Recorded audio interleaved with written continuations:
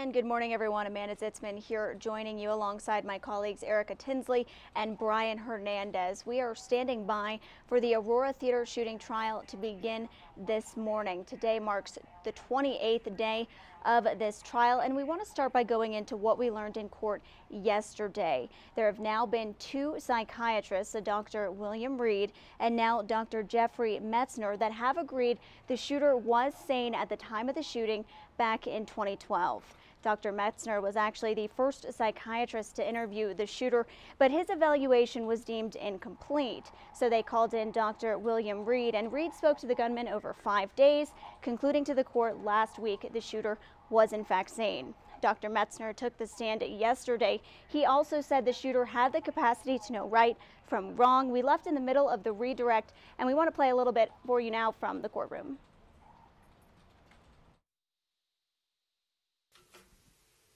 Based upon everything that you've seen, it's very clear to you that the tragic and horrible shooting spree on July 20th was a direct result of Mr. Holmes' illness. Is that right? Correct. And without that mental illness, um, the shooting would never have taken place. That is my opinion.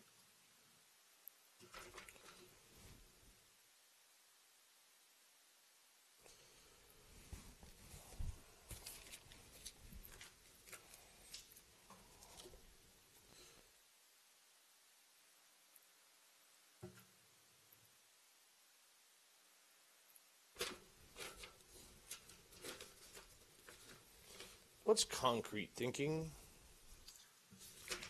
Concrete thinking is to be contrasted with abstract thinking.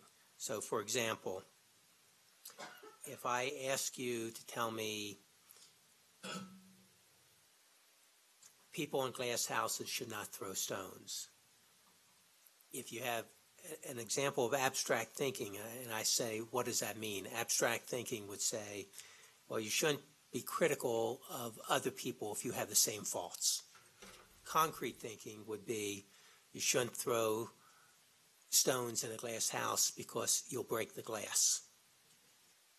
So, so that's what uh, concrete thinking is. Mr. Holmes displayed evidence of concrete thinking, Correct. and that's an that's a si- sign of schizophrenia, is it not, It's consistent with schizophrenia. or schizoaffective disorder? with a lot of other illnesses, but also with uh, schizophrenia or schizoaffective disorder.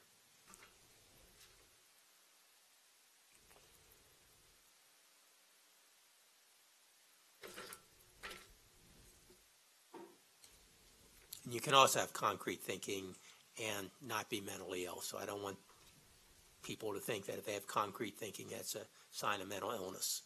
Not necessarily, but Correct. it can be. It can be, but it's it, because you have it doesn't mean you have a mental illness.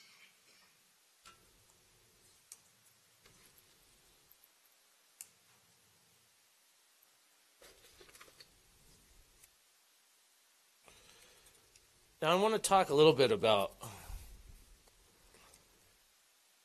um, nihilistic philosophy and philosophy in general. Can we do that? I guess we're going to. There's been some talk about how, and you heard um, Dr. Reid's testimony about how Mr. Holmes had a uh, belief in moral relativism, um, or what could be called nihilism. Um, let me ask you this Can somebody believe in moral relativism and still be mentally ill and psychotic?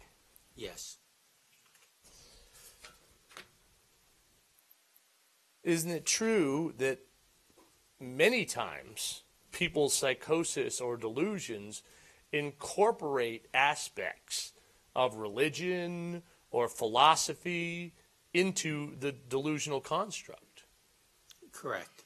For It's example- it's, it's not restricted to either religion or philosophy, but correct. Could be anything, right? That's correct. Like I, I, I think I'm Jesus Christ, for example, would be a delusional, a delusion you mentioned before, right? Correct. That would be related to religion in some fashion, right? Correct. Um, and so the fact that Mr. Holmes may have a belief in moral relativism does not mean that his thought process was not psychotic, does it? Correct. Whether or not he believes in moral relativism or not is irrelevant to whether the thought process is psychotic.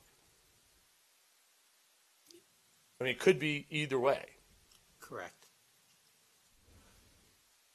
Dr. Metzner, in- in light of all of the stuff that Mr. King just went through with you and all the different possibilities from suggesting that something else was to blame for it or something else could have caused it or all these different scenarios, including the drunk driving one, has your opinion changed one whit that this guy right here had the capacity to know right from wrong based on societal standards of morality when he walked into that theater on the 19th and 20th and tried to murder the theater full of people. It has not changed. You still extremely confident in it? Yes. How about the other prong? Anything about what Mr. King brought up to you or threw out as possibilities that changes your extreme confidence in your previously stated opinion that this guy had the capacity to form the intent to murder after deliberation and to act knowingly with regard to all the other alleged criminal conduct? My, my opinion hasn't changed and my degree of confidence hasn't changed. In fact, had you considered all of the things that Mr. King had just brought up in cross examination in formulating your expert opinion on the matter of sanity? I believe so.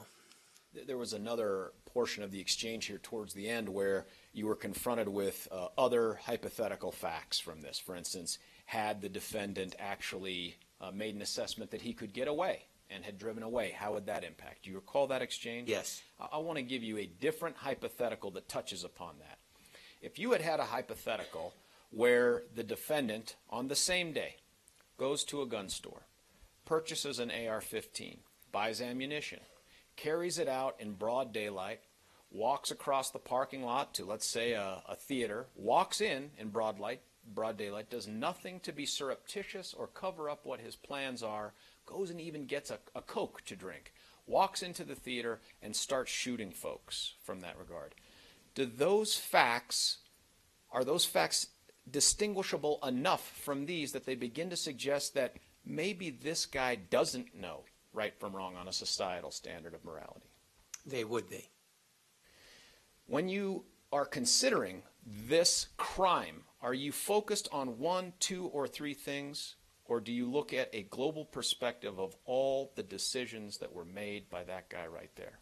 You look at the totality of the circumstances, uh, so it's not uh, based on just one factor. And I want to make sure that I'm clear on this too. We keep saying psychotic and psychosis, and those are the right terms. I get that. But they all flow from the delusion. Is that right? Yes. And I want to make sure I know what the delusion is.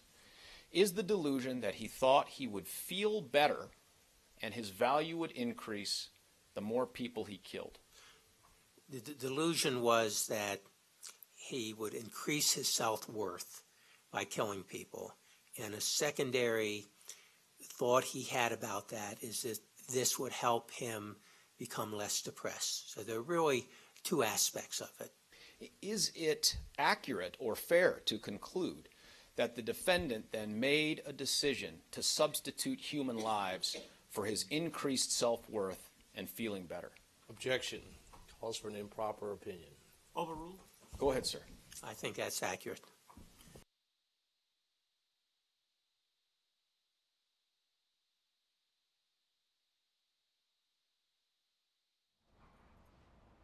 McGuire and Mr. Edson. And uh, we are So outside we the do, presence um, of the jury at this more time. Are the from parties ready Dr. for the Metzner. We do understand that court is now Sure. in session. The live feed is up. Your Honor, so I have one matter that needs to be put on the toss it over to record. Yes. Um, I want to let the court know, and I apologize for this, that, um, and I've spoken to Ms. Teesch-Maguire about it, but uh, James's sister, Chris, has been in the courtroom yesterday. I did not advise her correctly. I thought that she was already excluded from the sequestration order. She was not, and that is my fault. That is not her fault. I apologize to the court and I apologize to Ms. Teesch-Maguire. I did ask her if she had any opposition to excluding her from the sequestration order so she could be present. Uh, Ms. Teesch-Maguire indicated that she does not have any opposition to that, and I did let her know of my mistake yesterday, so I'd asked to modify that order. Your Honor, if I could, I, I was just made aware of this by Ms. Teesch-Maguire. Can we have some time to think about this and take this part under advisement and, and discuss it at a break possibly? All right, um, if the people wanna discuss it, that means that my previous order stands, so she would have to, um, be excluded from the courtroom until I modify the order, if I modify it. I'm assuming that you're referring to, when you say James, you're referring to your client, Ms. Higgs, and when you say Chris, you're referring to Chris Holmes, your client's sister, is that correct? Yes, Your Honor, that is correct. All right. But At this time, she's not exempt from the sequestration order, so she'll have to wait outside, and then um, let's discuss it at the break. And then if the people have a change of mind at that point, then she can come back in the courtroom. Or even if the people don't have a change of mind, if you still want to make that request, I will consider it at that time, okay? So she should step out for now. All right, let's uh, bring the jury in, please. Oh, sorry.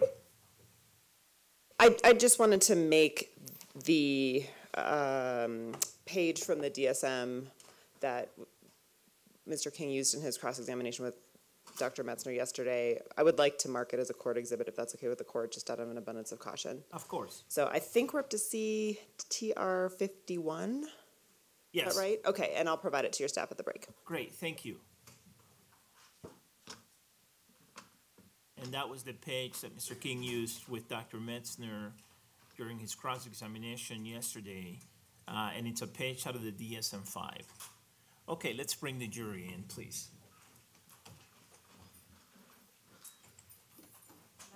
Our number DTR fifty-seven, just for the record. Great, thank you.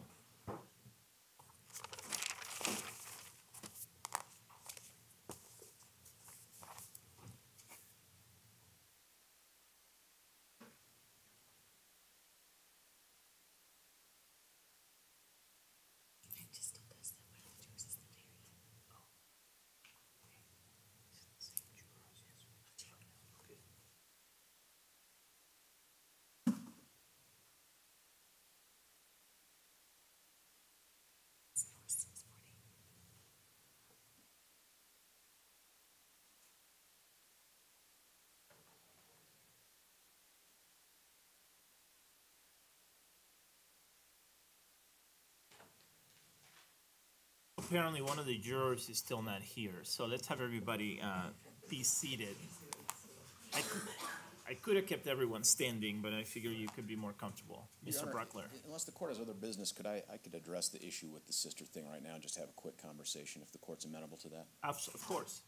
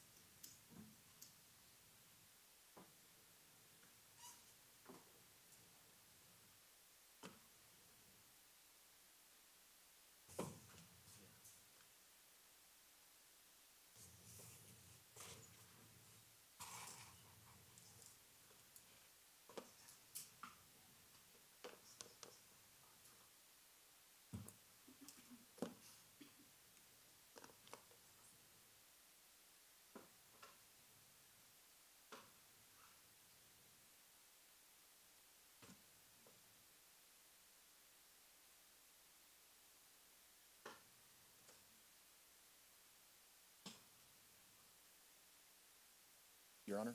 Yes, sir. Hey, I've talked about it with the smarter people at my table, and um, I think the position that Ms. Teesch-Maguire conveyed to Ms. Higgs is the one that, uh, that we're in agreement with and would adopt. So we have no objection to the court amending its order about sequestration to permit the defendant's sister to be present in the courtroom. Okay, without objection, then I will grant the request. So the uh, sequestration order is uh, orally amended, and Chris Holmes may be present in the courtroom even when she's not testifying and specifically before she testifies. Thank you, Your Honor. Okay,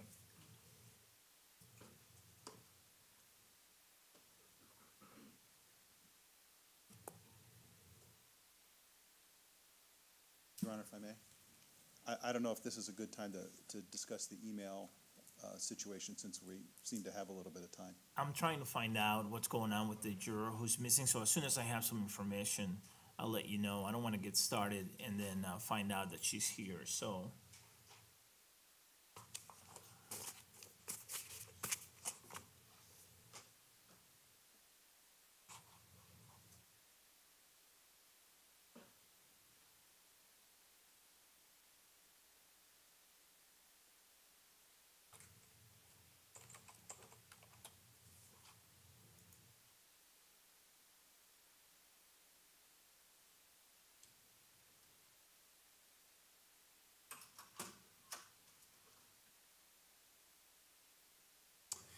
I'm gonna step down and try to find out, um, if there is an update on the missing juror.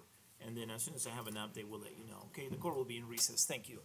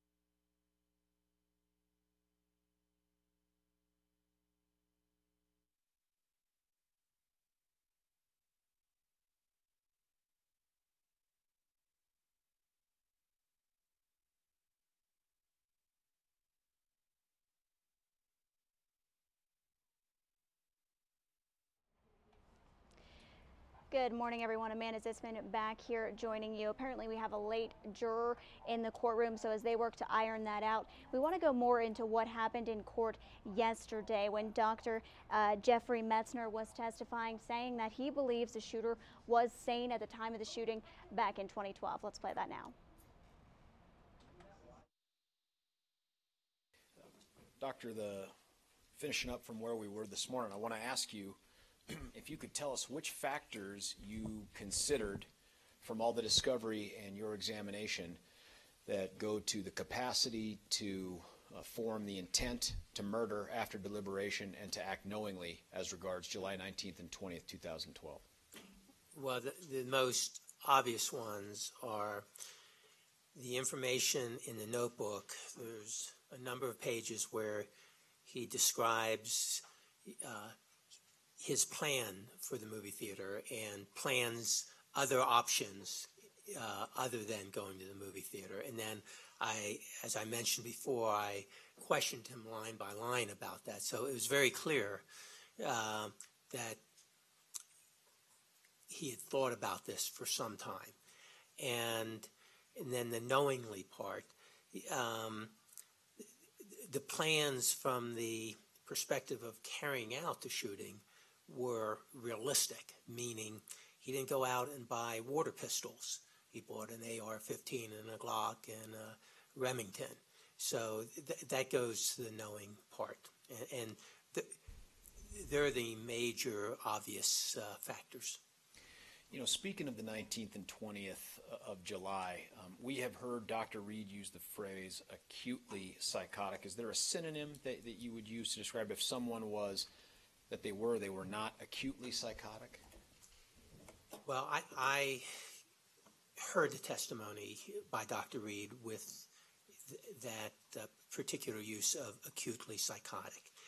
And the, the word acute has changed between DSM 4 and DSM 5. But my understanding, I think, of what Dr. Reid was talking about is if you look at Rich, I'm going to object as to his understanding of what Dr. Reid was talking about. That calls for speculation. The objection um, as to speculation is sustained under Rule 602. Doctor, let me ask you a different question. D- do you did you find that the defendant was floridly psychotic on the 19th and 20th of July 2012? Objection, relevance. Overruled? Go ahead, sir. I found that he was psychotic, not that he was floridly psychotic. The, the distinction that I would make between psychotic and floridly psychotic or acutely psychotic is if you look at his presentation around November 11, 12, 13, when he went to Denver Health Medical Center, he was floridly psychotic. And what I mean by floridly psychotic, again, if you were in the room, you didn't have to be a psychiatrist to say that something was wrong with Mr. Holmes. It would be obvious to a layperson. On July 20th, I think that Mr. Holmes was psychotic because he was delusional. But unless you talked to him, that wouldn't be apparent to you that he was psychotic. Um, be, being psychotic or floridly psychotic, uh, the, they both are very significant impairments and reflection of significant mental illness. The fact, though, that it's the delusion that we're talking about for the psychosis on the 19th and 20th, that, that's the one we're talking about increasing his value. That's correct. And despite the, the determination that he had that delusion on the 19th and 20th, you still adhere to your opinions that you gave us right before lunch? Yes, and that's in part when when you're psychotic. That doesn't mean that you lose all reasoning ability. And in fact, he, um, he was acting on an irrational, psychotic notion, but he was very organized in acting on that. Thank you.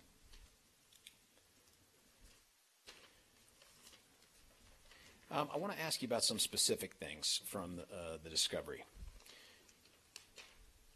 that may touch upon these capacity issues. One is, um, did the def- do you recall what the defendant told Drs. Fenton and Feinstein was his rationale for not studying for the prelims?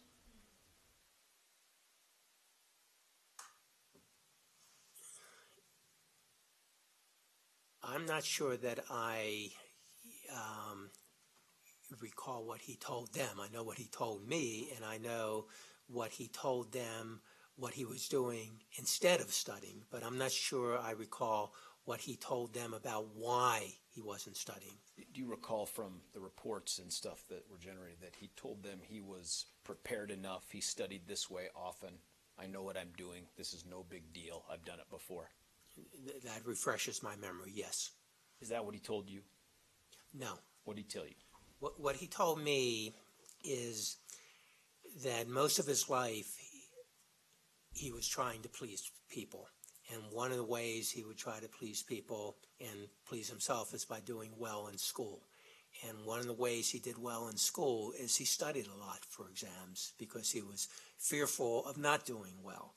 And by the time prelims came up, he decided he was going to be his natural self and not study because of what other people uh, expected of him uh, or his fears of what would happen, but to just be himself and take the test without studying. Did he tell you in terms of his planning um, how he was able to case out and draw out each of the theaters that we've seen in his notebook? Yes. How did he do that? Well, he told me, I think it was between June and July. I believe he went to the Century 16 Theater um, nine or ten times and looking and going into different theaters and figuring out which would work best. And he eventually picked Theater 9 and 10 because of the layout. And he eventually picked Theater 9 because Theater 10 was being used as overflow uh, for people who couldn't get into Theater 9. And the Theater 10 movie, I think, was beginning at 12:15, at least the previews. And the Theater 9 movie was starting at 12, and that's why he chose Theater 9. In terms of the planning, also, you spoke with him about how he decided to make purchases online versus at stores. Do you recall that? Yes. Tell us what he told you. Well, the purchases at stores w- was based on convenience, meaning what's what was close to him. The purchases online were based on price. Did forgive me for not remembering this. I didn't put a check mark right here. Did I ask you already about his use of an incorrect birth date on um, adultfriendfinder.com? You have not. Let me do that. Um, did you talk to him about the birth date he chose to put in when he was signing up for adultfriendfinder.com? Yes, And what was it? he he used the incorrect birth date because he really didn't. He wanted to be able to not be identifiable Um, th- through that, and giving the wrong birthday is just one identifier that may make it hard to identify. And I, I think that was more related to the dating perspective than related to what he was planning to do July twentieth. Did he tell you why he chose to commit this mass murder at a movie theater? He did, and it, again, it was in part related to some leading questions from me, which was based on uh, reading his notebook, which clearly said why he, he uh, chose that. And let me uh, ref- refresh my memory. And welcome back. So today we expect to hear more from Dr. Metzner in court. He is actually the second psychiatrist to give the opinion that the shooter was sane at the time of the shooting. I understand court is back in session, so we want to toss it over to that now. We are outside the presence of the jury. Uh, the juror who's missing left a message early this morning for us, or not that early, but indicated that apparently there was a power outage uh, in her home and she overslept. The alarm didn't go off, and so she called at about eight fifteen. It sounded like, and said she was on her way, but she's not here yet. And I'm not sure whether uh, we misunderstood in terms of uh, the time. Um, we think she called at about eight fifteen and said she was on her way, but that may not necessarily be accurate. And so, given that, uh, I think we'll make use of our time and I'll rule on Exhibit P-TR-1227. And Dr. Metzner, you can stay there or you can step down, whatever's most comfortable for you while I do this, okay? Yes, Judge, could we inquire what the juror number is? yeah, this is juror number six forty, who's never been late before. So, the uh, juror who was late yesterday was uh, a different juror. Um, I believe that was eight seventy-two, who was running a little late yesterday. And then these are the only two days that we've had anyone be late. Uh, other than yesterday and today, uh, the jurors, all twenty-four of them, have been on time every time. So. All right, the, uh, there are some global objections to Exhibit P-TR twelve twenty-seven, and there, there are some specific objections to twelve particular emails. Uh, in terms of the global objections, there is a relevance objection, there's a Rule four oh three objection, uh, and I'm going to address those, uh, in a little bit. There's a hearsay objection, so let me address that objection first. Um, in terms of the hearsay objection, the objection is overruled To the extent that the emails in this exhibit contain statements by the defendant, those statements are not hearsay, they are statements by a party opponent. To the extent that the emails contain statements, statements by someone else, they're not hearsay because they're not being introduced, introduced for the truth of the matter asserted. They're being introduced to place the defendant's statements in context so that the jury can understand the defendant's statements in context. And I'm happy to give a limiting instruction uh, along those lines. I'm making the same offer that I have made throughout the trial to the defense in terms of uh, giving the jury a limiting instruction with respect to these statements made by people other than the defendant. Uh, I disagree that a, limiting instruction uh, will not be adequate uh, in this case. Uh, and um, th- there's no basis um, that supports that argument. Uh, this happens all the time in courts. Statements are admitted that are not hearsay. And uh, if a party wants the court to tell the jury uh, specifically that those statements are being admitted, for example, uh, to show the effect on the listener, or, for example, to place in context some other statements, uh, courts do that. Uh, this happens all the time. So I disagree that a limiting instruction will not be adequate to address this particular situation, especially given the nature of the statements by other folks in these emails. These are not statements that, in general, uh, have any risk of undue prejudice or that um, lead me to conclude that uh, one, o- one or more of the concerns listed in Rule 403 um, is present. Uh, or that one of those concerns, one or more of those concerns should lead me, should lead me to, um, to uh, keep these uh, emails out. Number five is a confrontation issue. Um, there's not a confrontation issue here. These are not hearsay statements. These are statements by the defendant, uh, which constitute statements by a party opponent, and statements by other people that are not being introduced for the truth of the matter asserted. But in any event, to the extent that the defense wants to examine these folks, um, they're welcome to do it. And to the extent that these folks have already testified, uh, if the defense wants an opportunity to call them again, I'll give them that opportunity. Same thing with uh, people who haven't testified, or perhaps people that the defense is not familiar with. I think Ms. Spengler named one uh, person that she said uh, they weren't familiar with. I think it was somebody by the last name of Muck, M A U C K. And if the defense wants an opportunity to call that person to the stand and other people to the stand, whether they've been called before or not, I'll give them a chance to do that. They'll have a, an opportunity to do that. Uh, there was a reference to character evidence, and I think Ms. Spengler was trying to be candid with the court, and, and I, she put it up front with the court.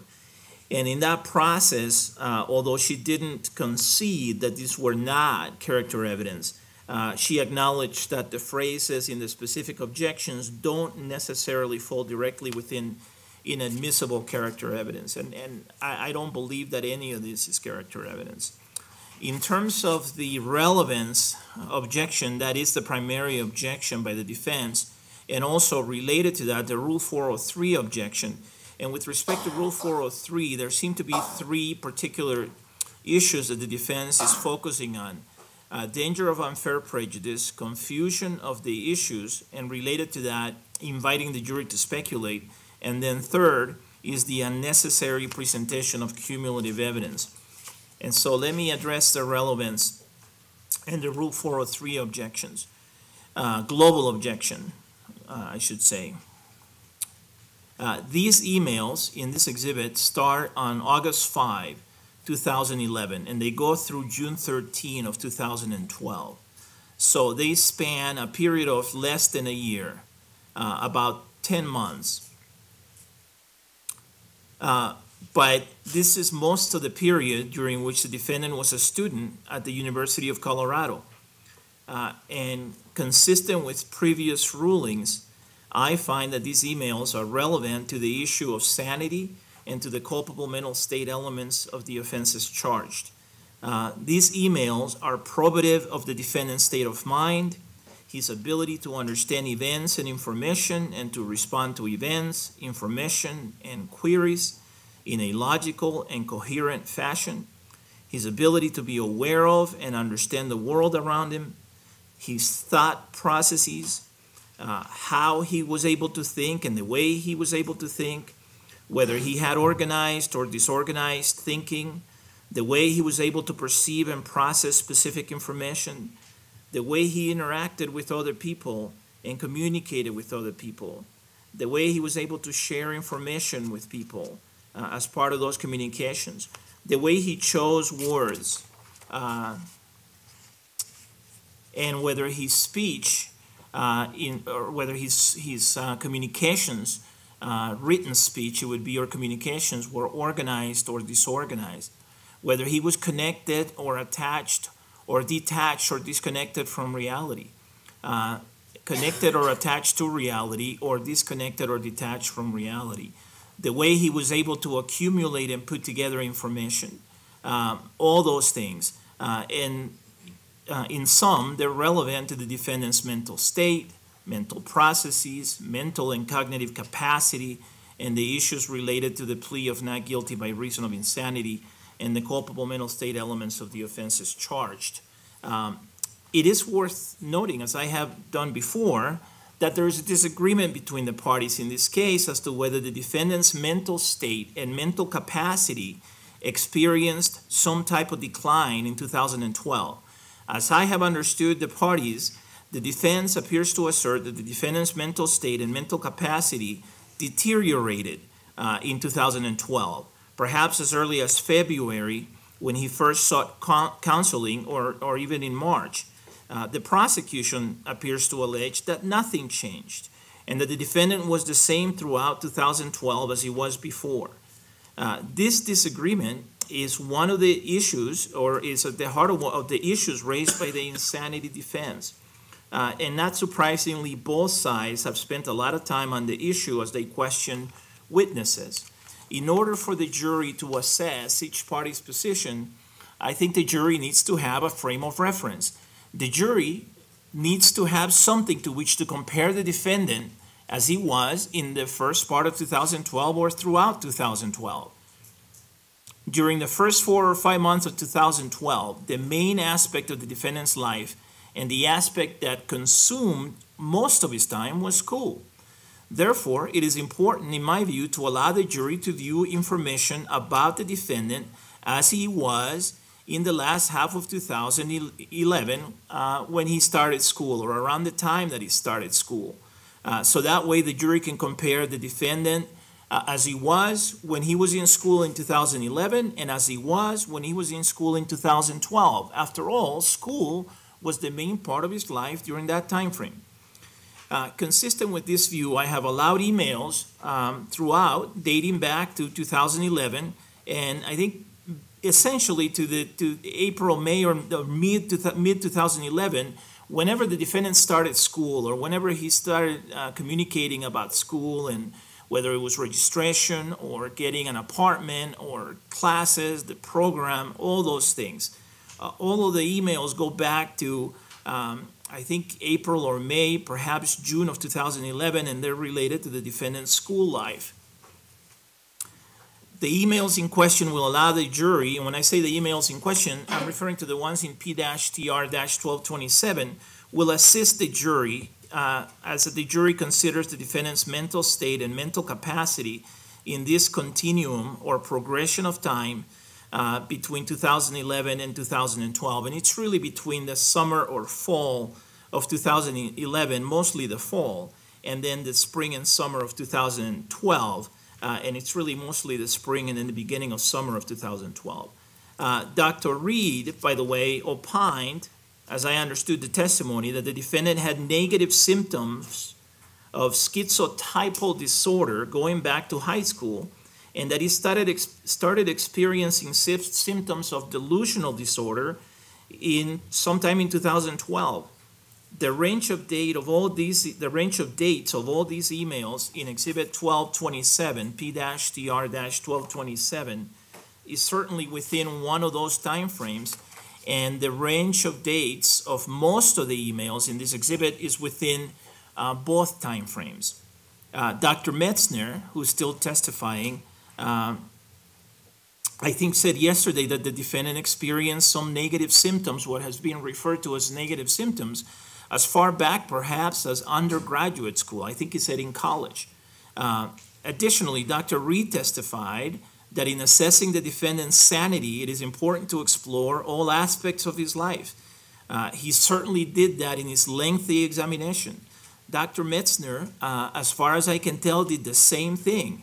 Um, Dr. Metzner performed a lengthy examination of the defendant over 25 hours and explored multiple areas of the defendant's life uh, and went back before July of 2012, in fact, long before 2012. Uh, and by the way, I don't know that I agree with the defense when the defense asserts that these experts did not rely on any of these emails. It's my understanding that these experts and other experts were asked by the parties to review most, if not all, of the discovery in this case. Uh, a voluminous amount of information to be sure. I think Dr. Reid said last week that it was in the uh, range of 60,000 or 70,000 pages, perhaps more. Uh, and in any event, the fact that an expert may not have specifically mentioned an email or emails in his report or testimony doesn't mean that they don't constitute a part of the information on which he relied in forming his opinions.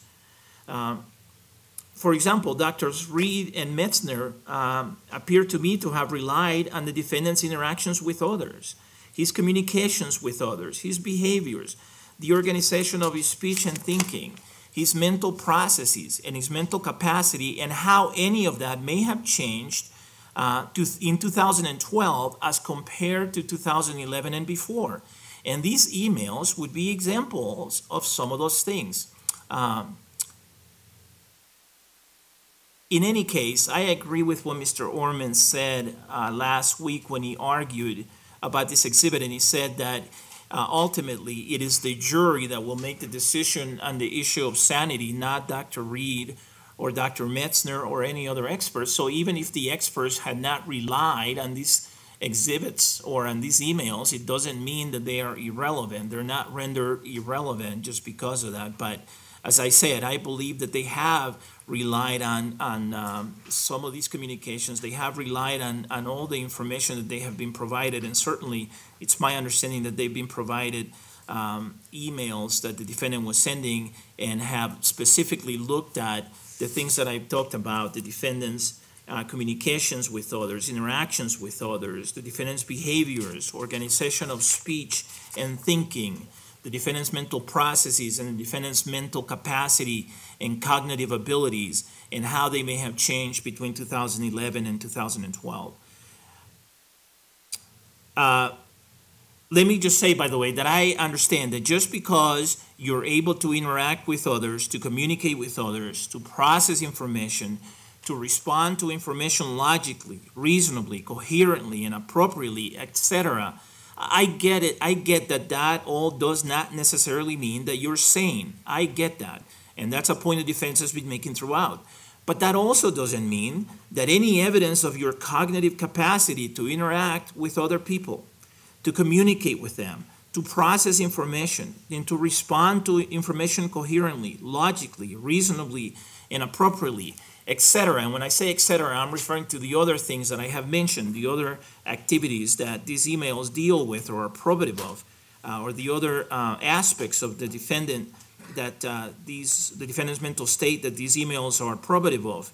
Uh, it doesn't mean that they have no relevance to the issue of sanity. So yes, on the one hand, just because someone can communicate and interact with people and process information, uh, it doesn't mean that they're sane, but that also doesn't mean that the person's communications and interactions and evidence of his ability to process information and to respond to it appropriately and coherently is inadmissible or that it is irrelevant.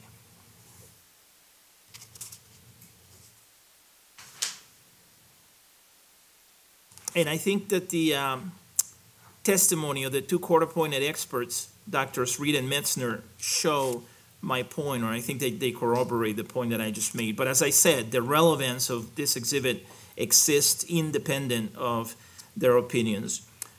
Uh, so for all those reasons, I find that these emails are relevant. I also find that the probative value of these emails is not substantially outweighed by the danger of unfair prejudice uh, or by the danger of confuse, confusing the jury or uh, inviting the jury to speculate or by the unnecessary presentation of cumulative evidence. Uh, in terms of the specific objections, uh, let me run through the uh, 12 emails or email exchanges that were identified by Ms. Spengler. The first one is um, uh, email August 23, 2011, number 1359, and the number refers to the Bates stamp number. Uh, this is an email exchange between the defendant and his father, Robert Holmes. Uh, and then I think there was a, an argument that there is double hearsay because Mr. Holmes, Robert Holmes, that is, discusses statements by Chris Holmes, the defendant's sister. Uh, it's not hearsay and it's not double hearsay because these statements are not being admitted for the truth of the matter asserted.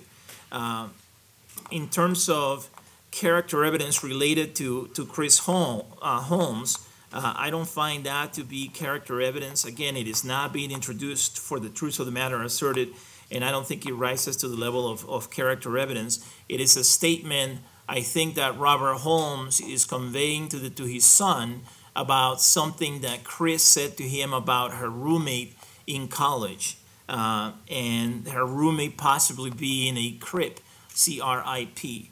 Uh, and the defendant then responds to that, finding it unlikely that that's true or that that's the case.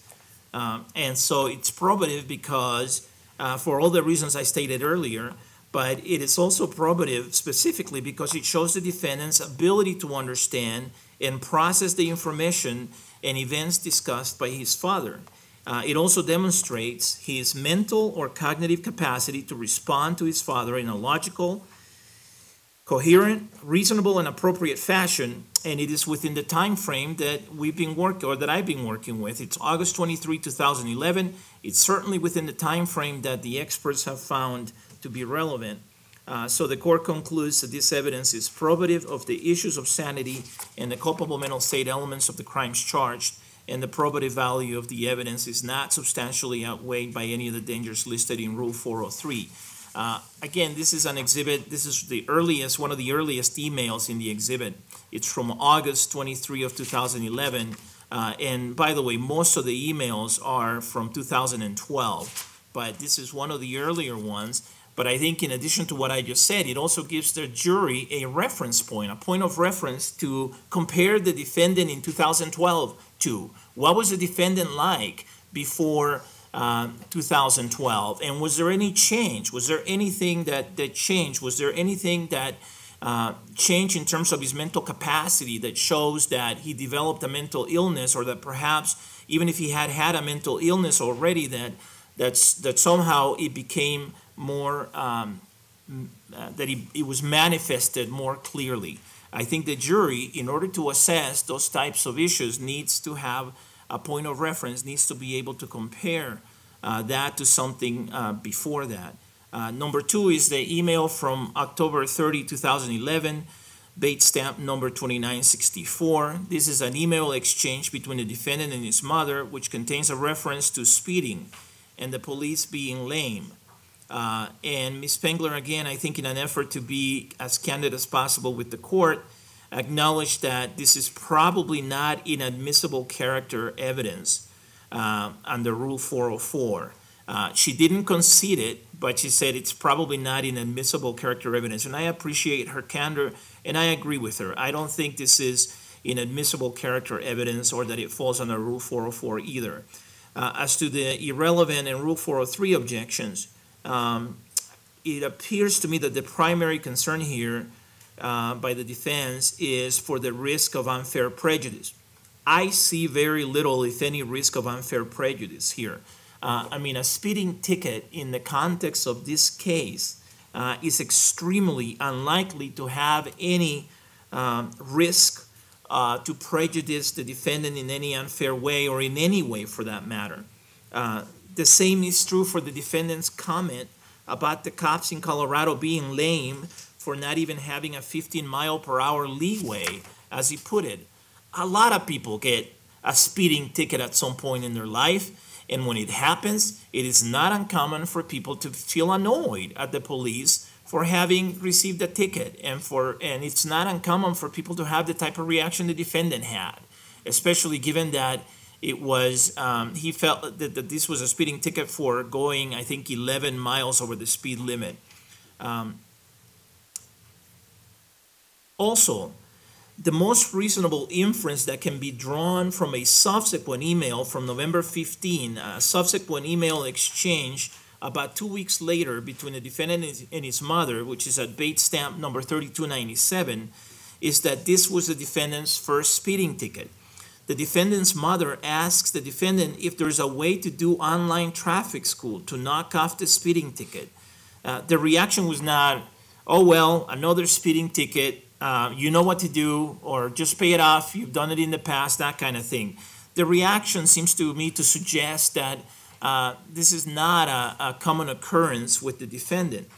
Uh, on the probative side, uh, in addition, in addition to the reasons that I have stated earlier, uh, the email from the defendant in this exchange contains a discussion about activities that he that he is engaging in with his gal, as he refers to her, and with his friends. Uh, one of the big themes in this trial has had to do with the defendant's ability or inability to socialize with others in 2012, including how shy and introverted and socially awkward he was at that time. The parties appear to disagree about whether these are symptomatic of mental illness or whether they are merely normal traits of the defendant's personality, and whether there was a change in these behaviors at some point in 2012. The defendant's discussion of social activities with his girlfriend and friends in, in late 2011 goes to these issues. As such, this is evidence that is probative of the issues of sanity and the culpable mental state elements of the crimes charged, and the probative value of the evidence is not substantially outweighed by any of the dangers listed in Rule 403.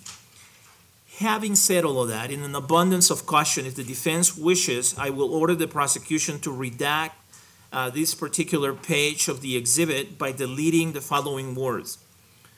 And then I got a speeding ticket because the police are lame here. 46 in a 35 zone, not even a 15 mph leeway. Uh, in my view, such a redaction will not take away the primary probative value of the email, but will completely avoid any danger of unfair prejudice. So I'll leave it to the defense to tell me whether they prefer to have that redaction made or whether they would rather not have the redaction made. Either way, the defense is not waiving their objection. I, I understand their objection. I'm overruling it. I'm giving them a choice of whether they wish to have that redacted or not, and it is up to them to make that determination. Uh, number three is an email from November 15, 2011, Bates stamp number 3297. I just mentioned this a moment ago. This is an email exchange between the defendant and his mother uh, this is the one that contains a reference to the speeding ticket and whether it can be knocked off through online traffic school. The defendant responds that the amount of the fine is not yet showing online. The defense makes the same objections uh, to this email as it made to the last email, so it's the same ruling. Uh, in this email exchange, by the way, on the probative side, the defendant mentions that he plans to spend Thanksgiving with a bunch of his peeps uh, which I infer to mean his friends, and with his gal, Gargi, which he says should be fun. Uh, as a, for all the reasons I have mentioned previously, including in the ruling on the admissibility of the last email from October 30, 2011, this email exchange, uh, in my view, is probative of the issues of sanity and the culpable mental state elements of the crimes charged, and the probative value of the evidence is not substantially outweighed by any of the dangers listed in Rule 403. Consistent with my last ruling, if the defense wishes, I will order the prosecution to redact Mr. Holmes's comment, or excuse me, Mrs. Holmes's comment. No response to my email about your speeding speeding ticket. Can you knock it off your record by online traffic school? And the defendant's response. I don't know about the traffic school. The fine isn't listed online yet. Uh, and by the way, that last sentence by the defendant implies to me that he had gone online and looked for the fine due on the ticket, something which again is probative of his capacity to understand the world around him, to process information, to react appropriately, logically, reasonably, and coherently to it.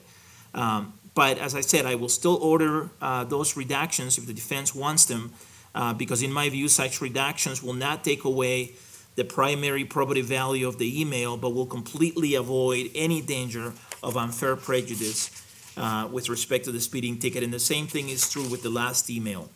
Next is number four, uh, an email from December 9, 2011, Bates stamp number 3987.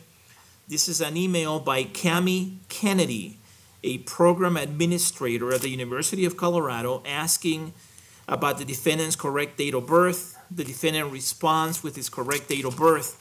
Uh, and if I remember correctly, I think she had two possible dates of birth and was trying to figure out which one was the right one.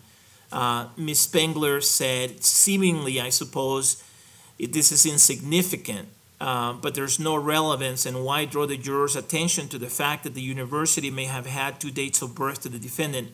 I agree that this is insignificant in terms of uh, any unfair prejudice or any risk for unfair prejudice. In terms of the probative value, the court relies on all the reasons I have previously articulated.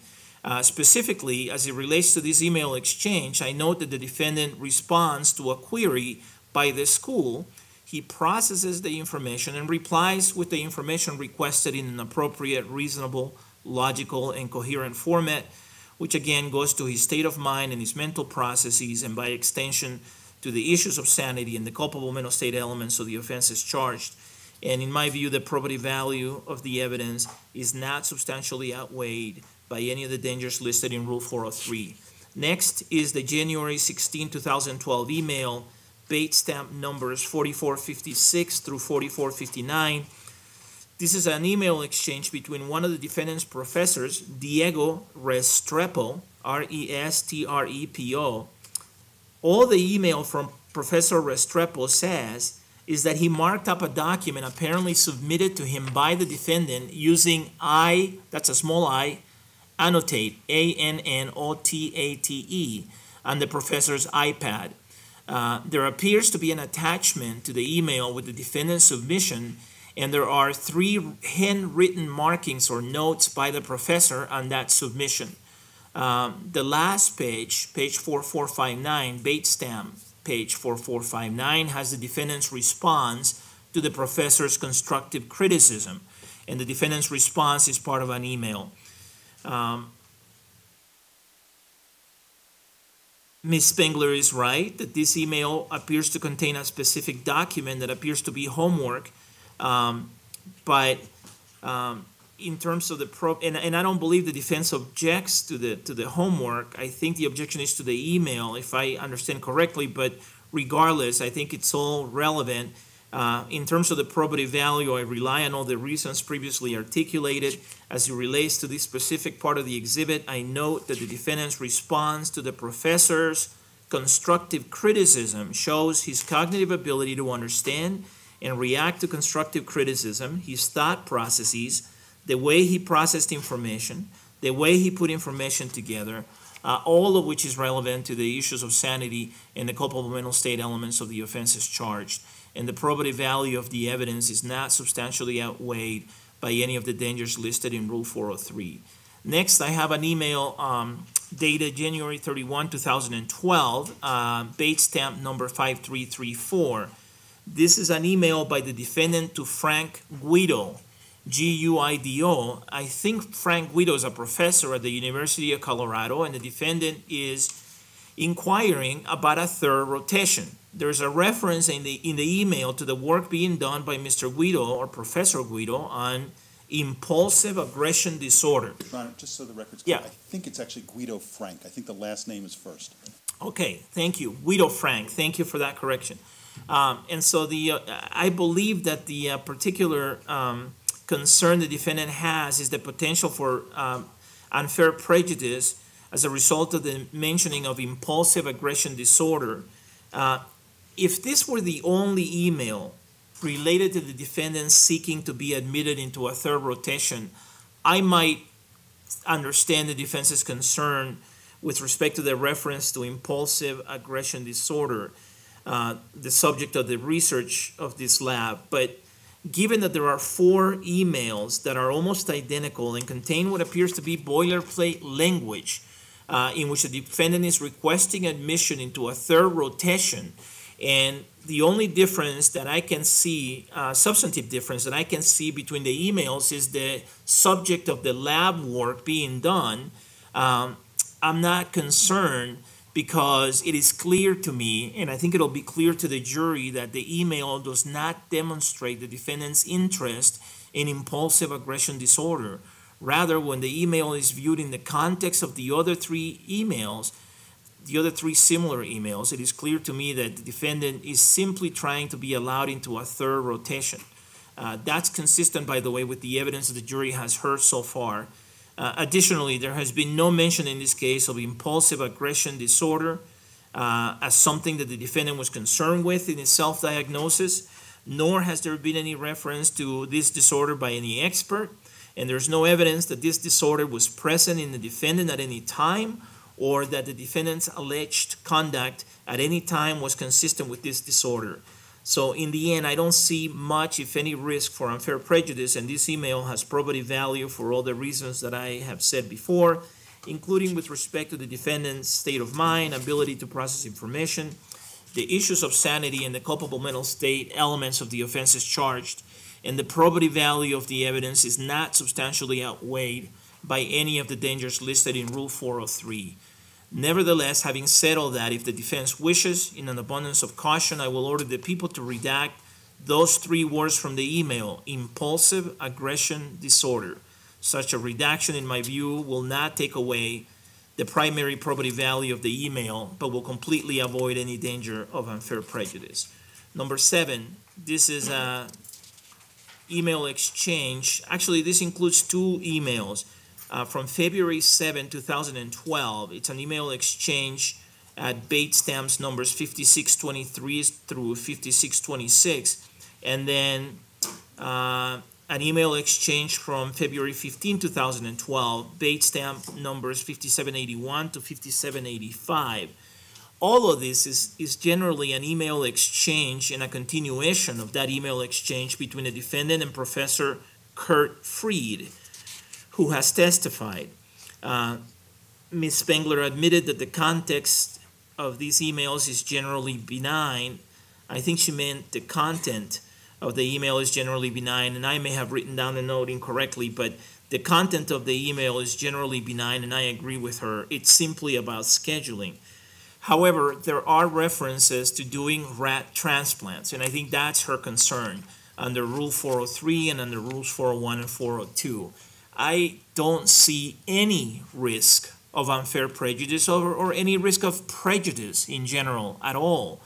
Uh, I have said this before and I'll say it again. I don't see the reference to doing research with rats as having any risk at all of undue prejudice or any risk at all of any prejudice. And this email exchange, in my view, is probative of all the issues that I have articulated before throughout my ruling uh, today, uh, and it is therefore relevant to the issues of sanity and the culpable mental state elements of the offenses charged. And the probative value of the evidence is not substantially outweighed by any of the dangers listed in Rule 403. Next is an email exchange from February 13, 2012, Bates stamp number 5747. This is a, an email exchange between Cami Kennedy, the program administrator at the University of Colorado that I mentioned earlier, and um, and the defendant. But the email from Ms. Kennedy is specifically sent to a bunch of students or multiple students, including the defendant. Uh, and then there's an attachment to the email, which is a summary report purportedly written by the defendant to the National Institutes of Health. And I believe there's a, a response by the defendant attaching uh, that summary. The summary references in vitro experiments on rat brains. Uh, and I believe that it's the reference to these experiments on rat brains that the defense finds particularly problematic under Rules 401, 402, and 403. for the reasons I stated, I disagree. I don't see anything concerning with respect to research with rat brains. And in my view, the attachment um, appears to be something the defendant wrote about a very complicated scientific concept in February of 2012, so just some months before the shooting. Uh, and in my view, it is relevant for all the reasons that I have articulated throughout my ruling today, including because I think it is probative of his state of mind, ability to process information, mental and cognitive capacity, and by extension, the issues of sanity and the culpable mental state elements of the offenses charged. And the probative value of the evidence is not substantially outweighed by any of the dangers listed in Rule 403. Uh, number nine is an email exchange uh, from February 19, 2012, Bates stamp number 5919. This is a short email exchange between the defendant and Cami Kennedy, uh, the program administrator at CU, regarding an issue with the defendant's billing statement. Um, Ms. Spengler argued that this has very limited relevance and that it's inflammatory because it shows that the state of Colorado was paying for the defendant's tuition. Uh, I'm not sure what's inflammatory about that. I, I disagree. I don't I don't see anything inflammatory uh, from the fact that the school uh, had had apparently given the defendant uh, some kind of scholarship or funds to pay for his schooling. Um, and in my view, the probative value uh, actually, let me back up. She argued also that the probative value does not outweigh any of the potential inflammatory effect. Uh, and that's not the standard. She may have misspoken, but the standard is not whether the probative value outweighs any potential inflammatory effect. The standard under Rule 403 is whether the probative value is substantially outweighed by the risk for unfair prejudice. So, uh, in this case, uh, the email exchange contains a reference to the defendant discussing financial issues related to his education. So, it is probative um, of all the issues that I have articulated earlier, including uh, of his state of mind, ability to understand the world around him and to respond to questions and, and uh, appropriately. And it is also probative of his attachment to reality or whether he was attached or detached. He was attached to reality or detached from reality. Uh, so I find that it is relevant to the issues of sanity and the culpable mental state elements of the offenses charged, and the probative value of the evidence is not substantially outweighed by any of the dangers listed in Rule 403. Uh, next, we have uh, an email exchange from February 23, 2012, Bates stamp number 6101. This is an email regarding a different exchange between the defendant and Dr. Freed, again about scheduling. Uh, this one references work that the lab is doing with rat brains, and that is the concern that was expressed by Ms. Spengler, the mention of uh, work with, la- with rat brains. I, I'll just say again, I disagree that there is anything at all uh, that causes me concern about that. I don't see that as having any risk at all of undue prejudice or even prejudice at all. So, uh, and as I mentioned earlier, um, this exchange is relevant for the reasons that I have been articulating throughout my ruling. Uh, so I find that it is relevant to the issues of sanity and the culpable, culpable mental state elements of the offenses charged, and I find that the probative value of the evidence is not substantially outweighed by any of the dangers listed in Rule 403. The penultimate email exchange in this exhibit is an email exchange dated uh, November, uh, excuse me, March 26, 2012, Bates stamp number 6859. This is an email exchange between a defendant and a Mary Mauck, M A U C K. I mentioned her name earlier. Um, in this email exchange, the defendant is requesting after hours and weekend batch access to the lab. Um, as I mentioned before, Ms. Spengler said that defense counsel is not familiar are not familiar with Ms. Mauck, and none of the experts have relied on this email or on her, uh, and that that doesn't render this email exchange uh, irrelevant or inadmissible under Rule 403. As I mentioned, counsel can call Mary Mauck to the stand if they wish. I will give him an opportunity to do that. And this email is relevant for all the reasons I have been articulating throughout my ruling. Uh, and so I find that it is relevant to the issues of sanity and the culpable mental state elements of the offenses charged. And I find that the probative value of the evidence is not substantially outweighed by any of the dangers listed in Rule 403. finally, there is an email exchange dated May 16, 2012, Bates stamp number 8587. This is an email exchange involving the defendant and Professor Freed and uh, Lee Young Mook, M O O K. Uh, the defendant forwards his rotation PowerPoint presentation in this email exchange, or at least a draft of it, and it is unclear whether it is a draft or the final version of the PowerPoint presentation. Ms. Spengler argued that the jury has already seen a portion of the presentation on video, and that um, and that Dr. Freed has already testified, and also that we do not know if this is the final draft of the presentation. Uh, in terms of Dr. Freed already testifying, I will, as I said, give the defense an opportunity to call him again if they wish. Uh, in terms of uh, the jury having seen a portion of this presentation on video, um, Ms. Spengler is right. The jury saw three short clips, video clips, of the final presentation that the defendant made. Uh, they were very short. I think they were a minute to two minutes each in length. Uh, and Ms. Spengler is also right that we don't know if this is the final draft of the presentation or if this is a draft before the, that preceded the final draft. Um, but I nevertheless find that this email exchange, including the attachment, is relevant uh, because what we can reasonably infer from it is that this is something the defendant put together uh, around May of 2012. It is something he wrote uh, in May of 2012, which is only approximately two months before the shooting. Uh, this presentation goes to the defendant's ability to put together information in a manner that does not appear to be, um, in a manner that uh, uh, that arguably does not appear to be disconnected from reality, that appears to be coherent, that appears to be logical. Um, of course, the jury will have to assess that, uh, but it is relevant for those reasons. And this is within the time frame that um, Dr. Metzner testified the defendant had already had, um, I think, um, his uh, a, trigger present in March in the Gmail chat. So this this would be after that Gmail chat uh, between the defendant and his girlfriend. Uh, and and so it's within the, the time frame that's uh, shortly before the shooting. It is generally relevant to the issues of sanity and the culpable state elements of the offenses charged. And in my view, the probative value of the evidence is not substantially outweighed by any of the dangers listed in Rule 403. I want to be clear again. My rulings should not be confused with saying and should not be interpreted as saying that these emails show that the defendant was sane at the time of the offenses charged.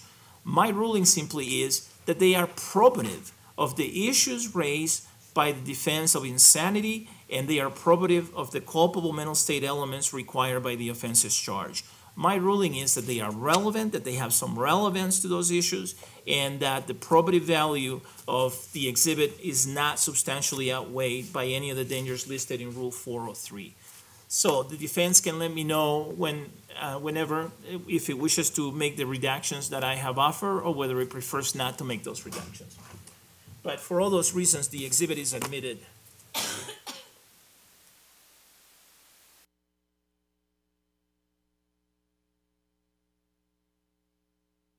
I need to step down for a moment, so I'm going to step down for uh, a few minutes, and then I'll, I'll take the bench again, and then we'll hopefully start with the jury at that time. The court will be in recess. Thank you.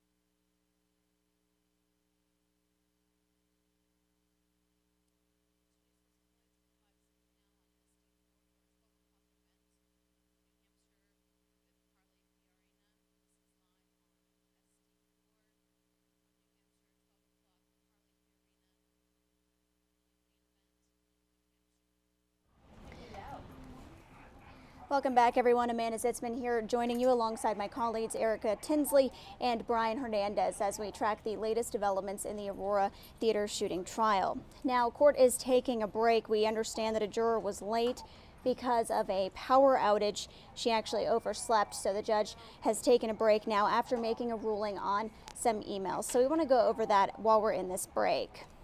Right off the bat, the judge basically ruled that some emails sent from the shooter's account will be admitted. Now, in assessing the shooter's sanity, the judge says it's important to look at all aspects of his life here at a time frame that is relevant to the trial. And he says these email emails are a part of that, that they can provide a way to understand the shooter's mental capacity. And he doesn't see a risk of prejudice in admitting those. And he also says that this should not be interpretive, uh, that it shows that he believes that he was sane at the time of the shooting Rather, they are just relevant to the issues at the trial.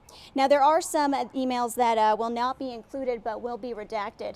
And if you bear with me here, I'm going to read through some of those for you now. So there was uh, an email that was written in relation to a speeding ticket um, that the shooter allegedly had gotten. He apparently asks um, how to get out of the ticket, potentially by going to traffic school. Uh, in addition, there's another email about spending Thanksgiving with his peeps. Um, and uh, they will exclude an email concerning the issue of two birth dates that the university had apparently had on file for Holmes. So those are the ones that will either be uh, not admitted or redacted for the jury. So Ultimately, it's up to the jury to decide, of course, the decision of sanity, despite the two state appointed psychiatrists that have given their opinion that the shooter was sane at the time of the shooting back in 2012. So we are waiting to get some sound here from what has happened in court so far this morning on day 28. Erica, how are we going on that? Are We... All right, we are almost ready. All right, we're good? All right, let's play some of that for you now.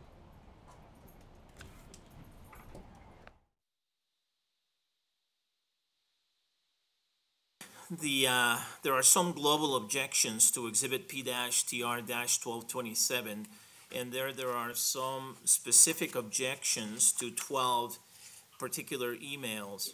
Uh, in terms of the global objections, there's a relevance objection, there's a Rule 403 objection, uh, and I'm going to address those uh, in a little bit. There's a hearsay objection, so let me address that objection first. Um, in terms of the hearsay objection, the objection is overruled. To the extent that the emails in this exhibit contain statements by the defendant, those statements are not hearsay, they are statements by a party opponent. To the extent that the emails contain statements statements by someone else, they're not hearsay because they're not being introduced introduced for the truth of the matter asserted. They're being introduced to place the defendant's statements in context so that the jury can understand the defendant's statements in context. And I'm happy to give a limiting instruction uh, along those lines. I'm making the same offer that I have made throughout the trial to the defense in terms of uh, giving the jury a limiting instruction with respect to these statements made by people other than the defendant uh, I disagree that a limiting instruction uh, will. All right, we want to cut into that. It appears that the judge has re entered the courtroom, so let's go ahead and listen in. Outside the presence of the jury. The jury is here, oh, the one juror is here now, and so they're ready to go. So please bring him in.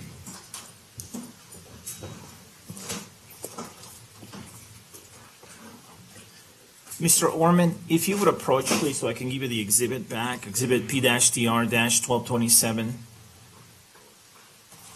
And then uh, one of the breaks we'll address the potential redactions, okay? Thank you.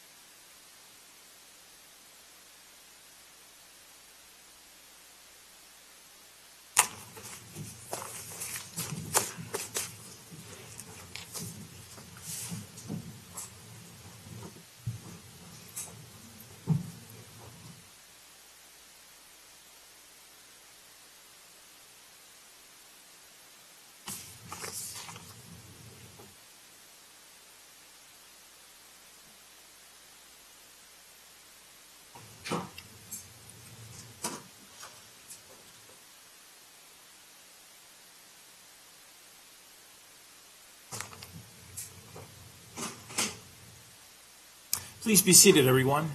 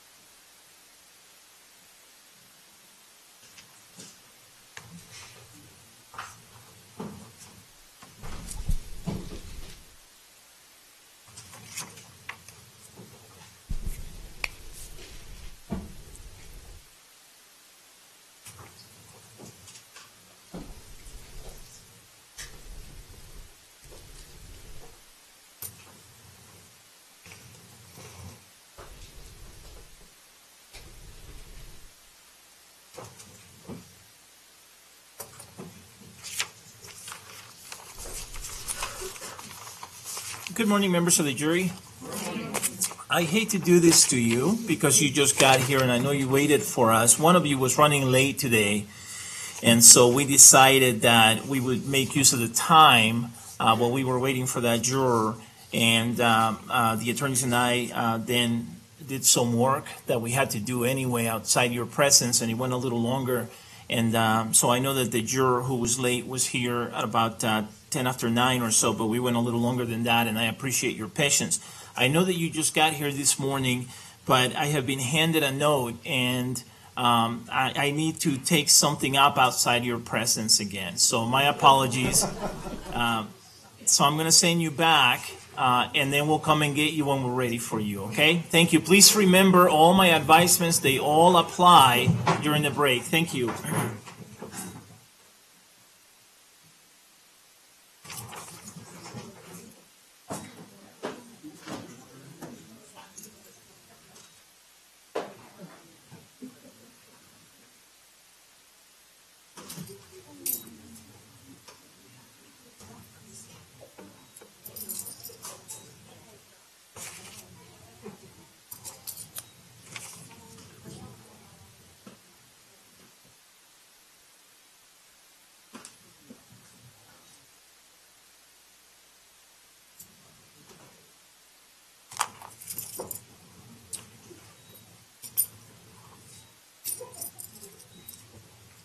Please be seated, everyone.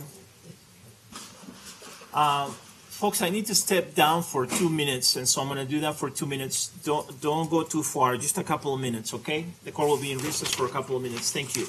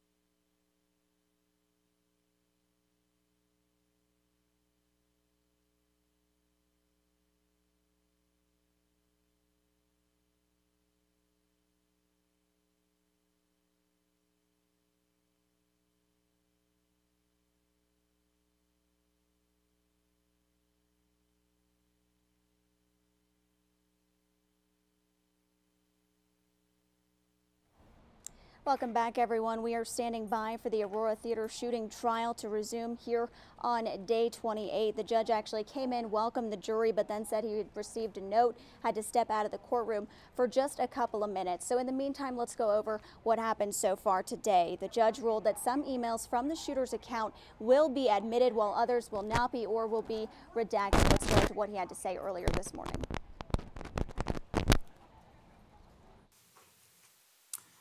The emails in question will allow the jury, and when I say the emails in question, I'm referring to the ones in P-TR-1227, will assist the jury uh, as the jury considers the defendant's mental state and mental capacity in this continuum or progression of time uh, between 2011 and 2012. And it's, um, for example, Doctors Reid and Metzner um, appear to me to have relied on the defendant's interactions with others, his communications with others, his behaviors, the organization of his speech and thinking, his mental processes and his mental capacity, and how any of that may have changed uh, to, in 2012 as compared to 2011 and before.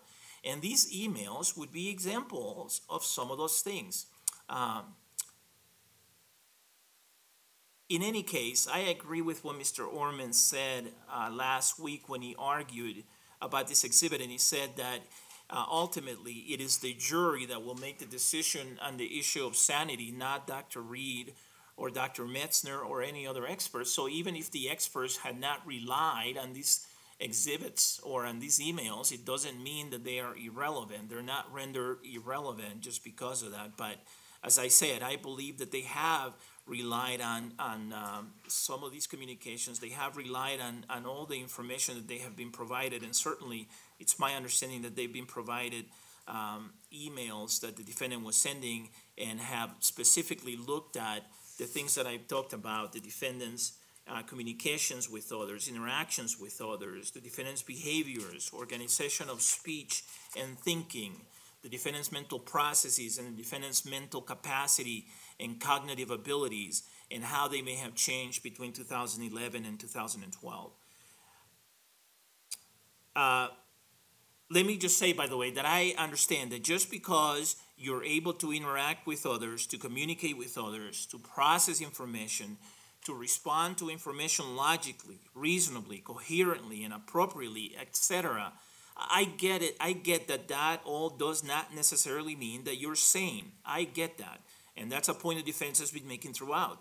But that also doesn't mean that any evidence of your cognitive capacity to interact with other people, to communicate with them, to process information, and to respond to information coherently, logically, reasonably, and appropriately, etc. And when I say etc., I'm referring to the other things that I have mentioned, the other activities that these emails deal with or are probative of, uh, or the other uh, aspects of the defendant that uh, these the defendant's mental state that these emails are probative of.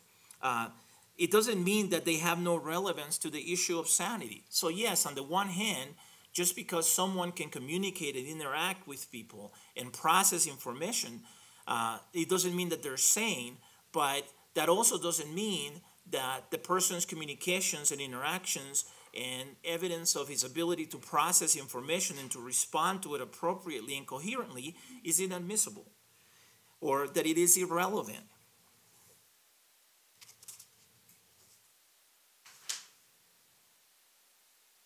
And I think that the um, testimony of the two court appointed experts, Doctors Reid and Metzner, show my point, or I think they, they corroborate the point that I just made. But as I said, the relevance of this exhibit exists independent of their opinions.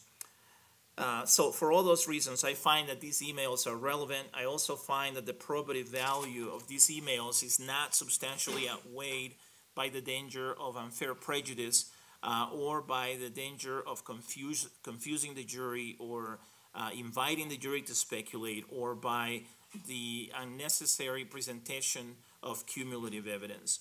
Uh, in terms of the specific objections, uh, let me run through the uh, 12 emails or email exchanges that were identified by Ms. Spengler. The first one is um, uh, email August 23, 2011, number 1359, and the number refers to the Bates stamp number.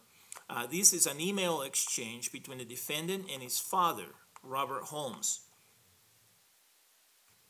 Uh, and then I think there was a, an argument that there is double hearsay because Mr. Holmes, Robert Holmes, that is, discusses statements by Chris Holmes, the defendant's sister. All right, you've been listening in to the judge's ruling that some emails from the shooter's account will be admitted in this trial. We understand the live feed is back up, so we'll toss it over to that.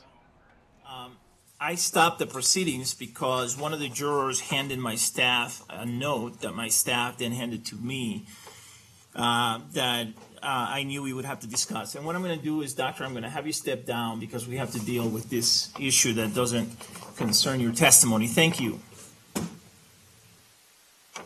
Uh, This is a note that I have marked as question form number 173. Uh, It's from juror number 673, and it reads as follows. I, I'm not sure if this is something you need to know, but I think the juror in seat nine, who is juror number A72, I just added who is juror number A72, uh, may or may not be reading the news on this case. She said it came up on her Facebook feed. She has said that they've tried to call a mistrial and also that the attorneys aren't allowed to have phones anymore. She said one of the attorneys posted on Twitter that he or she hoped the jury saw part of the video and the judge was mad. I don't know if this is information info. I don't know if this info is true or not and wasn't sure if you needed to know. Juror 673. So in light of that, I think what we have to do is, uh, or what I propose doing is bringing in juror 673 first, uh, having me ask her more questions about uh, when this happened, where it happened, and who else was present. And then we proceed from there. Is that, uh, does that sound uh, sensible to the people, Yes, sir. to the defense? Yes, Your Honor. All right, let's bring in juror number 673, please.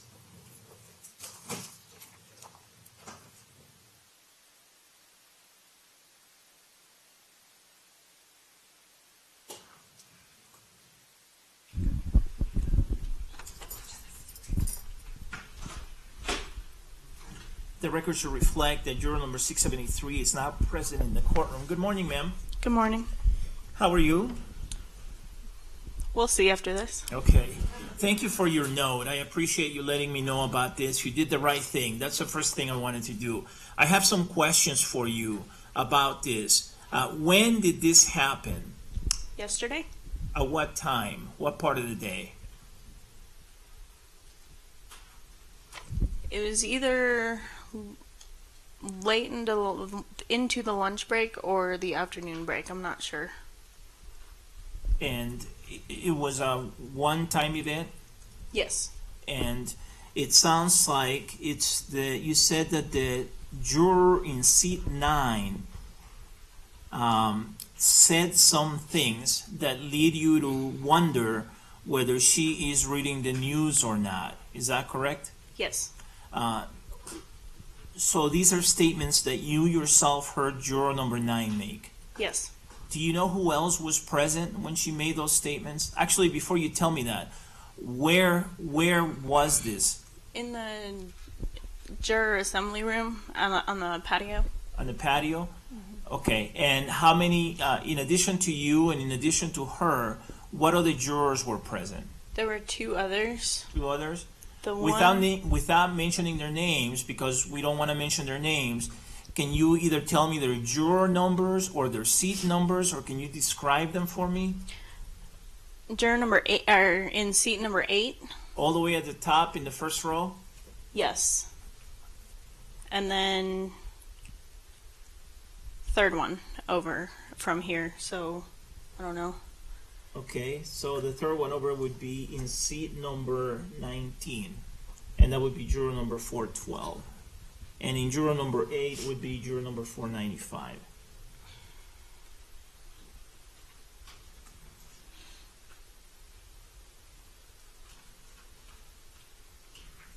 And do you know whether they heard the comments? I think so. I believe so. You believe so? What makes you think so? Were they close to the juror who um, made the statements? Yes, we were all standing around in a circle. Did anyone else say anything else? No. Did anyone respond to um, the juror sitting in seat number nine, who is juror number A72? Uh, not anything more than uh, what, O or something like that. What was it? O, Oh, just something to respond to a statement. did they both do that or just one of them? I'm not sure. You're not sure? No. But you're, um, you think that they both would have been within a short enough distance that they would have heard this? Yes. Okay. All right. Anything else? No. No? Let me have you step out for just a moment, okay?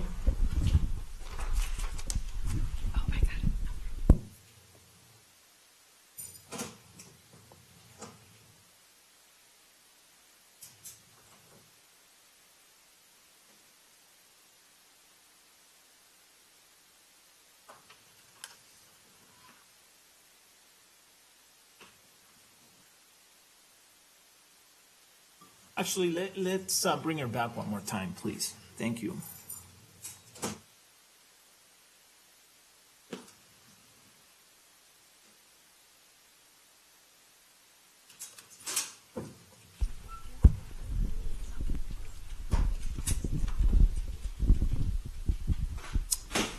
Thank you for coming back. The record should reflect that juror number 673 has returned again. Uh, did you take any action based on that uh, information that was said by that juror, juror number six, uh, juror number 872? No, I didn't say anything or do anything except for write that note this morning. Okay. And you didn't look anything up uh, on the internet or do any research or try to find out whether what she was saying was true or not? No. You took no action? No. Okay. Anything about what you heard that you think uh, affects your ability to be a fair and impartial juror in this trial? No. Um, as you sit here, are you still confident that you can be fair and impartial throughout this trial? Yes. And are, do you think you're going to feel um, um, curious about looking this, trying to find out if this information is true or not, and that that's going to lead you to, to violate one of my rulings? No, sir. Honestly, I'm not curious at all. I just feel really bad. But no, you should you should not feel bad at all. You've done nothing wrong, and in fact, I appreciate you telling me about this. You did the right thing. Um, but uh, you, you think you'll be able to comply with all my rulings, Yes. and have you complied with all my advisements and admonishments so far? Yes. And and you're confident that you'll be able to continue to do that. Yes. Okay. All right. Let me have you step out for just a moment. Let me talk to the attorneys, and then uh, we'll come. Uh, I'll, I'll we'll come and get you in just a little bit.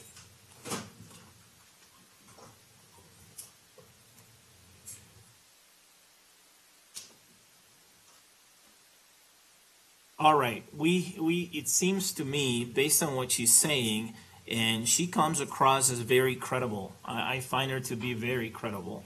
Uh, it, it seems to me that um, that the juror sitting in seat number nine, juror number eight seventy two, appears to have violated uh, one, if not more, one of my advisements. Uh, it also, I'm also concerned to some extent that uh, jurors 495 and 412 didn't say anything about it. Uh, it appears that they heard something and didn't say anything. That's concerning as well. So the question is, what do we do at this point? So let's take juror number 673 first. Uh, is there any, are there any other questions that the prosecution is requesting that I ask juror number 673 at this time? The only question I can think of, Your Honor, would be to inquire as to whether the note that she gave you contained the complete amount of information that was disclosed in this, I'll call it a conversation. I think that's a good question. Any other question? I think Your Honor covered the other questions I would have wanted when you brought her back in. All right. Mr. King, any other questions that you think would be appropriate for me to ask juror number 673 at this time? Judge, I'm requesting a brief recess at this point so that we can discuss this amongst ourselves and, and um, make a, have a thoughtful response. This is too important to rush through, frankly.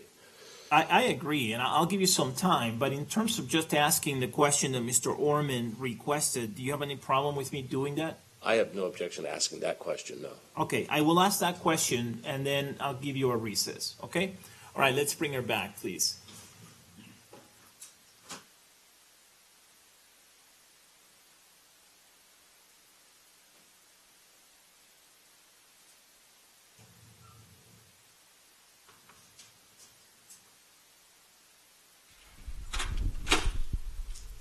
The record should reflect that juror number 673 is back in the courtroom. Um, I have an additional question for you. Is the information that you provided in your note complete in terms of everything you heard from juror, uh, the juror sitting in seat number nine, juror number 872 yesterday? Can I look at it again? Yes, could you please give her the note back? It, has my name on it now and the date, and I have marked it out with a number, um, the question form number, but you can ignore that, okay? Okay. And take your time reviewing it, and then let me know whether there's anything you need to add or change. Uh, It's in terms of uh, the Twitter comment or whatever. Um, she had said that one of the attorneys had posted onto Twitter that. Um, did you see that part? I hope the jury saw that part of the video. And then I guess she had said that um, he he or she, I'm not sure, got in trouble for that and said that they meant it as a text message, but that's as that's as far as it goes.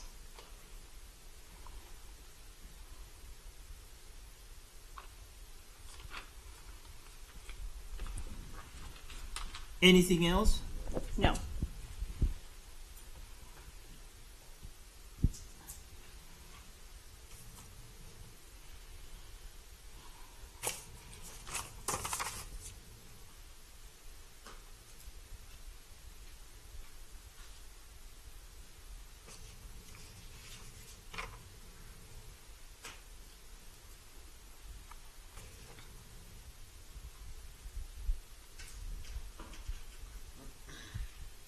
She did not identify the attorney, No. and she did not identify whether it was a he or she. No. Did she identify which side or which party? No. No, she didn't identify whether it was a prosecution or defense attorney. No. No. Okay. Any other information that you can remember? No. Does the additional information that you just provided change your answer in terms of whether you're still confident that you can be a fair and impartial juror in this trial? No, it doesn't. It doesn't at all? No. Okay. All right. Uh, I'm going to have you go back to the jury room, uh, but would you promise me that you will not discuss with any jurors anything about the note or anything about my questions or anything about the discussion that we've had here just now? Will you promise me that? Yes, Okay. Do not discuss it with any of the other jurors. You understand? I understand. Okay. And, and you're saying that the other two jurors were two jurors that you believe were present when, when these statements were made. They were. And th- this was yesterday. Yes, I think. Let me change it. I think the mistrial one was about a week ago. And who made that statement? Same one. I'm not sure though. I, I mean the the And when was that made? it's during one of the breaks or lunch. I'm not. Last week? I think so. And do you remember where? Same place, Same place? And do you remember who was present? same people. Same people. And do you remember what it is that she said? Um, just that they. I'm not sure who they. She was referring to. Were trying to call a mistrial. I'm. I mean, I honestly can't expand because I don't know what's going on in any of it. I just can only tell you what I heard. And that's all I'm asking. And will you promise me that, again, you will not discuss this with any other juror? Yes. And will you promise me that you will not attempt to look any information uh, on, on the internet or through any means to try to find out whether any of this is accurate or not? Yes. Okay, and you haven't done that, right? No. So you don't know at this time whether what she has said is accurate or not? I have no idea. Okay, all right, let me have you step out again, okay? Thank you.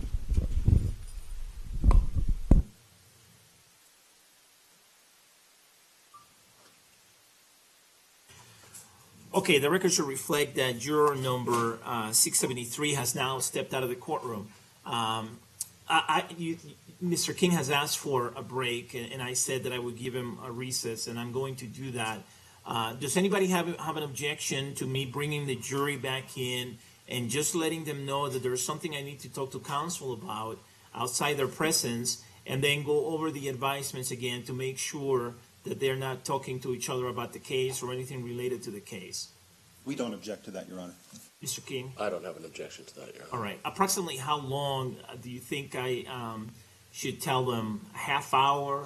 I think a half hour would be sufficient, Your Honor. Sufficient? Okay. you. All right. Let's bring the jury back in, please.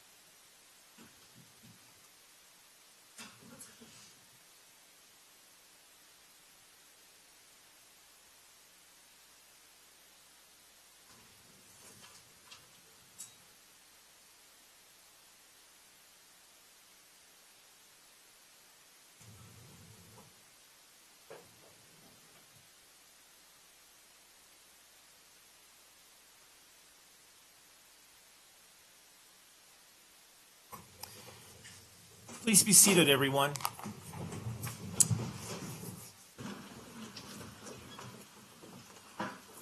The record should reflect that the jury has joined us again. Welcome back, folks. Thank you for your patience this morning.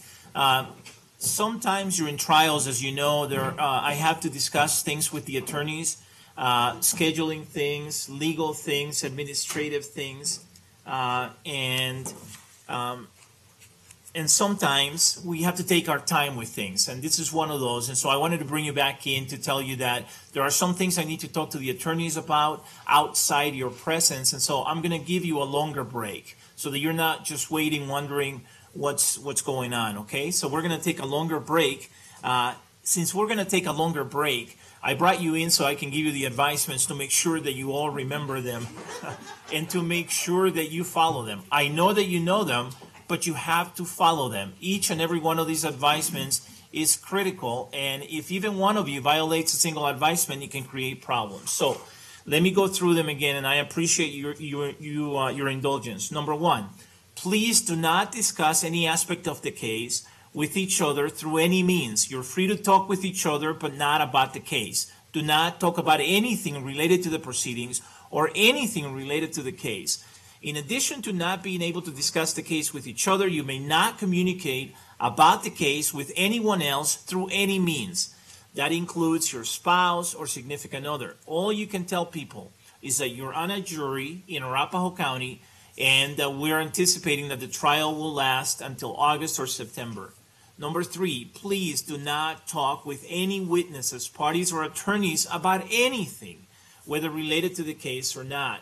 Number four, to make sure that witnesses, parties, and attorneys do not talk to you, please make sure you always wear your juror badge and that it is visible to all those around you. Your juror badge will also reduce the risk that people will talk about the case in your presence.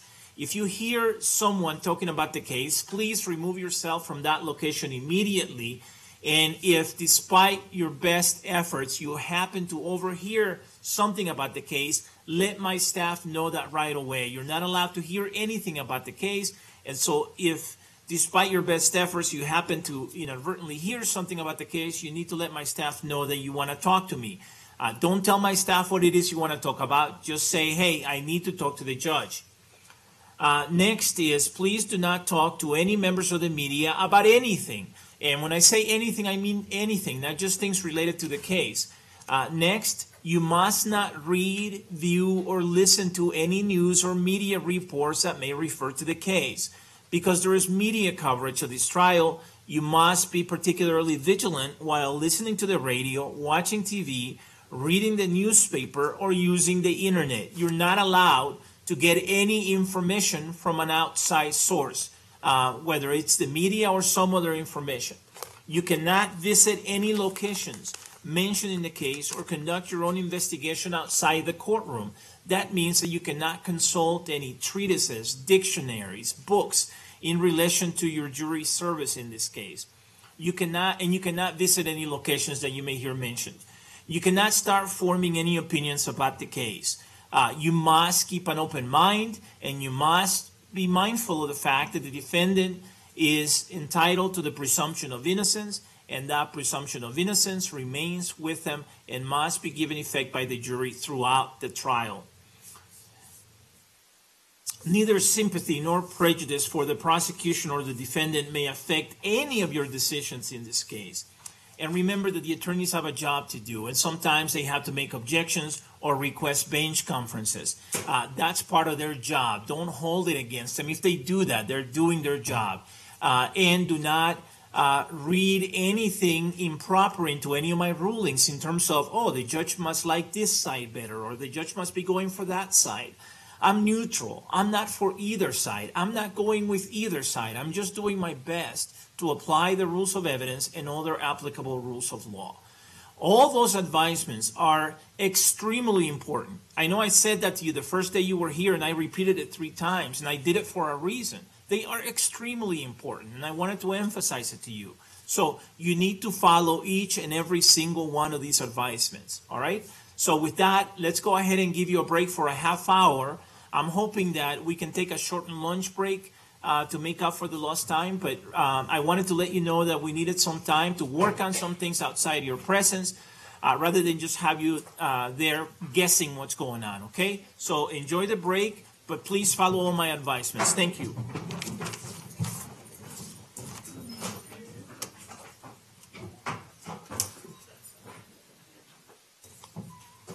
Cheryl? Yes, yes.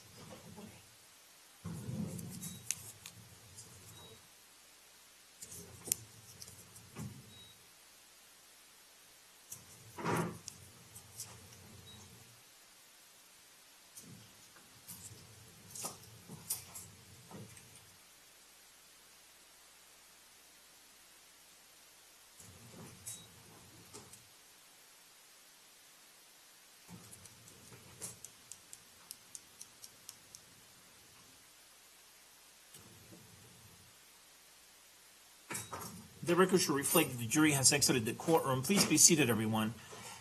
Uh, Mr. King, what I was going to propose is uh, planning to meet back here in about 15 minutes or so, and so we can chat. Would that give you enough time? And then we can decide where to go. Do you want 20 minutes? Judge, we, we can try. I thought the court was going to give us 30 minutes. Well, I'm giving the jury 30 minutes, but then we're going to have to figure out where we go from here. So Can we, uh, why don't we go with 20 minutes then? 20 minutes. See if 20 minutes is enough. If it's not enough, then you can tell me that you need more more time. But I'm hoping that 20 minutes will give you enough to tell me how you would like to proceed, and same with the people. And then we can figure out where to go. I, I will give this some thought as well. Mr. Orman. Your Honor, uh, this may help with uh, the court's research. I know counsel's going to do some research. I just looked on Westlaw very quickly. I did find one Colorado case. It's not exactly the same circumstance, obviously, but it seems to lay a framework for the court's inquiries in this, and it's People versus Moore, M-O-O-R-E, 321 Pacific 3rd, 510, from the Court of Appeals in 2010. Looks like it was reversed on other grounds by the Colorado Supreme Court, 321 Pacific 3rd, 5. Um, actually, I wrote the same citation down twice. Um, there's also an American jurisprudence, uh, section 1400, second edition, called Necessity or Discretion to Question Jurors, which seems to uh, bring in law from around the country on this question. Okay, thank you. Mr. King, uh, we'll see uh, you and the prosecutors back here in about 20. Thank you. Okay, thank you. All right, the court will be in recess.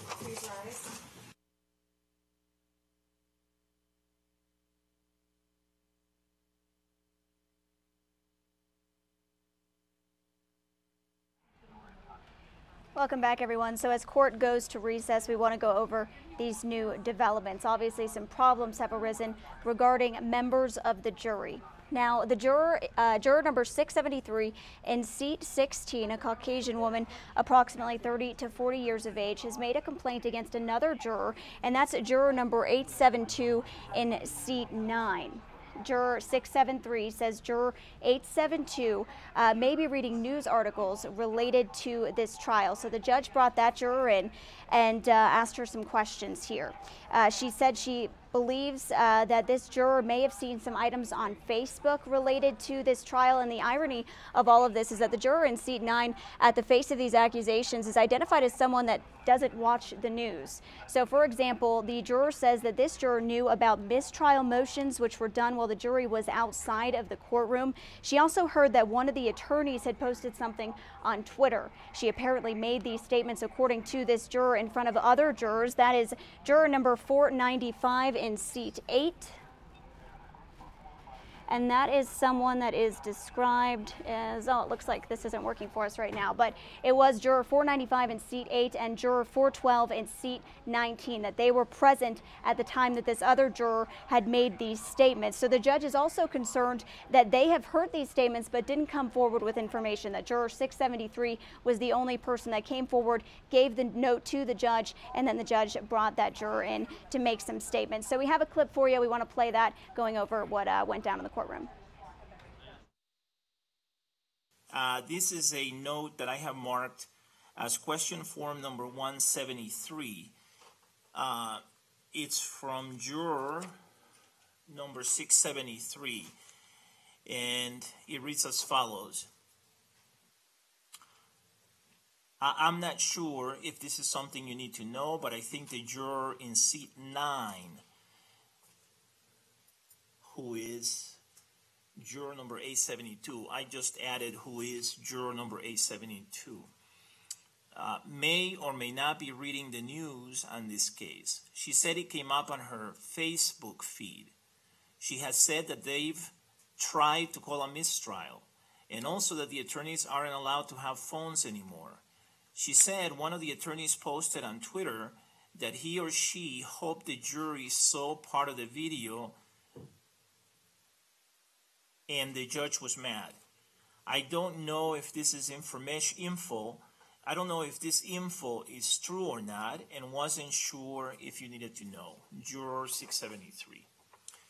So, in light of that, I think what we have to do is, uh, or what I propose doing is bringing in juror 673 first, uh, having me ask her more questions about uh, when this happened, where it happened, and who else was present. And then we proceed from there.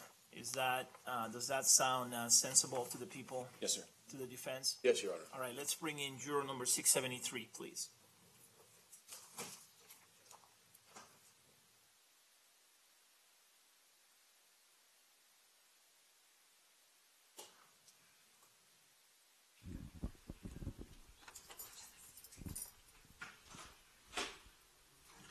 Record should reflect that juror number six seventy-three is not present in the courtroom. Good morning, ma'am. Good morning.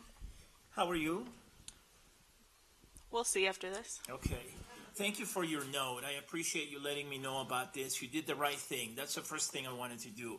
I have some questions for you about this. Uh, when did this happen? Yesterday? At what time? What part of the day?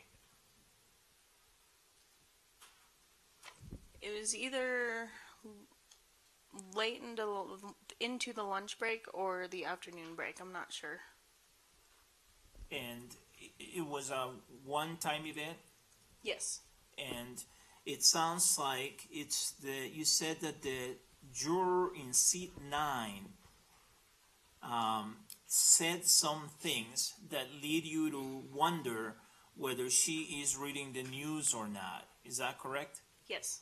Uh, so these are statements that you yourself heard juror number nine make. Yes. Do you know who else was present when she made those statements? Actually, before you tell me that, where where was this In the juror assembly room on the, on the patio. on the patio? Okay, and how many? Uh, in addition to you, and in addition to her, what other jurors were present? There were two others. Two others. The one Without na- without mentioning their names, because we don't want to mention their names, can you either tell me their juror numbers or their seat numbers, or can you describe them for me? juror number eight or in seat number eight. All the way at the top in the first row. Yes. And then third one over from here. So I don't know. Okay, so the third one over would be in seat number 19, and that would be juror number 412. And in juror number 8 would be juror number 495.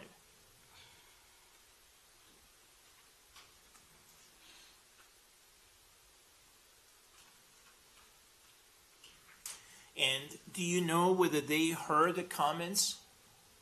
I think so. I believe so. You believe so? What makes you think so? Were they close to the juror who um, made the statements? Yes, we were all standing around in a circle. Did anyone else say anything else? No.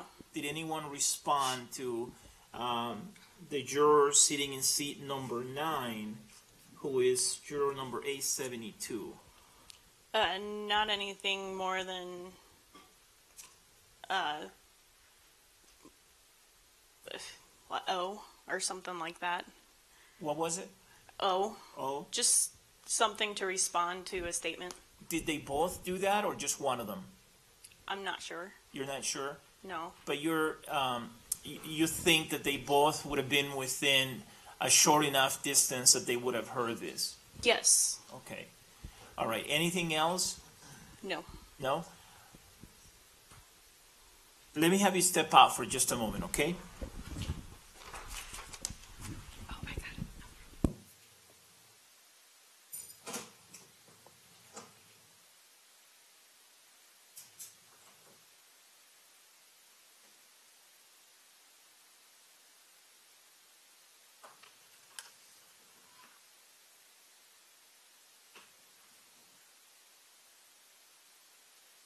Actually, let, let's uh, bring her back one more time, please. Thank you.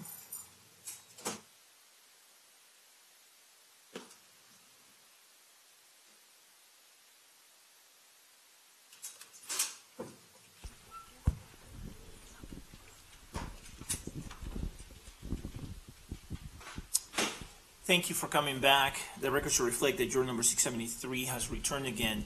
Uh, did you take any action based on that uh, information that was said by that juror, juror number six, uh, juror number 872? No, I didn't say anything or do anything except for write that note this morning. Okay. and you didn't look anything up uh, on the internet or do any research or try to find out whether what she was saying was true or not. No, You took no action. no, Okay. Anything about what you heard that you think uh, affects your ability to be a fair and impartial juror in this trial? no, Um, as you sit here, are you still confident that you can be fair and impartial throughout this trial? yes, And are, do you think you're going to feel um, um, curious about looking this, trying to find out if this information is true or not, and that that's going to lead you to, to violate one of my rulings? no, sir. Honestly, I'm not curious at all. I just feel really bad. But no, you should you should not feel bad at all. You've done nothing wrong, and in fact, I appreciate you telling me about this. You did the right thing. Um, but uh, you, you think you'll be able to comply with all my rulings, Yes, and have you complied with all my advisements and admonishments so far? Yes, And and you're confident that you'll be able to continue to do that. yes. Okay.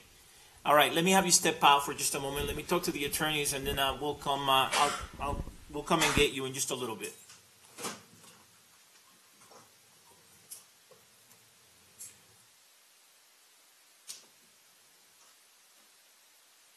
All right. We we it seems to me, based on what she's saying, and she comes across as very credible. I, I find her to be very credible. Uh, it, it seems to me that um, that the juror sitting in seat number nine, juror number A seventy-two, appears to have violated uh, one, if not more, one of my advisements. Uh, it also, I'm also concerned to some extent that uh, jurors four ninety-five and four twelve didn't say anything about it. Uh, it appears that they heard something and didn't say anything. That's concerning as well. So the question is, what do we do at this point? So let's take juror number 673 first.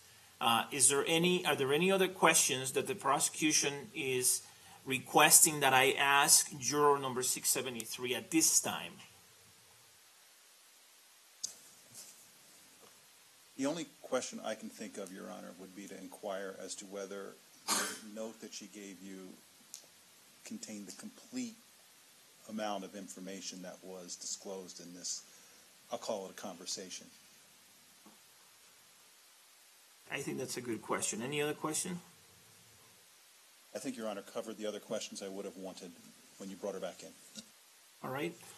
Mr. King, any other questions that you think would be appropriate for me to ask juror number 673 at this time? Judge, I'm requesting a brief recess at this point so that we can discuss this amongst ourselves and, and um, make a, have a thoughtful response. This is too important to rush through, frankly.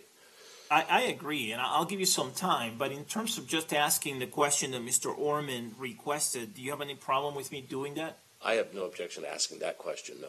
Okay, I will ask that question and then I'll give you a recess, okay? All right, let's bring her back, please. The record should reflect that juror number 673 is back in the courtroom. Um, I have an additional question for you. Is the information that you provided in your note complete in terms of everything you heard from juror, uh, the juror sitting in seat number nine, juror number 872 yesterday? Can I look at it again? Yes, could you please give her the note back? It, has my name on it now and the date, and I have marked it out with a number, um, the question form number, but you can ignore that, okay? Okay. And take your time reviewing it, and then let me know whether there's anything you need to add or change. It's in terms of uh, the Twitter comment or whatever. Um, she had said that one of the attorneys had posted onto Twitter that. Um, did you see that part? I hope the jury saw that part of the video. And then I guess she had said that um, he he or she, I'm not sure, got in trouble for that and said that they meant it as a text message, but that's as that's as far as it goes.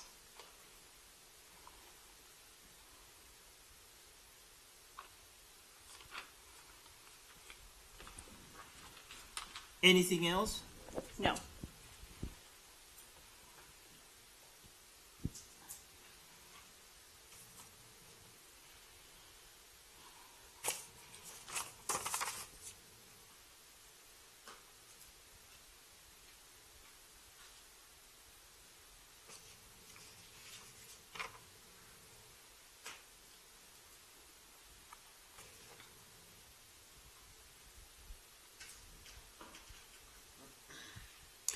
She did not identify the attorney, No. and she did not identify whether it was a he or she. No. Did she identify which side or which party? No. No, she didn't identify whether it was a prosecution or defense attorney. No. No. Okay. Any other information that you can remember? No. Does the additional information that you just provided change your answer in terms of whether you're still confident that you can be a fair and impartial juror in this trial? No, it doesn't. It doesn't at all? No. Okay. All right. Uh, I'm going to have you go back to the jury room, uh, but would you promise me that you will not discuss with any jurors anything about the note or anything about my questions or anything about the discussion that we've had here just now? Will you promise me that? Yes, Okay. Do not discuss it with any of the other jurors. You understand? I understand. Okay. And, and you're saying that the other two jurors were two jurors that you believe were present when, when these statements were made. They were. And th- this was yesterday. Yes, I think. Let me change it. I think the mistrial one was about a week ago. And who made that statement? Same one. I'm not sure though. I, I mean the the And when was that made? it's during one of the breaks or lunch. I'm not. Last week? I think so.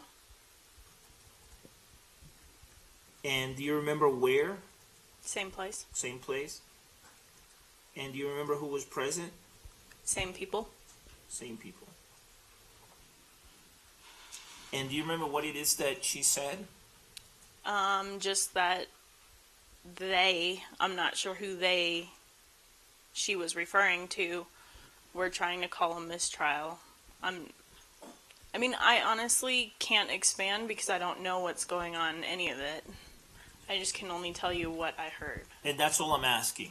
And will you promise me that, again, you will not discuss this with any other juror? Yes, And will you promise me that you will not attempt to look any information uh, on, on the internet or through any means to try to find out whether any of this is accurate or not? yes, Okay, and you haven't done that, right? no. So you don't know at this time whether what she has said is accurate or not? I have no idea. Okay, all right, let me have you step out again, okay? Thank you.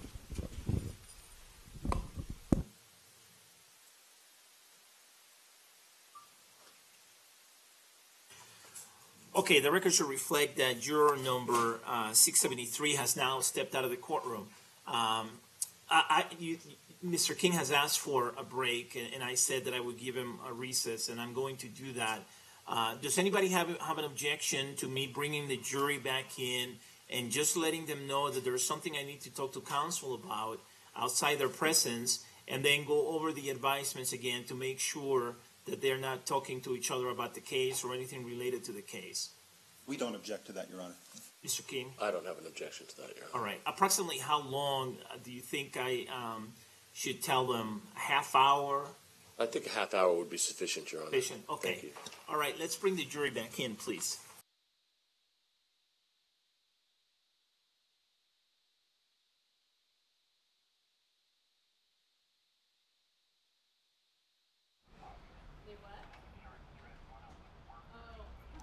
And welcome back. Court is still in recess right now, so we want to review all of this. Obviously, some pretty big developments here. The juror in seat 16, a woman described in her 30s and 40s, has come forward with information about the juror in seat 9. She says that uh, the juror in seat 9, someone that is identified as a non news watcher, may have been looking at articles related to this trial. For example, the juror made uh, statements about mistrial motions, which were done while the jury was outside of the courtroom.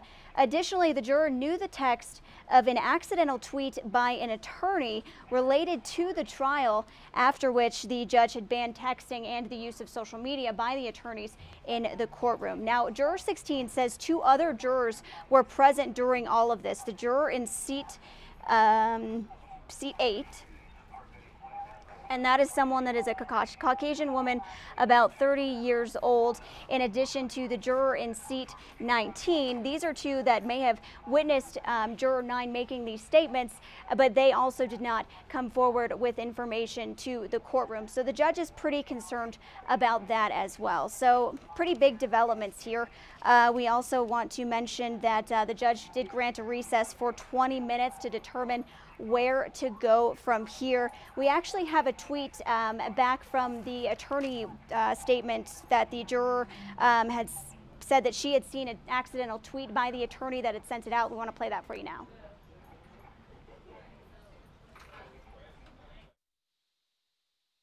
Ms. Brady? Yes, Your Honor. Um, as the court's aware, the court issued an order to the parties that the parties are not to tweet via Twitter uh, during the trial in court. And it came to our attention last night that Mr. Brauchler issued a tweet at 4:51 p.m., which would have been during the cross-examination of Dr. Reid. If I can approach, I'd like to give the court a copy of that tweet. Yes, have you shown it to Mr. Brauchler? I'll give him a copy. Okay.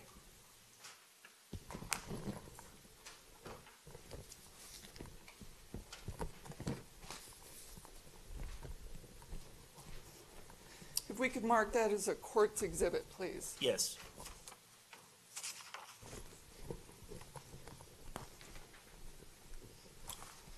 What number are we up to? Forty-six. Forty-six, thank you.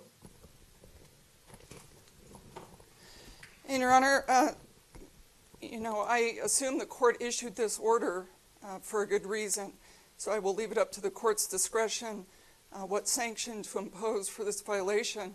Um, I would state, though, that if the prosecution is seeking the execution of a man, uh, perhaps the district attorney should pay attention to the cross-examination of the mental health expert instead of chatting on social media.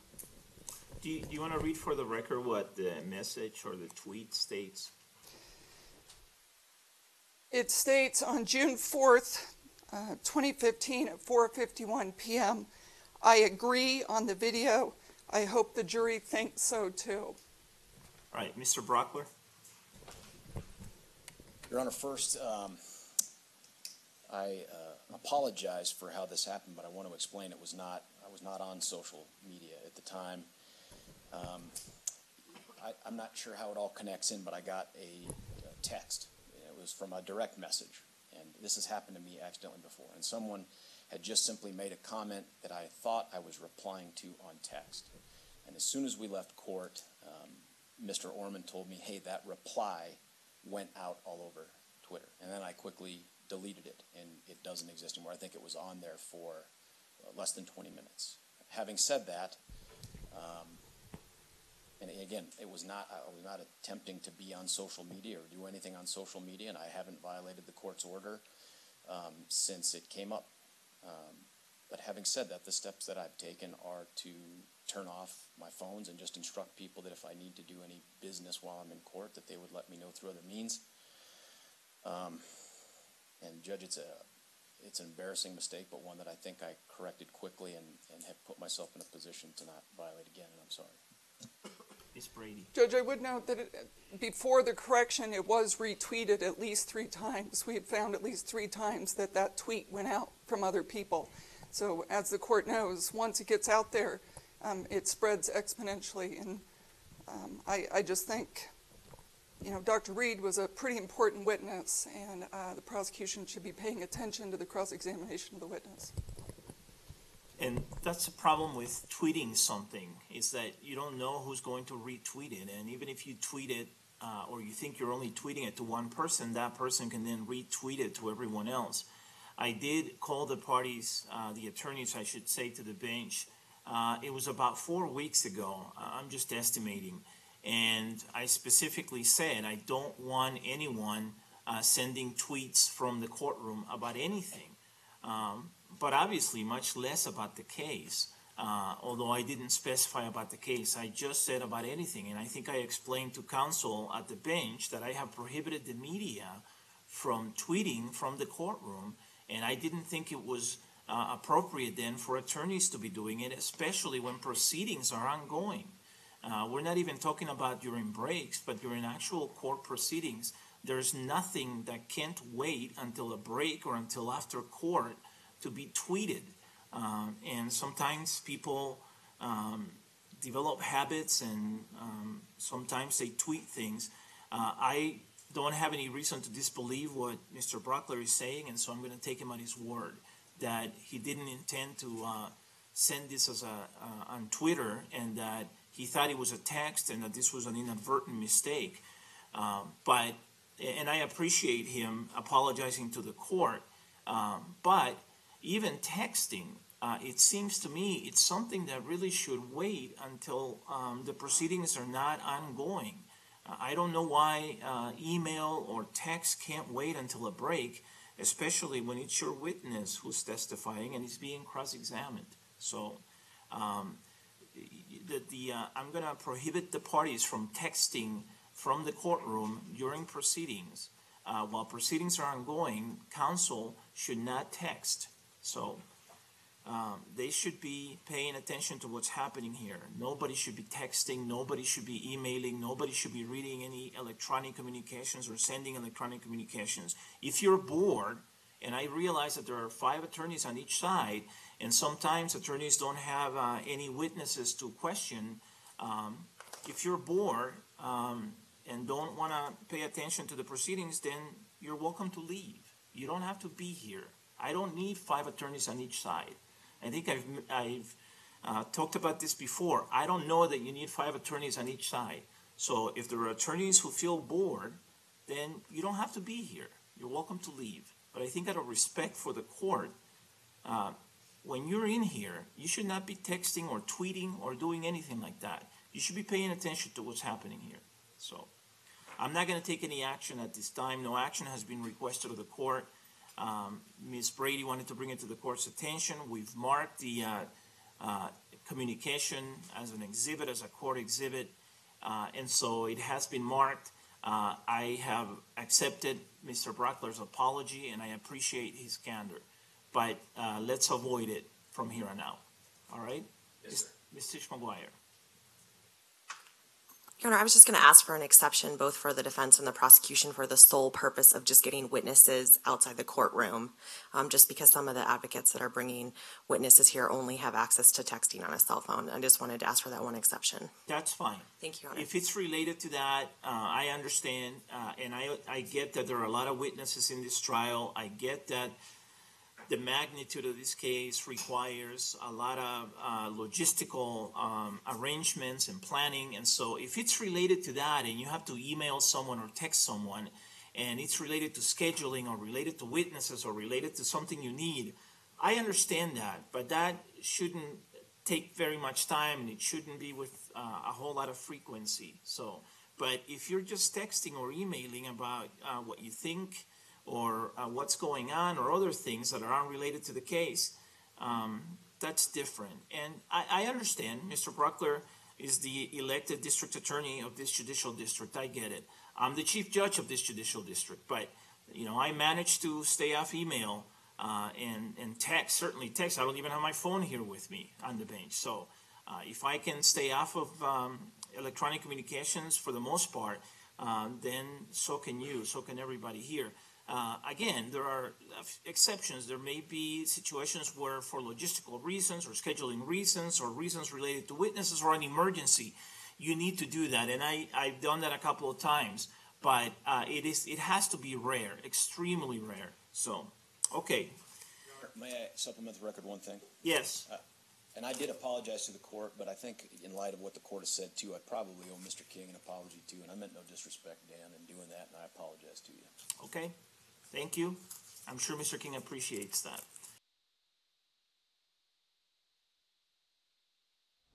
So again, juror 16 has come forward and said the juror in seat 9 knew about this aspect of the trial here when the DA was scolded for tweeting during the shooting trial. District Attorney George Brauchler was reprimanded by the judge for tweeting about the trial during the court proceedings in Aurora. Now we also know that the juror in seat 9 is also accused of making statements about mistrial motions which were done while the jury was outside of the courtroom. The defense had argued in one of those cases that playing the video interview with Dr. William Reid was a violation of the shooter's rights. The judge turned that down and said that the video will be played. As you know, it was played last week in the courtroom. Now, the juror in seat 16 says two other jurors were present during all of this. The juror in seat 8, in addition to the juror in seat 19. And they also didn't mention this to the court, for which the judge expressed some obvious concerns. The judge said the juror in seat 16 does seem credible in all of this. He granted a recess for about 20 minutes. We are still waiting for court to get back in session at this point. Now, in an unofficial poll on our online live chat room, more than 90% of you said that you believe the juror in seat 9 should be released if this is in fact confirmed. Should the other two jurors that may have witnessed this and didn't come forward be released? 70% of you said you thought that to be the case. Now, we want to go back to the beginning of all of this, big developments in the courtroom uh, when the judge was uh, asking the juror that was making these statements questions. We'll play that clip for you now. Thank you for coming back. The record should reflect that juror number 673 has returned again. Uh, did you take any action based on that uh, information that was said by that juror, juror number six, uh, juror number 872? No, I didn't say anything or do anything except for write that note this morning. Okay. And you didn't look anything up uh, on the internet or do any research or try to find out whether what she was saying was true or not? No, You took no action? no. Okay. Anything about what you heard that you think uh, affects your ability to be a fair and impartial juror in this trial? No. Um, as you sit here, are you still confident that you can be fair and impartial throughout this trial? Yes. And are, do you think you're going to feel um, um, curious about looking this, trying to find out if this information is true or not, and that that's going to lead you to, to violate one of my rulings? No, sir. Honestly, I'm not curious at all. I just feel really bad. But no, you should you should not feel bad at all. You've done nothing wrong, and in fact, I appreciate you telling me about this. You did the right thing. Um, but uh, you, you think you'll be able to comply with all my rulings, Yes. and have you complied with all my advisements and admonishments so far? Yes. And and you're confident that you'll be able to continue to do that. Yes. Okay. All right. Let me have you step out for just a moment. Let me talk to the attorneys, and then uh, we'll come. Uh, I'll, I'll we'll come and get you in just a little bit.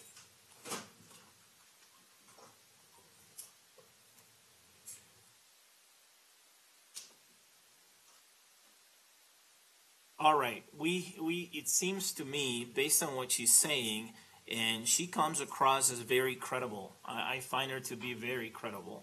Uh, it, it seems to me that um, that the juror sitting in seat number nine, juror number eight seventy two, appears to have violated uh, one, if not more, one of my advisements. Uh, it also, I'm also concerned to some extent that uh, jurors 495 and 412 didn't say anything about it. Uh, it appears that they heard something and didn't say anything. That's concerning as well. So the question is, what do we do at this point? So let's take juror number 673 first.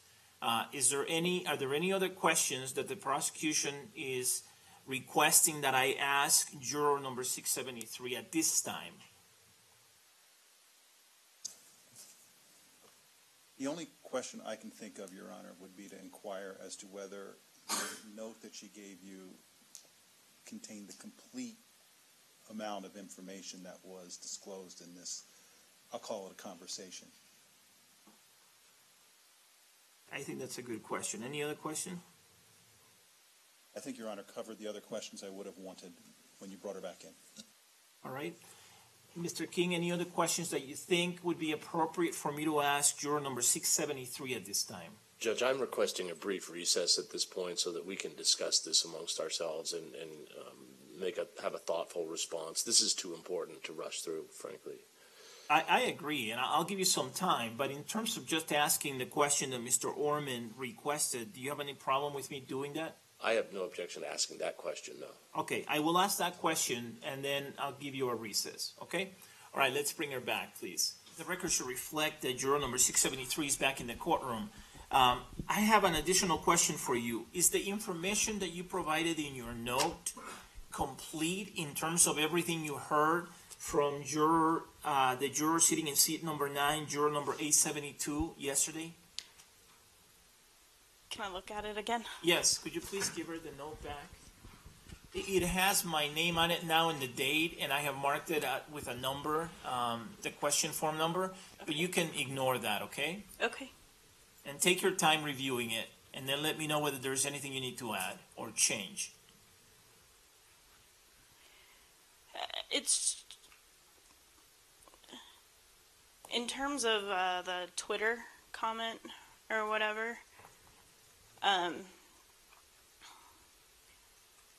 she had said that one of the attorneys had posted onto Twitter that. Um, did you see that part? I hope the jury saw that part of the video. And then I guess she had said that um, he he or she, I'm not sure, got in trouble for that and said that they meant it as a text message, but that's as that's as far as it goes.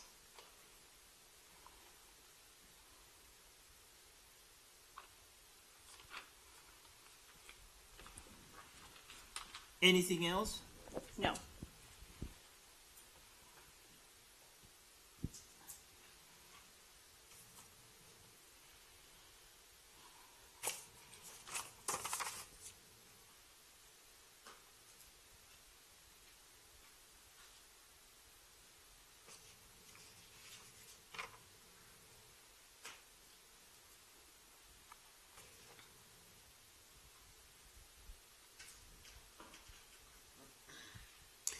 She did not identify the attorney, No. and she did not identify whether it was a he or she. No. Did she identify which side or which party? No. No, she didn't identify whether it was a prosecution or defense attorney? No. No? Okay, any other information that you can remember? No. Does the additional information that you just provided change your answer in terms of whether you're still confident that you can be a fair and impartial juror in this trial? No, it doesn't. It doesn't at all? No. Okay.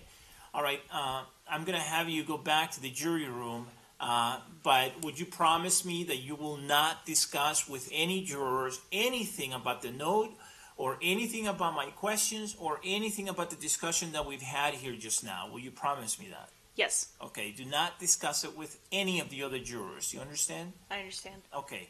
And, and you're saying that the other two jurors were two jurors that you believe were present when, when these statements were made.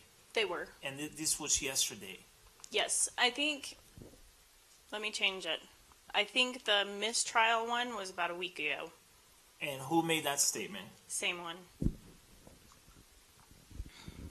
I'm not sure though. I, I mean the the And when was that made? it's during one of the breaks or lunch. I'm not. Last week? I think so. And do you remember where? Same place, Same place? And do you remember who was present? same people. Same people. And do you remember what it is that she said? Um, just that they. I'm not sure who they. She was referring to. Were trying to call a mistrial. I'm.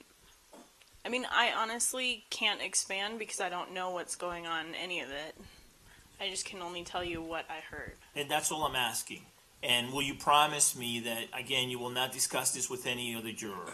Yes. And will you promise me that you will not attempt to look any information uh, on, on the internet or through any means to try to find out whether any of this is accurate or not? Yes. Okay, and you haven't done that, right? No. So you don't know at this time whether what she has said is accurate or not? I have no idea. Okay, all right, let me have you step out again, okay? Thank you.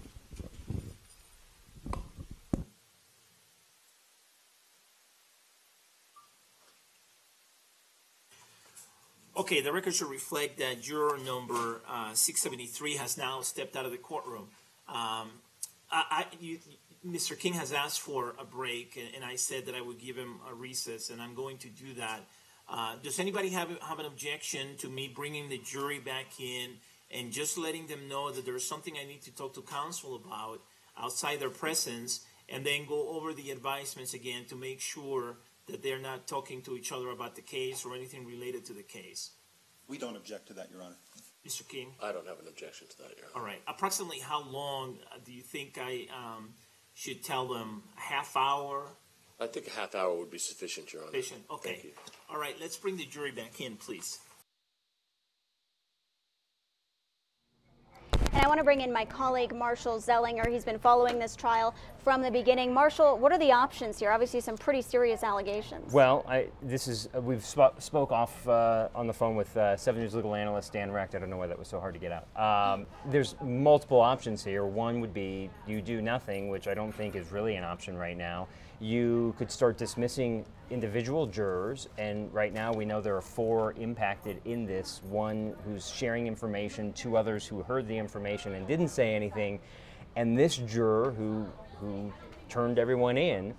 Um, and then all the way to a mistrial. And I, I, listen, we've, we've heard two other mistrial requests for less than this so far. So I guess those would be the three options. And then, and then Dan Recht warns us that no matter what happens, this is going to be a huge portion of any potential appeal. So no matter, so uh, you look at it like two columns. One is what do we do here? It's like choose your own adventure. What do we do here? And how is that going to impact what happens in the appeal? Right. So clearly they wanted to take a half hour and it's been 45 minutes long time the both parties probably looking through case law to find examples of something like this happening and courts that have already ruled on this and the judge probably doing the exact same thing because he's been very accurate and very detailed of how he's made his rulings so that if this ever goes to appeal, there is no question as to what his decision and why he made that decision. So, did the legal analyst give any kind of perspective as to what was more likely, be that a mistrial or removing one or all of these jurors? No, but I, from from what we've observed, and Erica and Brian, if, if you want to tell me differently, this if if we've had two other mistrial requests, um, this would, I mean we're lay people and we think, oh wow, this is clearly a reason to ask for a mistrial. So I mean that that to me seems like what the defense start big and come backwards, I guess. Defense can ask for the mistrial, and then if they're denied the mistrial, say, okay, well, we can't continue this way, so let's get rid of these specific jurors. And I I don't know if you heard it in the judge's voice when he when he found out there he well he was disappointed clearly that right. two other jurors knew about this that didn't come forward but I don't know if you heard. I, I mean, I, I kind of heard a something like that when she revealed this juror that was telling the judge all this that their the mistrial reference was actually from last week and not now. So the judge is baffled by this, and I think that was a, an audible tone of "Oh boy." So she's coming forward now. Why didn't she come forward then? That also leaves her role in all of this in question. Right, and but as the judge said, he does not fault her for anything. Mm-hmm. She did the right thing. She should right. not be nervous. There was a little contradictory, and we were hearing back in the replay where first he did ask her, Did this all happen yesterday? And she said yes. And then later in the questioning, it, it seemed like the, the question of the mistrial um, that she knew about, or that she, this other juror thinks they know about, seemed to be from last week. So mm-hmm. it's uh, it's funny. Every day they spend. If you add it together, the judge probably gives those admonitions for 10, 15 minutes total over the course of saying it every break. Mm-hmm. And here we have a juror who not only didn't listen, perhaps, but flaunted, I don't know what that word is, uh, but, but flaunted it and, uh, and, and talked with other people about stuff that they shouldn't even know about. And yeah. then these jurors didn't do anything until today. So. It, well, the interesting thing about the juror in question too is she is described as someone that doesn't watch the news. Right, and it, you know, in one of the earlier weeks, I think we were talking with Rick Kornfeld, one of the legal analysts, about a previous case in Grand Junction where a juror today, after five years, is now being has charges brought against them because they either lied or didn't give accurate information on their juror questionnaire. Mhm. And so here you may have a juror who on in voir dire said, I don't watch generally watch the news and now they do. I don't know if that would be considered. You know. Did you talk to the legal analyst about that? Is that a possibility in this case? No, but we can bring that up. Uh, Yeah. Now, uh, would you this this could go back and forth. Do you consider Twitter news, or is True. that just a social media outlet? And so I don't know how in depth with that juror they got into. Well, Mhm. what do you consider news? Do you consider that what you see on TV at five, six, and ten? Do you consider it cable news, or do you consider it Facebook and Well, and Twitter? this is the second problem with social media in this case. You had the district attorney accidentally tweeting earlier. The judge reprimanded him for that, and now you have a juror that may have gone on Facebook and gotten information. Obviously, social media not uh, helping in this trial. And if we take a, a complete step back, it, forget that what this juror may know and that uh, other jurors now may know that, the fact that a group of jurors are sitting during a recess talking about the case is like the ultimate thing that they are told not to do. The judge is very specific, and when we were in late April and early May, and it was bad weather, and the Rockies weren't doing too well, he would make jokes, talk about the snow, talk about the Rockies. Okay, maybe not the Rockies. Talk about the, you know, he would. He doesn't want anybody talking about the case because you don't want that temptation to do exactly what we're dealing with right now. And, you know, this is where it would be great if I had a law background where I could, hey, I'm going to cite you this case from 2005, and that's probably what these attorneys are doing. They're trying to find that case that says this happened 10 years ago, and here's what that judge did, so now you have to do the same thing. Yeah, the um, defense did bring up Colorado, um, the People versus Moore, I did want to look that up too. um, but I wasn't. I didn't have time to look up the details of that case. Let's see if I can find that. Well, while he's looking that up, we can go into our unofficial poll uh, in our live chat room. More than 90% of you said that you believe the jury in, uh, juror, excuse me, in seat nine should be released if this is confirmed. We also asked about the two other jurors that may have been present during all of this and didn't come forward, and 70% of you in our chat room um, have said that you think that they should be removed as well. This may take longer than I thought. That's Okay. all right. So we're at 50 minutes now, and the judge has been pretty darn good with his uh, timing. And we've Mhm. checked our feeds, just so you know. We're not. Uh, we're not miss- your guys aren't missing anything. We've, we've checked around. Our feed is good. They're still on that slate. Uh, this is a pivotal moment in this case because I mean the, the prosecution has one more week. This is the, this week and one more week, and then the defense was going to go for two weeks, and then it was going to be in the jury's hands. And if we talk the idea of a potential mistrial, Mhm. you've just gone through the bulk of your evidence, emotional testimony, a doctor who was flown in and had to give six days of his testimony after we watched 22 hours of video. You that could all have to happen again Yeah. in essence, and all because I don't know what I would do as a juror. It's unfair given what we do for a living. I don't think I could serve on a jury like this and avoid information. But all of these jurors had the opportunity to tell the attorneys and the judge through individual voir dire and group voir dire, and even on their questionnaire, they all had the opportunity to tell the judge, "I- can't avoid this, or this is a hardship because I, I can't get off Twitter on a daily basis. So these these people made a promise basically that they could do this, Mhm. and so it's. I'm not trying to call out any jurors because it's a very difficult thing, but it's just you know, uh, it, this is tough. So right now, could the judge be talking to the other jurors involved in this and kind of gathering the information, or everything not at all? everything has to happen in, in open court. And Mhm. that's interesting too. So so far we've only heard from the one juror who's making the accusations. What's next? Is it the other juror who was saying everything? Is it the two jurors who we haven't revealed uh, who didn't reveal the information to the judge? Uh, everything that happens has to happen in open court uh, with the judge hearing from both sides. It's basically the judge can't do anything on his own. As he f- he first has to ask, and you heard this at the beginning. What do you want me to do? Would, what if I brought this juror in first and we ask her cl- to clarify her note? How about that? And then both sides, yes, let's do that. Um, so the judge kind of prompts both sides, but he can't do anything on his own. He's he's researching case law so Mhm. that whatever decision he has to make, he can say, I'm making this decision, and this isn't the first time any judge has had to make this decision, and I'm citing this case as for why I'm making the decision. Right, right. So let's bring it back to the beginning for those of you that are just joining us.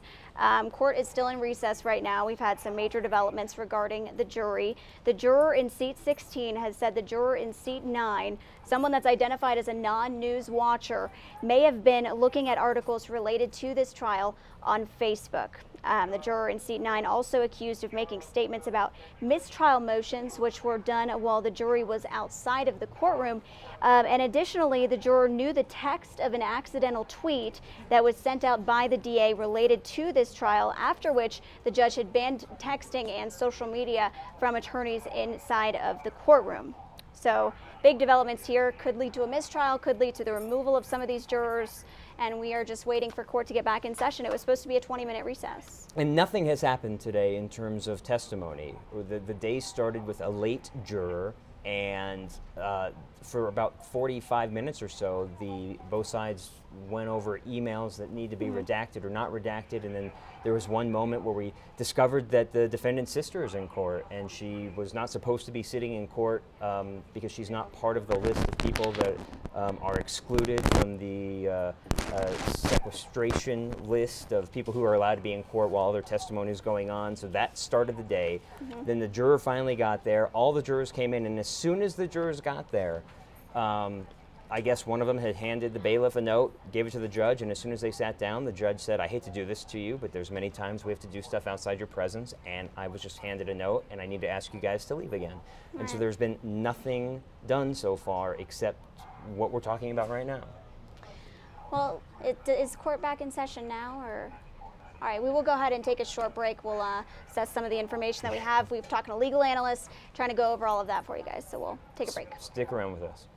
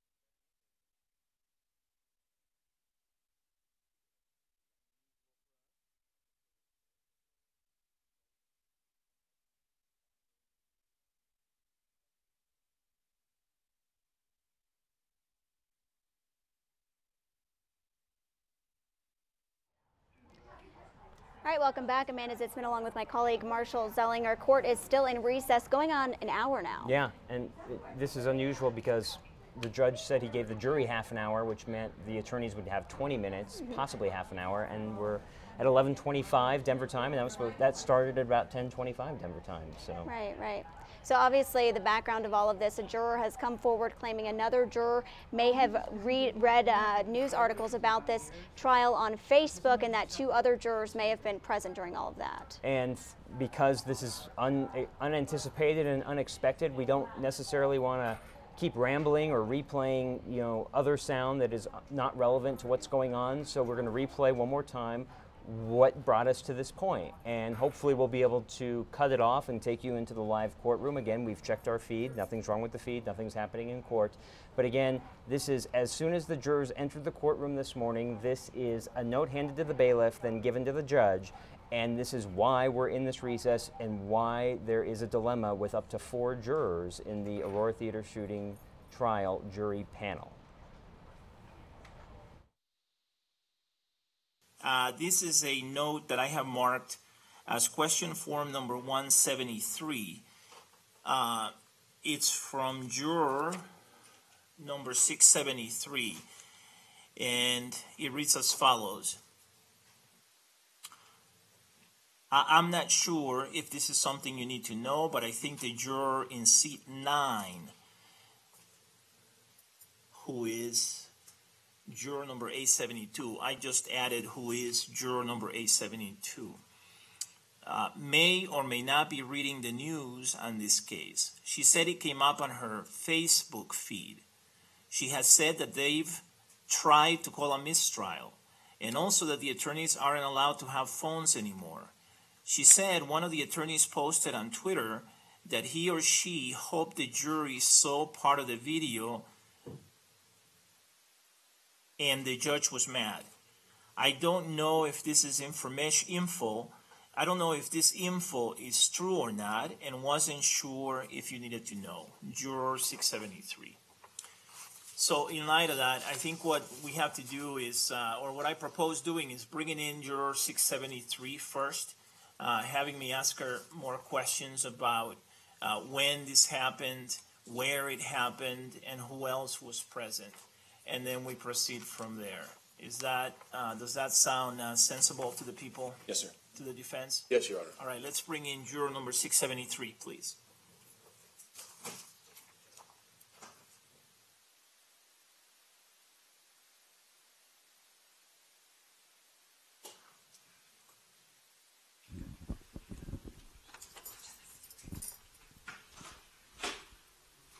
The record should reflect that juror number 673 is not present in the courtroom. Good morning, ma'am. Good morning. How are you? We'll see after this. Okay. Thank you for your note. I appreciate you letting me know about this. You did the right thing. That's the first thing I wanted to do. I have some questions for you about this. Uh, when did this happen? Yesterday? At what time? What part of the day? It was either late into into the lunch break or the afternoon break. I'm not sure. And it, was a one-time event, Yes. and it sounds like it's the. You said that the juror in seat nine um, said some things that lead you to wonder whether she is reading the news or not. Is that correct? Yes. Uh, so these are statements that you yourself heard juror number nine make. Yes. Do you know who else was present when she made those statements? Actually, before you tell me that, where where was this In the juror assembly room on the, on the patio. on the patio? Okay, and how many? Uh, in addition to you and in addition to her, what other jurors were present? There were two others. Two others. The Without one na- without mentioning their names, because we don't want to mention their names, can you either tell me their juror numbers or their seat numbers, or can you describe them for me? juror number eight or in seat number eight. All the way at the top in the first row. Yes. And then third one over from here. So I don't know. Okay, so the third one over would be in seat number 19, and that would be juror number 412. And in juror number 8 would be juror number 495.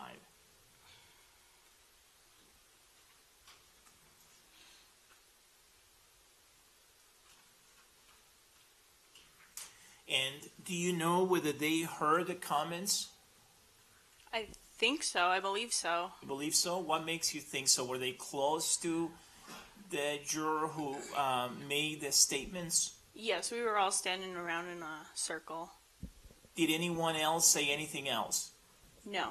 Did anyone respond to um, the juror sitting in seat number nine, who is juror number A72? Uh, not anything more than uh, what, O or something like that. What was it? O. Oh, Just something to respond to a statement. did they both do that or just one of them? I'm not sure. You're not sure? No. But you're, um, y- you think that they both would have been within a short enough distance that they would have heard this? Yes. Okay. All right. Anything else? No. No? Let me have you step out for just a moment, okay?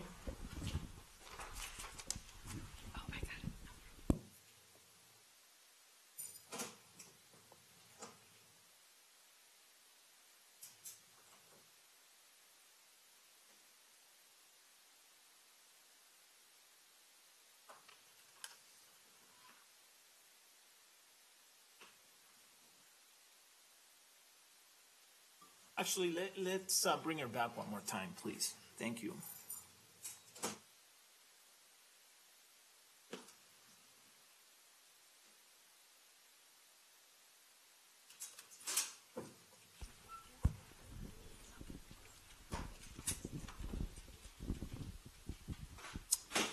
Thank you for coming back. The record should reflect that juror number 673 has returned again.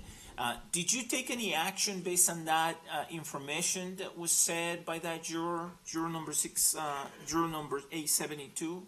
No, I didn't say anything or do anything except for write that note this morning. Okay. And you didn't look anything up uh, on the internet or do any research or try to find out whether what she was saying was true or not? No. You took no action? No. Okay. Anything about what you heard that you think uh, affects your ability to be a fair and impartial juror in this trial? No. Um, as you sit here, are you still confident that you can be fair and impartial throughout this trial? Yes. And are, do you think you're going to feel um, um, curious about looking this, trying to find out if this information is true or not, and that that's going to lead you to, to violate one of my rulings? No, sir. Honestly, I'm not curious at all. I just feel really bad. But no, you should you should not feel bad at all. You've done nothing wrong, and in fact, I appreciate you telling me about this. You did the right thing. Um, but uh, you, you think you'll be able to comply with all my rulings, Yes. and have you complied with all my advisements and admonishments so far? Yes. And and you're confident that you'll be able to continue to do that. Yes. Okay. All right. Let me have you step out for just a moment. Let me talk to the attorneys, and then uh, we'll come. Uh, I'll, I'll we'll come and get you in just a little bit.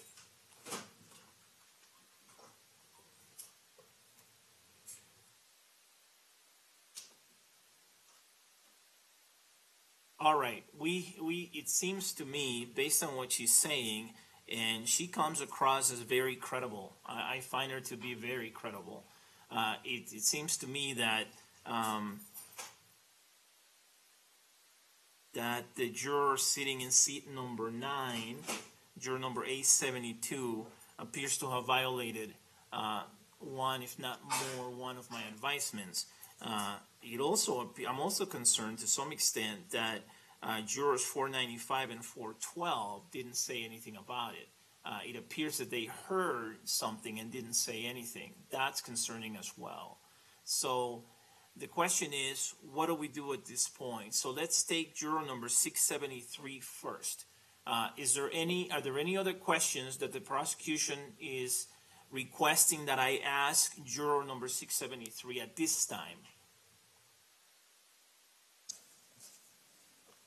The only question I can think of, Your Honor, would be to inquire as to whether the note that she gave you contained the complete amount of information that was disclosed in this, I'll call it a conversation. I think that's a good question. Any other question? I think Your Honor covered the other questions I would have wanted when you brought her back in. All right. Mr. King, any other questions that you think would be appropriate for me to ask juror number six seventy-three at this time? Judge, I'm requesting a brief recess at this point so that we can discuss this amongst ourselves and, and um, make a, have a thoughtful response. This is too important to rush through, frankly. I, I agree, and I'll give you some time, but in terms of just asking the question that Mr. Orman requested, do you have any problem with me doing that? I have no objection to asking that question, no. Okay, I will ask that question and then I'll give you a recess, okay? All right, let's bring her back, please. The record should reflect that juror number six seventy-three is back in the courtroom. Um, I have an additional question for you. Is the information that you provided in your note complete in terms of everything you heard from juror, uh, the juror sitting in seat number nine, juror number eight seventy-two yesterday? Can I look at it again? Yes, could you please give her the note back?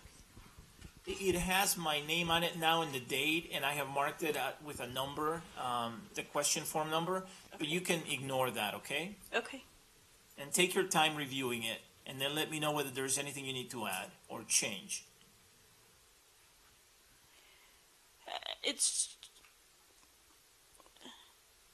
in terms of uh, the Twitter comment or whatever. Um, she had said that one of the attorneys had posted onto Twitter that. Um, did you see that part? I hope the jury saw that part of the video. And then I guess she had said that um, he he or she, I'm not sure, got in trouble for that and said that they meant it as a text message, but that's as that's as far as it goes.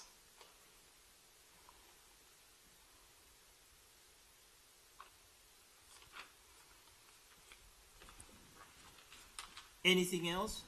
No.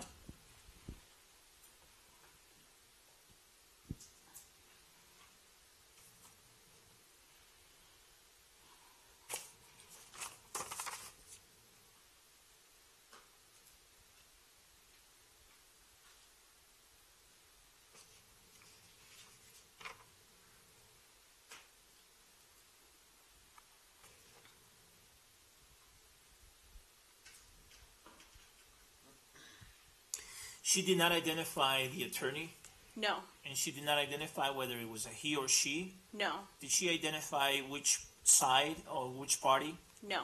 No, she didn't identify whether it was a prosecution or defense attorney. No. No. Okay. Any other information that you can remember? No.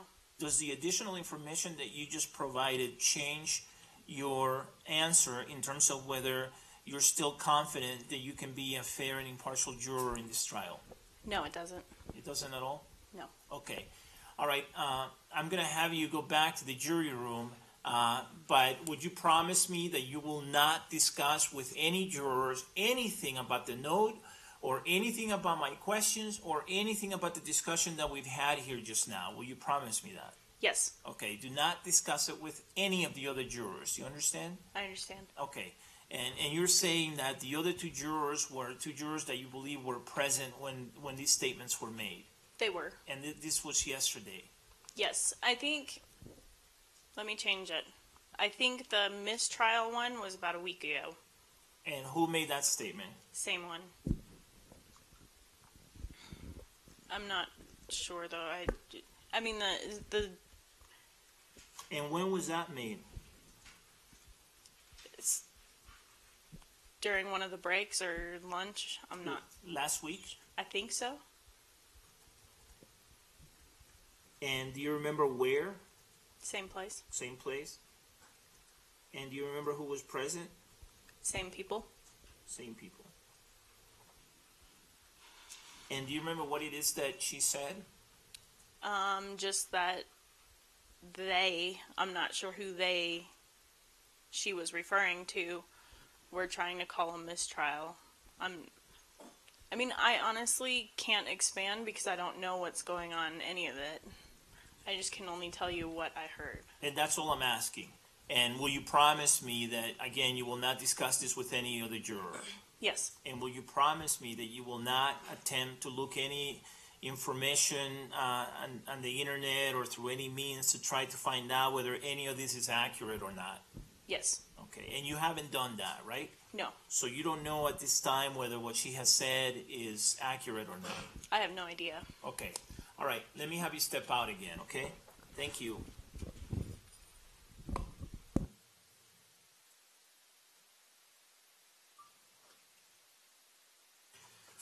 Okay, the record should reflect that juror number uh, 673 has now stepped out of the courtroom. Um, I, I, you, Mr. King has asked for a break, and, and I said that I would give him a recess, and I'm going to do that. Uh, does anybody have, have an objection to me bringing the jury back in and just letting them know that there's something I need to talk to counsel about outside their presence, and then go over the advisements again to make sure that they're not talking to each other about the case or anything related to the case? We don't object to that, Your Honor. Mr. King? I don't have an objection to that, Your Honor. All right. Approximately how long uh, do you think I um, should tell them? A half hour?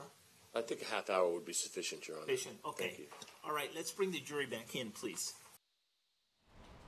All right, we are now going on more than an hour and 20 minutes since this recess began. I do want to let you know that the Denver Post, our partner, is reporting that sources are saying the trial could resume by 11:45. Right now, 11:42:30. So coming up on that, but we still have some time to go. So to reiterate everything that we know so far, juror number 673 in seat 16 has come forward and said that juror number 872 in seat 9 may have seen news articles related to the trial on her Facebook page.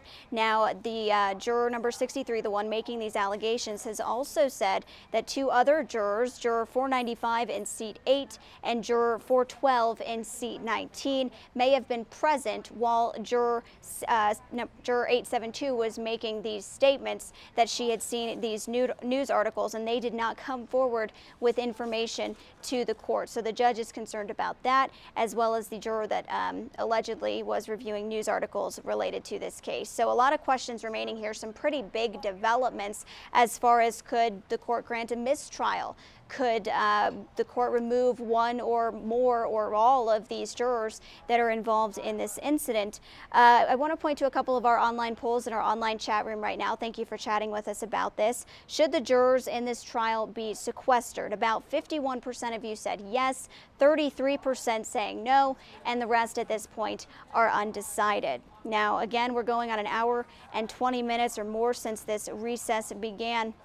We'll go a little more in depth about uh, exactly what the juror may have seen on Facebook. So the juror that's making these allegations in seat 16 says the juror in seat 9 made statements about some mistrial motions that uh, were done while the jury was outside of the courtroom. One of those being that the defense had argued playing the video interview with Dr. William Reid violated the shooter's rights. Now that interview with Dr. William Reid played out in court all last week. Over the course of several days, the jury watched this video, and the doctor ultimately concluded that he believed the shooter was sane at the time of the shooting. Today, we were expecting, before all of this happened, to hear more from another doctor, another state appointed psychiatrist, Dr. Jeffrey Metzner. He uh, took the stand yesterday and also stated that he felt the shooter was sane at the time of the shooting. Of course, ultimately, it is up to the jury to decide the decision of sanity in this case, despite those two psychiatrists' opinions. And uh, we are on day 28 of this, and this is a big revelation that just came about. And if you're just joining us, we'll go through it again. One juror came forward to the judge, said that another juror made statements that she had seen news articles on Facebook related to this trial. One being the uh, mistrial motions, the other that. Um, she knew that an accidental tweet had been sent out by the district attorney related to the trial, uh, during which the judge reprimanded the district attorney and banned texting and the use of social media in the courtroom. So somehow this juror came across this information, this other juror saying she saw it on Facebook, uh, which obviously they are not allowed to do. So will a mistrial be granted? Will one or more of these jurors be removed from the trial? That remains to be seen. That's exactly what we're waiting for at this point. So again, the Denver Post is reporting that sources say the trial could resume at 1145, although right now it's going on 1146. So it looks like our live feed is still not up, so we still do not have court in session at this point. So we are Still trying to wait and see what's going to happen here. We've spoke to some legal analysts about this, going over some of the options. Uh, Marshall Zelinger, my colleague who joined me earlier, he is actually on his way to the courtroom right now to track all of this for you. You can follow him on Twitter, follow us on Twitter at Denver Channel for the latest developments. Now, again, regarding the um, mistrial motions which were done with the jury outside of the courtroom that one of these jurors may have heard that was related to the video interview interviews with uh, Dr. William Reid that the defense had argued that violated the shooter's rights. We want to play some uh, footage here now from that uh, when that was playing out in the courtroom. You have a discussion with him about a guy sitting in the front row of the theater. And talk about him, he talks about him being a, a guy that's smiling at him. And there's a conversation you have with him about whether he shoots him or not. Do you remember that? Yes. I remember you mentioned looking back and there was a guy in the front row smiling. Right, yeah. Any thoughts, other thoughts about his smiling? I don't know why he was smiling. Do you think he might have been grimacing rather than smiling? No, I'm pretty positive it was a smile. So you don't think he was grimacing because he was hurt? No, he wasn't like uh, holding his leg or arm or anything that would suggest that. Was he sitting in the seat or crouching or hunkering down behind it? He was sitting in front of his seat. So he was quite exposed? Because he, he was in the front row too. Yeah. Do you recall whether he was sitting on his seat or He wasn't on the seat. No, nobody was on their seats. At the end there. Do you understand that he was on the floor in front of his seat? Right. Can you describe how he was sitting? Um, just with his legs to the side, uh, kind of leaning against the seat. What makes you think that he wasn't wounded? Um, he wasn't. It didn't look like he was in pain at all. But he was pretty exposed. Right. Yeah. Um, did you think about shooting him? No. What do you make of that? It, that it probably would have been really personal to shoot a person who's smiling at you. Tell us why that's psychiatrically significant. First of all, it, it tells me that, at least according to him, he was paying attention. Uh, he was able to report that detail, assuming it's accurate. He was able to report that he wasn't uh, such an automaton, if you will, that he didn't, uh, that he wasn't aware of lots of things around him. Um, second, I was interested in uh, All right, you've been listening in to the videotaped interview with Dr. William Reid, a state appointed psychiatrist from last week. Major developments today, though the trial just got underway related to the uh, jury allegations. So let's listen in. and the prosecutors are present as well. And we are outside the presence of the jury at this time. Would counsel please approach?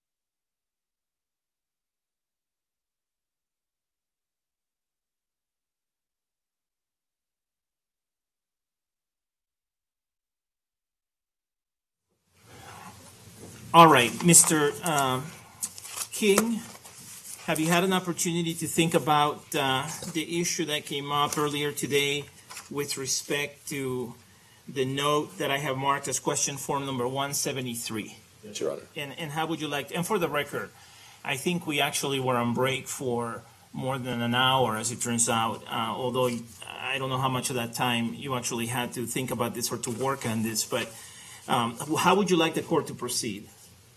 At this point in time, to begin with, we think we need to question individually the three jurors that were mentioned by juror number 673 as being present um, when these comments were made.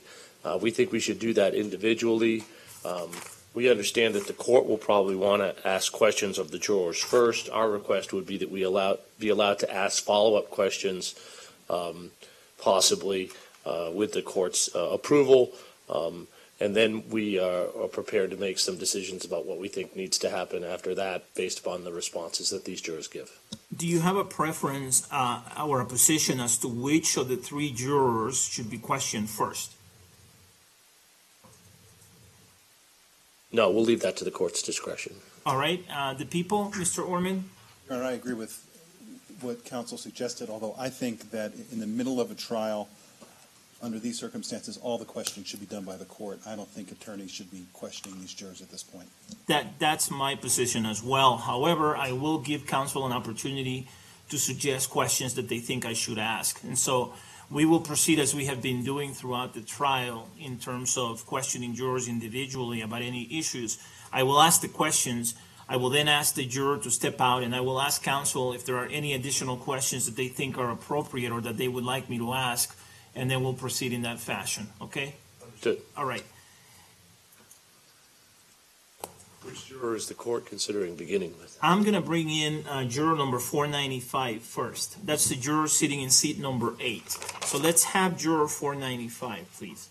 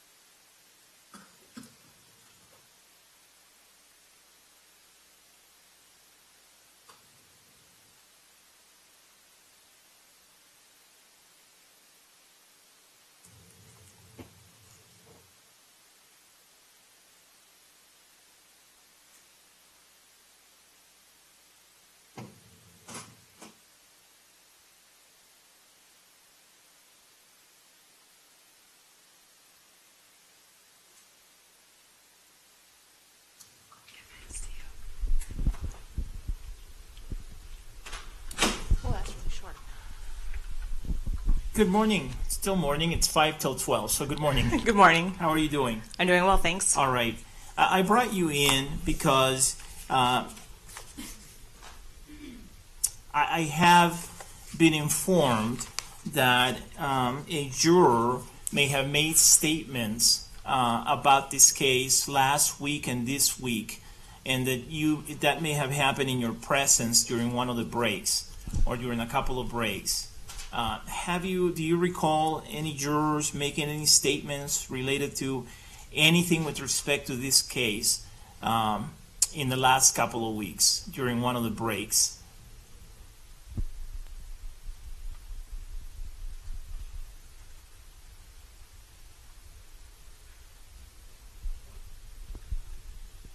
Um, and it was last week. Last week and, and um, yesterday. And it would have been in the lounge area downstairs.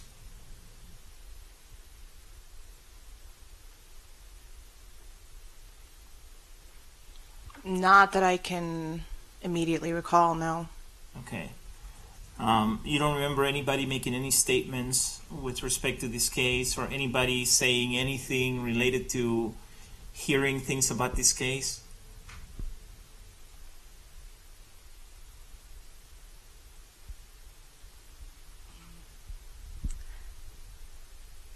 There was mention of maybe looking at something on a phone. Okay, tell me about that. Um, Who, who did you hear make the statement I was Danielle. without using any? Oh, I'm names, sorry. I don't know a juror Do you know where she sits in the courtroom? Uh, in the middle row. The middle row. Yeah, Um, do you know towards where, the end or the end. all the way at the end of the middle row? Oh, on this end. Right. Okay. All right. And what did you hear her say? It was. And for the record, she's pointing at seat number nine, where juror number eight seventy two sits. Sits. Okay, go ahead. I can't remember what had happened that day. It was something. I don't know. We'd had a long break or something unusual had happened, and in my what I heard was just jokingly, "Well, we can go check the news to see what's going on." But I did not see her actually get her phone out. Did you hear her say anything more? No. With respect to that? No. Did, did you hear her make any other statements related to uh, the case in any way? No. And have you heard her at any point before make any statements about the case? Not before that, no. And not since that. And uh, not prior to that and not since that? Right. So at any point, you haven't heard any, uh, her say anything with respect to this case? No. Or information she may have um, claimed to have about the case or anything like that? No. No. Uh, how about, have you heard any other juror make those statements? No. No. Mm-mm. Okay. Um, and um, do you sometimes go to the lounge area downstairs? I do. And and who else? Uh, is there a group of you who usually goes there, or does it vary?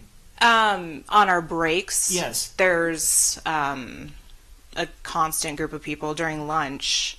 There's more people that tend to, to go out there. But during the breaks, it's just a few of you. Right. And and who would those few be? You, um, the juror in seat number nine, juror eight seventy two. And who else? Um, I could not tell you their numbers. okay. And do you know their seat numbers?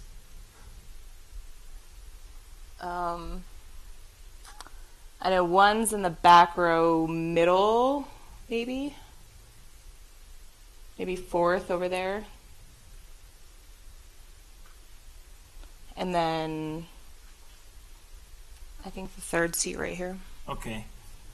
All right. I'm bad enough with names, so That's throwing okay. numbers on top of it is too much. you- that's okay. I'm sorry. And the third seat, she's pointing to seat number 19, where juror number 412 sits. I think that's where she sits. Okay. And then in the top row, you don't know exactly where. You said somewhere in the top row. I want to say it's the fourth row or fourth seat from the, the top, from the from right. the left, from your right. Yes. And so that would be seat number five.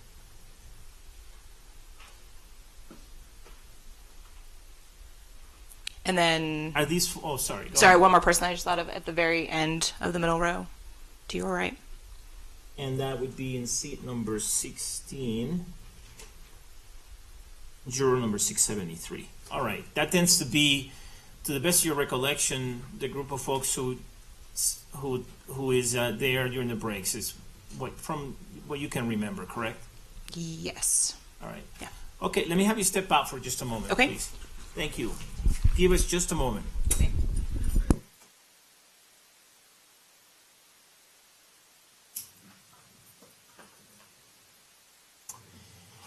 All right, the record should reflect that uh, juror number 495 has now stepped out of the courtroom. Are there any other questions that the prosecution uh, would request that I ask of this juror? I think you covered it, Your Honor. All right, any other questions, Mr. King? Judge, um, my colleagues may have a suggestion, but my one suggestion is my recollection is that juror 673 indicated that this conversation, at least the conversation that took place yesterday, took place on the patio. Okay. Um, And so I didn't know, I know that you referred to the lounge area. I'm unfamiliar with any of these areas, but maybe it would jog her memory if you were to mention the patio area and, um, I, I will do that. I thought that she had referred to the lounge, but I'll ask the patio. I was, that's what I was referring to, and it sounds like that's where the group of folks tends to hang out during the breaks. The only one she added that um, juror number 673 had not mentioned is jur- possibly juror 535, who sits in seat number five. So, but I'm happy to bring her back and make sure that she understood that as the patio. And My, my understanding or my thought was that perhaps they were taking a smoke break out there. That's possible, yeah. The other question that I'm being asked is um, whether or not this juror has heard anything ab- about media reports on the case from any source. I will ask that. All right, let's bring her back, please. Although I think the last question is covered by some of my other questions, but I'll ask it anyway.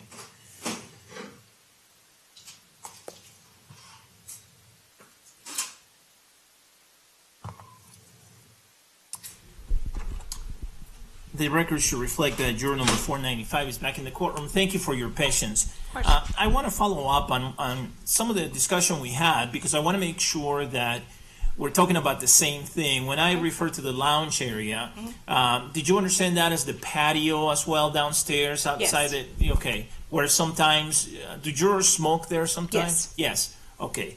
And so that's what you were referring to. Right. All right. And is that that's the place that you were referring to when you were talking about uh, those few of you who during the breaks go there to smoke and hang out? Right. Okay.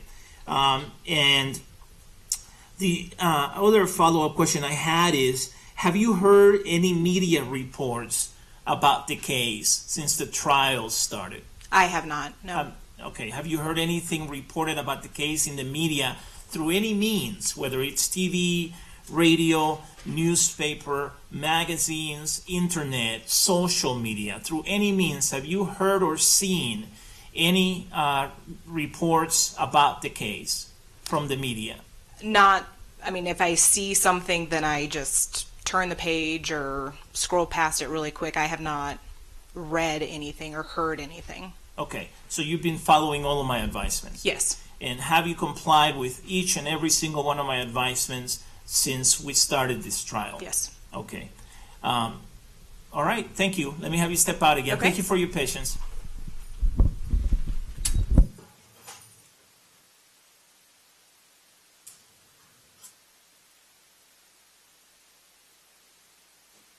All right, uh, I'm gonna bring in um, the next juror, who is juror number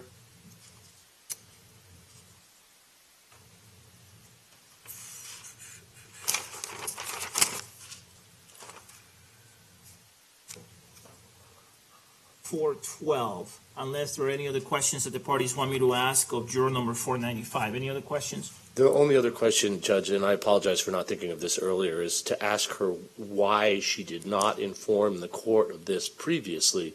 Um, my understanding is that you've instructed this jury very, very clearly over and over again that if there's any violation in any way of the court's orders uh, by themselves or by other jurors um, from any source, that they're to notify the court. And that's potentially a violation of the court order that could affect this juror's uh, future service. Well, what she said was that there was mention of maybe looking something on a phone. And then she said that she thought that the person was joking. So it didn't sound like what she heard was that someone actually looked something up on the phone, um, but that she said she could to try to find out what was going on because the, this was a long break. Uh, and then she said that she thought he was joking. I will bring her back and clarify that just to be sure, okay? Let's bring her back, please.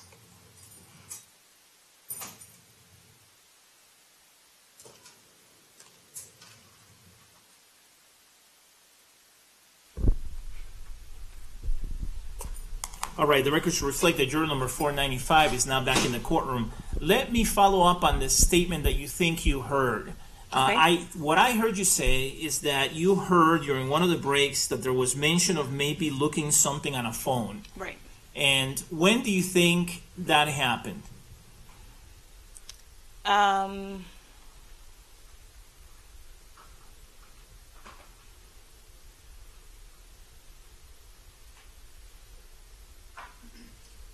Doesn't have to be the exact day if you can remember this week or last week or before last week or something along those lines. it wasn't. It wasn't this week. So not yesterday or today. No. Okay. Um,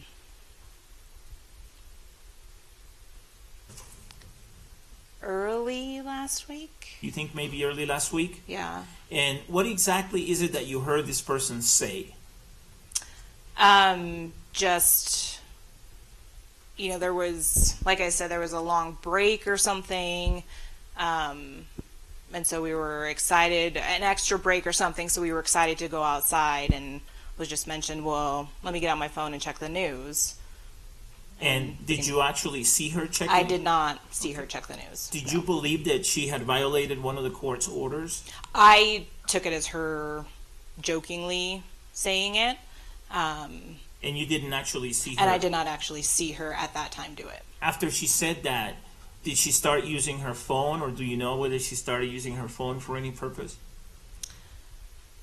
I I don't specifically remember. I mean, all of us take our phones out there and we're on them pretty much constantly while we're out there. So, you know, she could have even said it while being on her phone. Um, but I didn't put any. I I took it as her saying it jokingly. Okay, you didn't believe that she was in violation of one of my Right. advisements that I have Correct. been that I have been giving you. Correct. Okay. All right. Do you remember anything else about that event? No, I mean it was just a a fleeting passing comment, and then we all just carried on with what we were what we were doing. And do you know who else was present when she made that comment?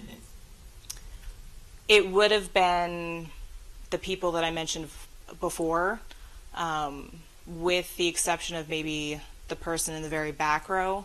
Um, she The- doesn't tend to stay out as long as we do. Okay, the person that you said four seats in from the right hand, looking at the at the jury box. Right. It would be my right hand side, four Right. seats in. That would be the person sitting in seat number five, juror number five thirty five. Okay. Right, that would be the only person that you know. Like I said, we go out there, and she doesn't tend to stay out there as long. So she, you think she wasn't there? I, I can't say for sure, but But you don't know. she if- may have been right. Okay, you don't know if she was or not. Right. Okay. All right, great. Let me have you step out again, please. Thank you. Thanks for your patience.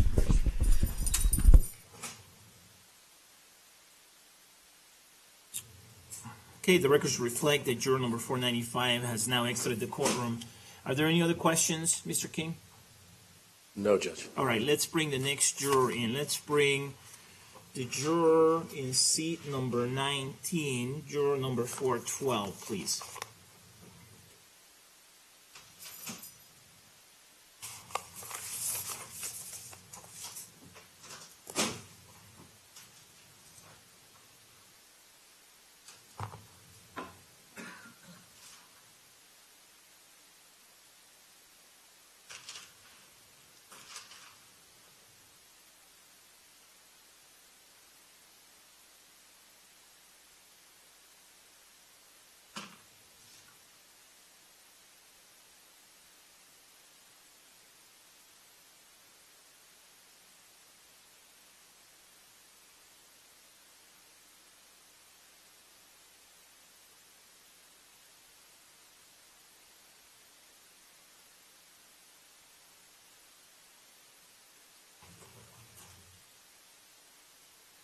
Judge, I noted that the court didn't instruct that juror not to discuss this with any of the other jurors. I, I didn't know if the court wanted to do that or to remind the court to do that with the future. I, I, let's do that. Hold on. Hold on just a second. Sorry. Could you bring 495 back, please, and have her go back to the to her room for that? Have 412 go back to her room and bring back 495, please. Thank you for reminding me. Sorry about that, Juror. No, that's okay. Thank you.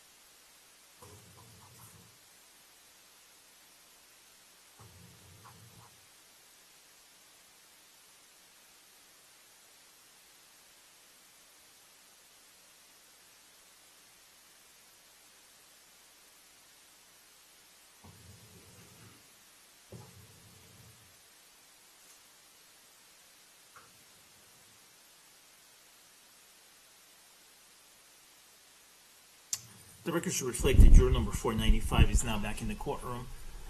Thank you again. I just uh, wanted to um, instruct you not to discuss anything that we've talked about here with you alone with any of the jurors. Will you promise that you will do that? Absolutely. Okay, so do not discuss um, what I've asked you about. Do not discuss the information you've given me in response to my questions or that the fact that we called you in here. Do not discuss any of this with the other jurors. Will, you, Okay. will you promise to do I do promise. that? Okay. All right. And All right. will you promise to continue to follow each and every one of my advisements? I will. I promise. Okay, great. Thank you. Thank you. All right.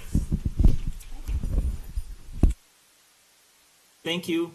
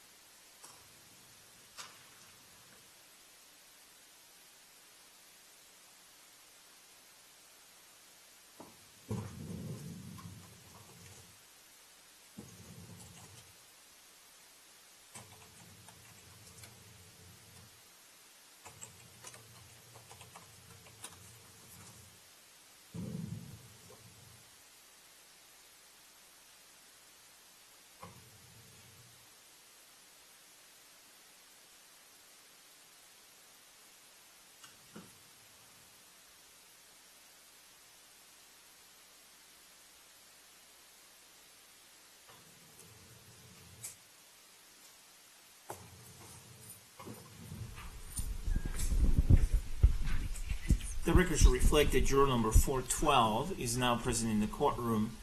Good afternoon. Hello.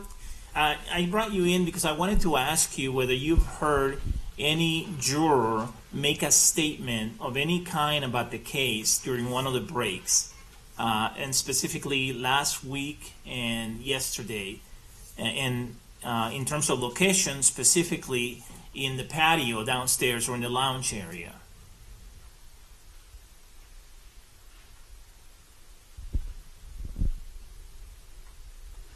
Um, not that I'm aware of. I don't. You don't you don't recall hearing anything? No. Sometimes we talk about like quotes and clothes and shoes, but I don't remember hearing anything about the case. Okay, clothes and shoes. The clothes you may be wearing and shoes you may be wearing. Yeah. Okay, when you say quotes, what does that mean? Um, like air quotes. Oh, okay. Air quotes, but not related to this case. No. And not related to anything happening in these proceedings. No. All right. And uh, let's expand it to before last week. Have you heard at any time any juror make a statement anywhere, whether in the patio or anywhere else, about this case?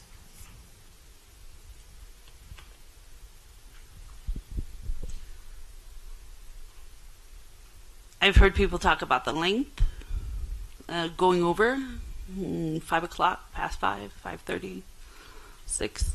Okay, so scheduling and, and, my, and my staff talks to you folks about that uh, often in terms of how late you can stay and that kind of thing as well. Right.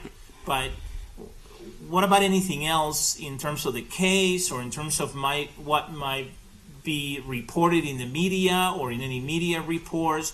Have you heard anyone comment about what uh, you know information related to the case or information uh, reported by the media related to the case? Have you heard anyone make a comment about that? And when I say anyone, I'm referring to one of the jurors.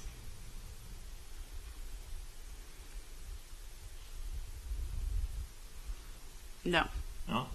And uh, my understanding is sometimes during the breaks you go to the patio with a few other jurors. Is that right? I do. Ha- have you heard any any such comments while you're there at the patio made by any juror statements um, of, related to the case or what may have been reported about the case in the media or anything like that? Specifically talking about the media? Any anything related to the case? No, just just talking about schedules and stuff. and, Okay. Uh, I tend to play my phone. Okay, that's okay. Uh, so That's all right. All right. Um, no. have you received any information or seen or heard or read any information about the case in any media report since the case started? Um, I look at Huffington Post, but I scroll past anything that has to do with anything. Related to the case? Yes. And so you, you're following my advice, advisement to avoid any stories about the case? Yes, I don't look at the news. I don't watch the news with my family. We don't even watch it anymore. I watch Rachel Maddow. Okay. That's And you've been following my advisements, each and every one of my advisements, uh, since you, since we started this trial? Yes. Okay. All right. Um, and I, want to make sure that I open it up because initially I asked you questions about uh, during one of the breaks in the patio downstairs, and I said last week or maybe yesterday. But let's open it up without any restrictions as to location and without any restrictions as to time. Have you ever heard a juror make a statement or make a comment about the case or about information uh, from the media related to the case?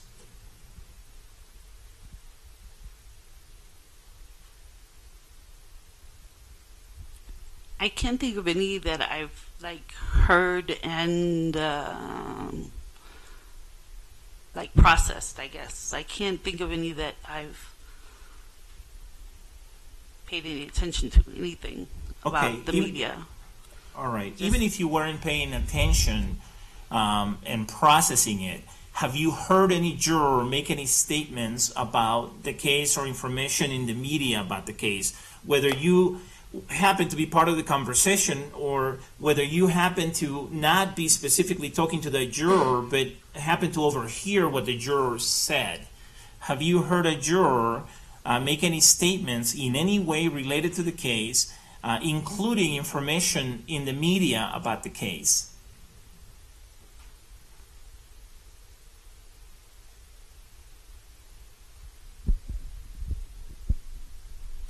I'm trying to recollect anything I may have heard, and and I just specifically the media, nothing. Or even if it's not specifically related to the media, related to anything in any way related to the case. That's not scheduling. You know, anything related to the proceedings or what's happening here in the courtroom uh, related to the case in that way. Have you heard anyone make a statement like that that comes to mind?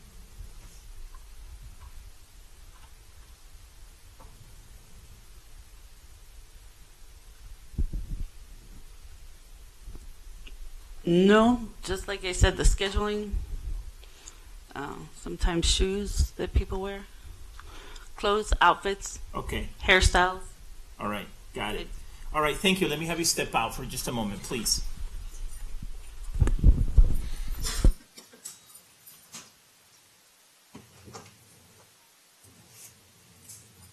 All right, the record should reflect that juror number 412 has now stepped out of the courtroom. Are there any other questions that the people would like me to ask this juror, Mr. Orman? No, Your Honor, thank you. Any, any other questions from you, Mr. King?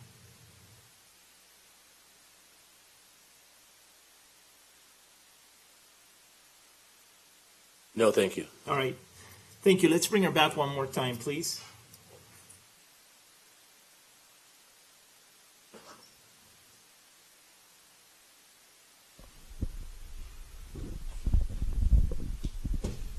The record should reflect that juror number 412 is back in the courtroom. Ma'am, thank you for your time. Um, please don't discuss with anyone what we've talked about here, okay?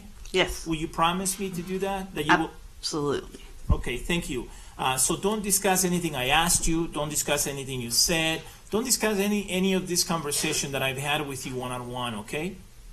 Yes. All right. And will you promise that you will continue to follow each and every one of my advisements throughout the trial? Yes. And I should also tell you, don't infer anything from this discussion, okay? Don't try to speculate. I wonder why he's asking me the question. Uh, you shouldn't do that at all. Will you promise me that you will not do that? Yes. All right, great. Thank you very much. You're welcome.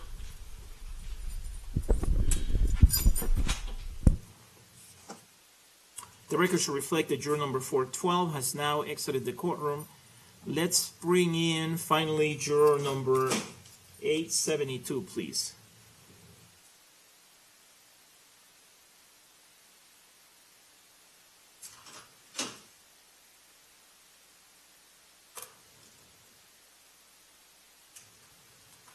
Judge, before this juror comes in, I believe that 673 said specifically that there was something that came up on her Facebook feed, and I, maybe the court wants to inquire about that. Okay, thank you.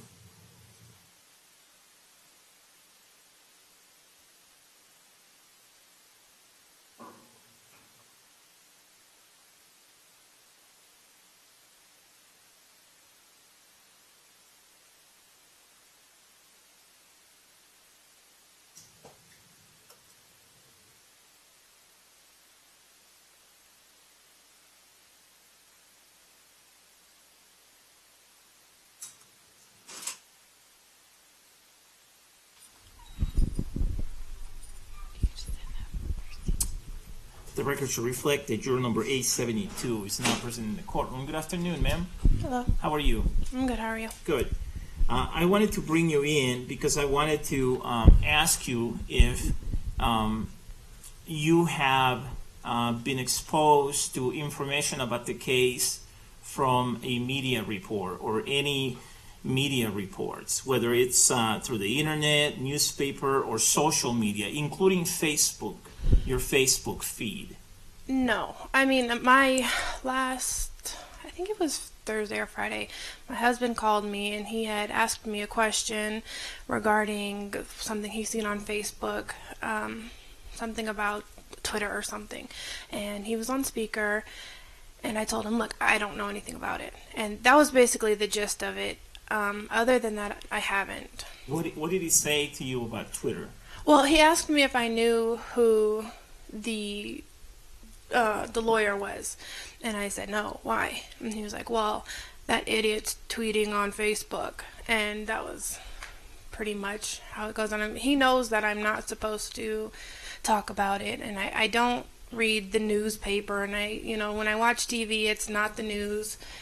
Um, so I mean, him and I got into a really big argument about it because he knows, and it just so happened to be when we were on lunch. And have you heard any other information about uh, related to the case, whether through your husband or anyone else, or whether through uh, the internet or um, any media reports from any source? Have you heard any information about the case? No. And even if I if I'm on Facebook or something, if I do see like the headlines of it, I I don't click the link. I I specifically stay away for that reason.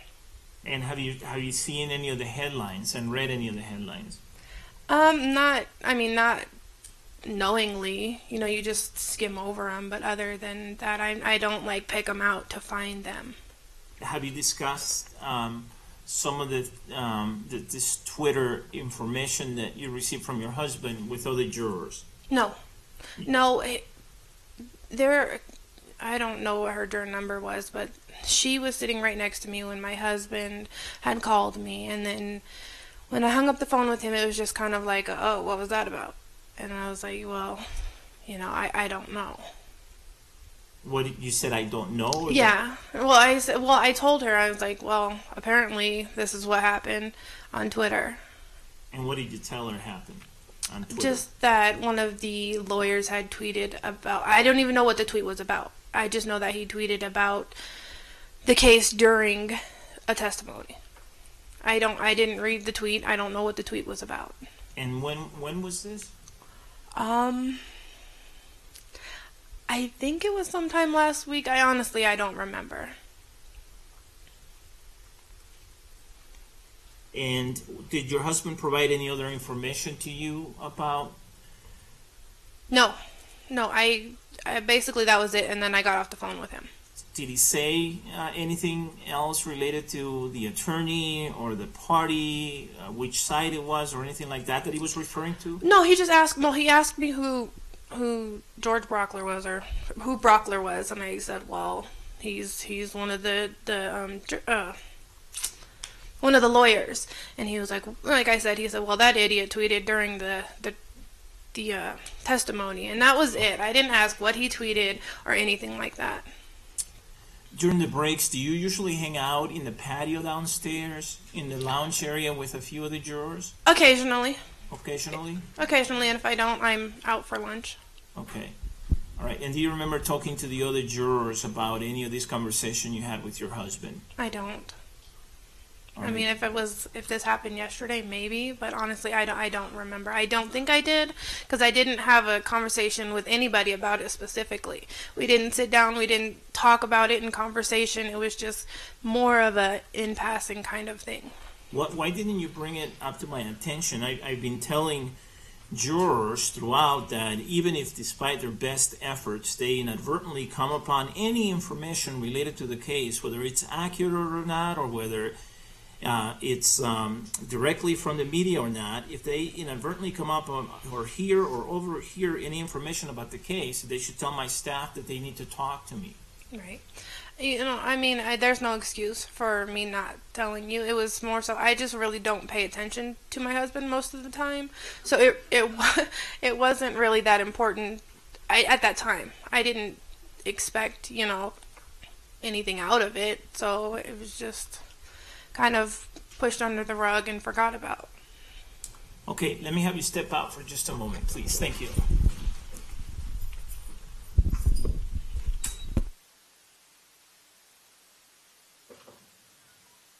The record should reflect that uh, juror number 872 has now stepped out of the courtroom. Are there any other questions that the people want me to ask this juror? Well, Your Honor, I, I, I think that the original juror number, um, six seventy-three, it also indicated a statement about a motion for a mistrial. I mean, that's awfully a specific question to ask, though. Right, that's Um, why I didn't ask it. So I'm not asking anything about that. I just thought I would mention that that was not discussed with her. Right. Mr. King, any other questions that you want me to ask? I, I agree with Mr. uh, Orman's comment about that. I, I noted that as well. I also noted that the information from juror 673 is rather specific about the information contained in the Twitter or tweet or whatever it is itself Right. um, pertaining to the, the video, and it seemed to match very closely what the actual tweet was. Um, I would ask, um, she, I, if I r- recollect correctly, juror 872 said that she, this phone call with her husband was on speaker. Uh, so perhaps we should ask if the others were there. It sounds like the others were there and overheard it, and that's why they had a conversation about it. I'm pretty unclear about that, but I will follow up with uh, juror number 872 about that. And, and perhaps we should also ask her if there was a second incident. I, I suppose you have asked if there are any other incidents, so. I have, and I just didn't want to ask, you know, did you hear anything about a mistrial? Um, that would um, be improper. So I'll bring her back and ask her about whether there was a second incident, and I'll ask her if, um, when she had her husband on speaker, uh, if there were other jurors around uh, within distance to hear what was being said. Um, but um, regardless, um, I have some concerns about this juror, and uh, if the parties are in agreement, and maybe this will make the additional questions. Um, although I think it makes sense to ask the additional questions, so I will ask them. But if the parties are in agreement, uh, I am inclined to let her go to excuse her. So, is there any objection? Can I have a moment, Your Honor? Yes. I mean, clearly, there has been a violation of my advisements. My advisements say you cannot obtain any information about the case, and if you obtain information about the case, even inadvertently, you have to tell me about it. You have to tell my staff that you need to talk to me. Furthermore, uh, between her and juror 673, I find juror 673 to be the more credible juror. And so I don't know that we're getting the full story from this particular juror. Not object, Your Honor. All right, Mr. King? We don't object to her being excused, Judge. We have additional concerns, though. Um, we, I have concerns, very serious concerns about juror 412 and the way she responded to the court's questions. Um, so, so my thought is that we may need to go back and re-question these other jurors again about the information related by um, juror 872 to determine whether that's the case. And we, we may be asking Judge to, to poll the panel um, individually about whether they anyone has any had any contact with this juror or, or received any information.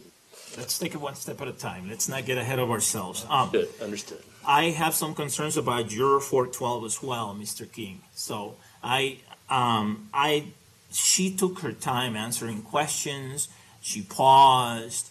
Uh, she used words that suggested at times that she was holding something back or might be holding something back, such as saying, uh, not that I heard and processed. I, I don't know who answers questions that way when they are asked, Did you hear something about this? Usually people tell you, No, I haven't heard anything. Uh, I, I didn't have concerns with juror number 495. Um, I thought juror 495 was being forthcoming, and it may well be that she just didn't hear uh, a whole lot other than she overheard um, juror number 872 say something along the lines of, um, maybe looking something on a, on a phone and she thought it was a joke and there, therefore didn't report it to the court. Um, but uh, I do have some concerns about juror number 412 as well in terms of her demeanor uh, and how credible she was with me, or, or perhaps the better word is how forthcoming she was with me. So if the parties are asking me to release 412, um, I, I uh, would grant that request. Judge, may we have a moment, and, and while we're thinking about that, I, we have some concerns about 495 as well. Um, there were some long periods of silence when the court was asking its questions, um, and and her statements are in direct contradiction of Juror 673, um, and so that um, it sounded better when she said it, but it's contradicted by the very credible statements of Juror 673. So who specifically identified her. So I, our request is, is that you dismiss all three of them at this point in time, Judge. And um, we have 12 alternate jurors in this case, and that's why we have 12 alternate jurors. And we're, we're well into the case. We're more than halfway through the case. Um, and any kind of um, discrepancy should be resolved in, in favor of making sure that this is a, an impartial juror. And there's no harm in, in excusing these these jurors. Uh, Essentially, we believe all four jurors should be excused, Judge. We believe that 673 has been tainted by her what she's heard about the case, and we're I'm willing to deal with that argument too when it comes, but I don't want to jump ahead of myself here. I'm yeah, sorry. I think we're jumping around a little bit. Uh, so let's deal one by one. Uh, first, there has been no objection already with respect to 872, and so I will release 872. The next question is 412. The defense is asking me to release number 412. And is there any objection to me releasing 412? Yes.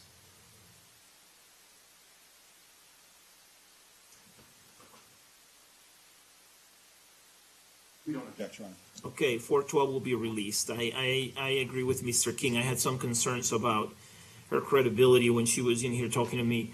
Four ninety-five, Mr. King is right that she, her statement is inconsistent with what six seventy-three said. However, it's possible that she just didn't hear it. It's possible that this is not an inconsistency. It's possible that 673 um, thought that 495 would have heard this comment, but that 495, in fact, did not hear the comment.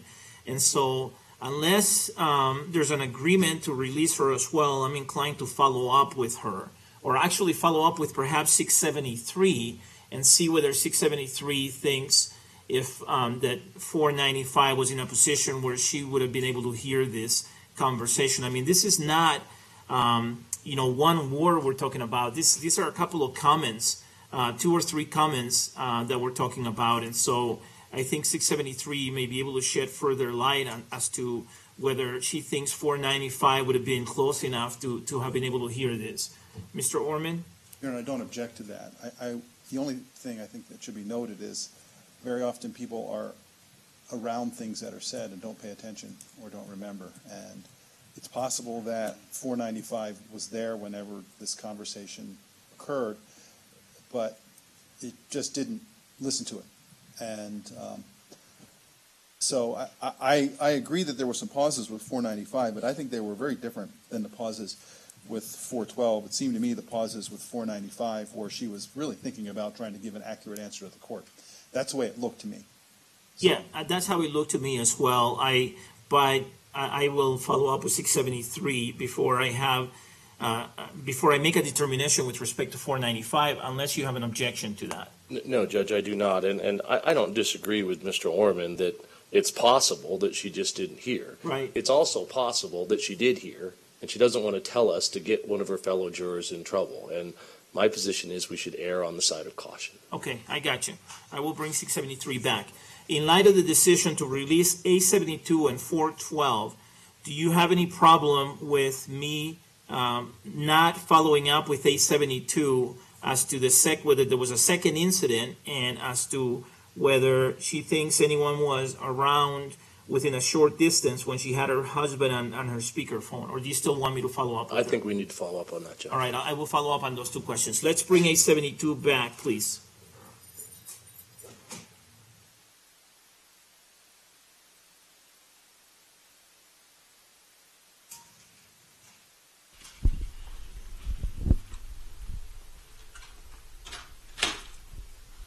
All right, the record should reflect that uh, number A seventy-two is now back in the courtroom.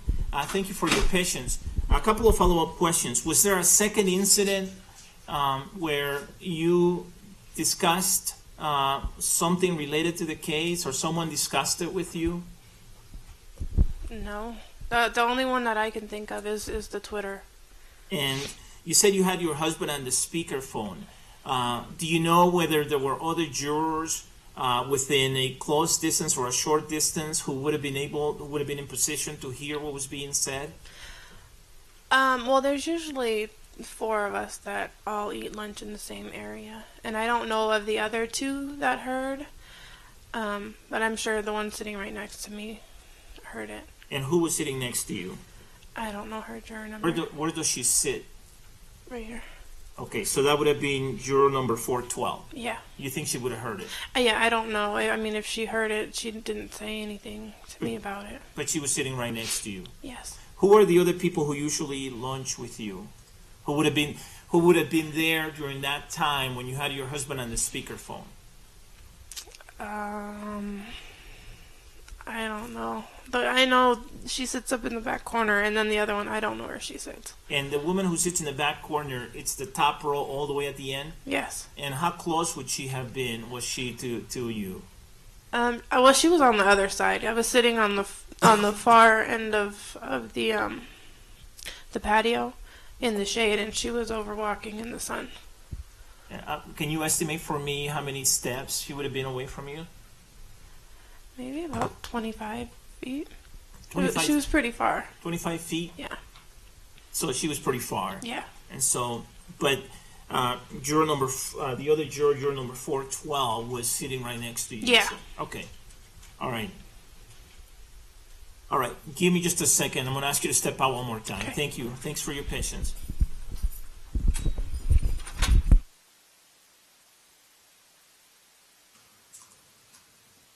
All right, uh, the record should reflect that eight seventy-two has now stepped out of the courtroom. That confirms it for me that four twelve was not being completely honest with us, or perhaps without the completely. And I think that's what all, all of us thought, the parties and I, the attorneys and I all thought that, and that corroborates what I had concluded. So at this time, I'm gonna bring eight seventy-two back and I'm going to excuse her. Then I'm gonna bring four twelve back and I'm going to excuse her. Neither one of them is going to be allowed to enter the jur, any of the jury rooms. Uh, while the other jurors are in there, they're gonna be taken downstairs. And then when the jurors are not around, they'll be escorted so that they can get their uh, possessions and they can, and they will be escorted out of the building, okay? And then we'll proceed from there. Any objection? I, I don't object to that, Your Honor. My question is, is the court going to give any type of advisement? I will. I will. Okay, let's bring A seventy-two in. Thank you.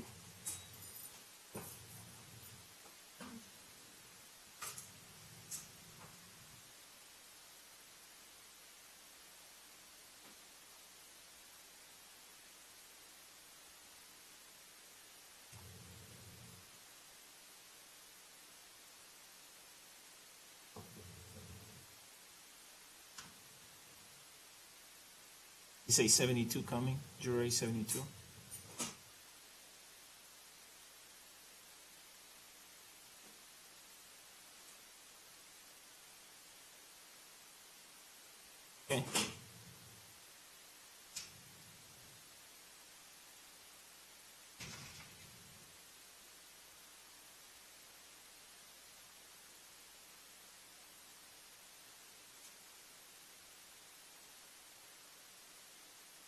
Okay, the record should reflect that juror number eight seventy-two is back in the courtroom.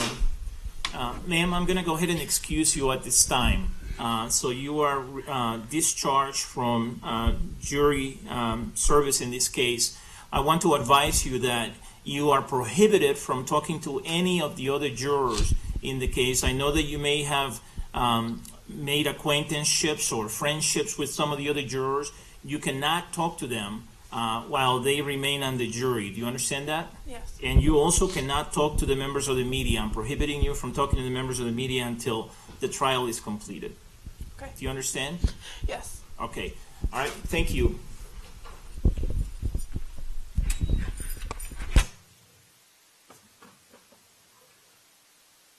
The record should reflect that juror number 872 has now exited the courtroom.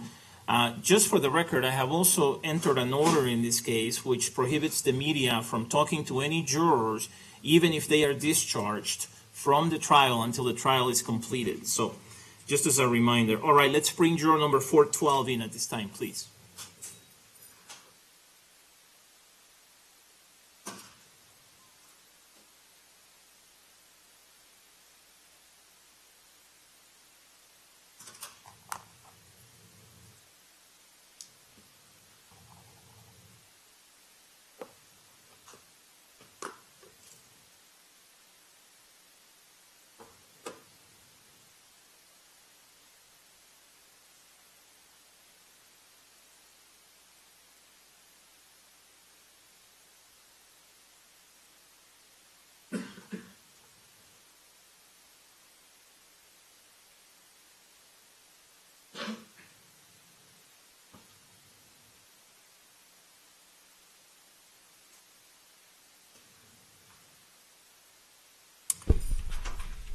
The record should reflect that juror number 412 is back in the courtroom at this time.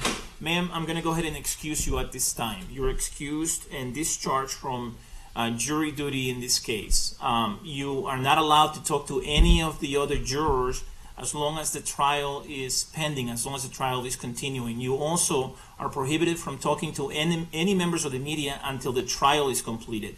And when I say trial, I mean the entire thing, including any proceedings that may be had in this case. Do you understand? I do. All right, thank you. You're discharged.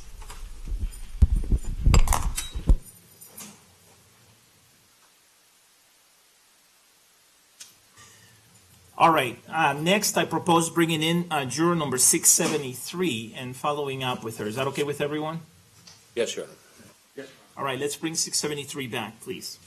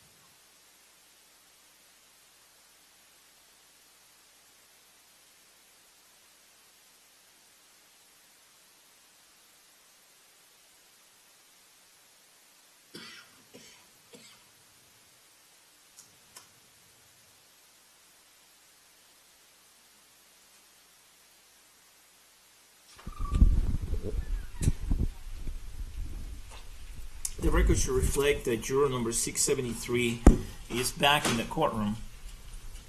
Uh, ma'am, I want to thank you again uh, for doing the right thing. You did the right thing, and I very much appreciate you doing this. I brought you back in because I want to follow up on the discussion we had earlier. You indicated that at the time that um, you heard um, these statements by uh, the juror who sits in seat number um, nine, juror number A72, that there were a couple of people present, a few people present, and one of the people that you identified is the person who sits in the top row all the way at the end, uh, which is seat number eight. That's uh, juror number um, 495. And my question is, do you remember how close she was in terms of distance uh, to the person making the statements? In other words, I'm trying to figure out what is it that made you believe that she may have heard these statements. Honestly, it's because it's usually the four of us talking. And so, I mean, maybe she was farther away from the group that was talking. I, I but usually we're close enough to where it's easy to hear. So usually you're close enough to each other that you'd be able to hear. Yes. Yeah, okay. I mean, if she didn't hear it, she didn't hear it. I just, I know that all four of us were standing around. And juror number um, 872, the juror who sits in seat number nine, didn't make this statement just to you. No. She just made the statement. Yes. Did you see her at any point speaking on her phone, on speakerphone with anyone? No. No, you didn't see that part. No. And you didn't hear her talking to her husband on speakerphone about anything. No. But you remember her making the statements that you said she made both last week and also yesterday. Yes. And uh, you think in both incidents, the uh, person who sits in seat number eight, juror number 495, was in the area, the, the vicinity? Yes. I, I know yesterday for sure. For sure, yesterday she was in the vicinity. Yes. Okay. And then I'm pretty sure, almost positive, that the other time as well. Okay.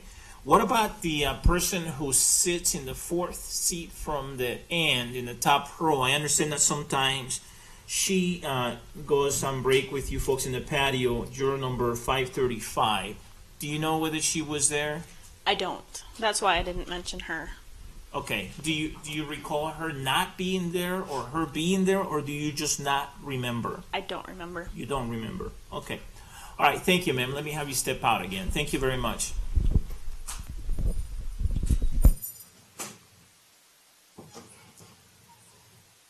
Okay, the record should reflect that uh, juror number 673 has now stepped out of the courtroom again. Given that record, I'm inclined to grant the defense's request to release number 495.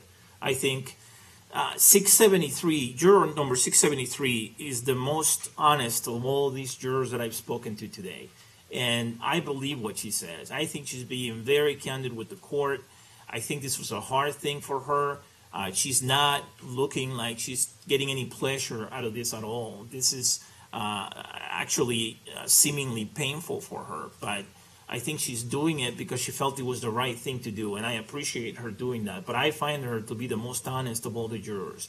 And if she's telling me that uh, juror number 495 was in the vicinity, um, then I believe her. And uh, again, you know, this isn't a a um, one word type of thing. There are multiple comments, um, and I think it's likely that four juror number 495 would have heard uh, some, if not all, of these comments. So um, I'm inclined to grant the request. Is there any objection? Object, Your Honor. All right, I will release number 495. So um, before we take 673 back to the jury room, she's just, she's still, she's waiting in the hallway, right? Yes. Um, Mr. King, I think you had said that you wanted, uh, you might have a request to excuse her, or perhaps you actually made the request to excuse 673. Um, do you want to make that request still? Yes, please. Okay. And, and, and I could not agree with the court more. I, I think that she's doing the right thing. I think that she's being very honest. Um, I'm just very concerned about the nature of the information that she's been revealed to. She now knows about a mistrial. Uh, she know, a request for a mistrial that was denied. That's likely could have a prejudicial effect. She's like she knows about uh, the tweeting thing and um, uh, and and Lord knows what else. So I, I just think we. I'm requesting that we dismiss her as well. Well, what, what she has heard, number one, she didn't hear from the media directly uh, or from any news source directly. She heard it from another juror who claimed that she got it from her Facebook feed. So, for one thing, she doesn't know uh, if this is accurate or not, and, and, she said that when she was in here. Um, number two, um, she heard that they they have tried to call a mistrial, but she said she didn't know which side, and that the attorneys have now been prohibited from using or from having phones uh, in the courtroom, and that one of the attorneys posted on Twitter that he or she hoped the jury saw part of the video, and the judge was mad, uh, but she didn't know which attorney it was, and she didn't know if it was a female or male attorney, and she didn't know if it was a prosecutor or a defense attorney. Um, and she didn't know what came of the, uh, if anything, of the attempt by anyone to call a mistrial. Um, so I, I, you know, I read the People versus Moore case, 321 Pacific 3rd, 310, a Colorado Court of Appeals case from 2010, and uh, that case is not on point, but that's a case in which it um, was revealed to the court that there had been uh, that the jury has, had been exposed to a newspaper article containing prejudicial information about the defendant. Uh, and the court set forth the analysis that trial court judges should engage in if this situation arises. And what the Court of Appeals said is that uh, a trial court should deal with juror exposure to prejudicial publicity during the trial as follows. Number one, the trial court must determine whether the publicity is inherently prejudicial. Number two, if so, the court should canvass the jury to determine whether the jury learned of the prejudicial publicity. And number three, the trial court should individually examine exposed jurors to determine how much they know of the publicity and what effect, if any, the publicity publicity will have on their deliberations. Now, I have questioned um, multiple jurors now, including juror number 673. Uh, this information that juror 673 heard in my view, is not inherently prejudicial information uh, to the defendant. Um, she doesn't know who it was related to. She only knows vague or general uh, details. Uh, and Mr. King said, who knows what else she has heard? You know, we can't have it both ways. We can't, on the one hand, say, boy, she's really honest and really candid with the court, and on the other hand, say, who knows what else she heard that she's not telling us? I think we either trust her and rely on her or we don't. And I find her very reliable and trustworthy. I think she's being very candid with the court. And so when she tells me, this is what I've heard, I believe her completely. And so if this is all she's heard, I don't see how this is inherently prejudicial to the defendant. And, then um, I have examined her individually, and I will examine her further. But I have examined her about what effect, if any, the publicity will have on her deliberations or actually I asked on her ability to be fair and impartial, and she said none. I can still be fair and impartial. I will still be fair and impartial. I will bring her back and ask her uh, about what effect, if any, uh, this information may have on her deliberations, or what effect, if any, it will have on any decision she makes in this trial, and whether this information will at any point um, influence her in any way or affect her uh, decision making or be in the back of her mind at any point during the trial. Do the people have a position on, on the defense's request, Mr. Orman? If the, I agree with Your Honor, and don't think this type of information is prejudicial. I would just contrast it with uh, the information would be prejudicial, and um, this is Perry versus People. It's an old case, 163rd Pacific, not second, third, 844 from Supreme Court of Colorado, 1917 but in that case, Your Honor, the, apparently the jury had been exposed to information that defendant in the criminal case had attempted to escape from custody in the course of the trial. That's the type of information that I think might be inherently prejudicial for a juror to hear. This is, at best, procedural information. It's not even factual information uh, about any defendant in particular. So I completely agree with what the court said. Okay, let me bring her back Let's bring back six, uh, number 673, please, so I can follow up.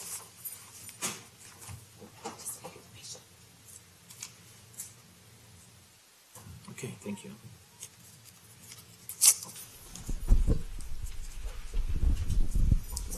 The record should reflect that juror number 673 is back in the courtroom. Uh, thank you again. I want to follow up on the discussions that we've had and the questions we've had. As you sit here, can you remember anything else that you heard related to the case that you haven't told me about yet? No. If at any point you happen to remember something else, will you please tell me that? Yes. And again, will you promise not to discuss it with any other jurors? Yes.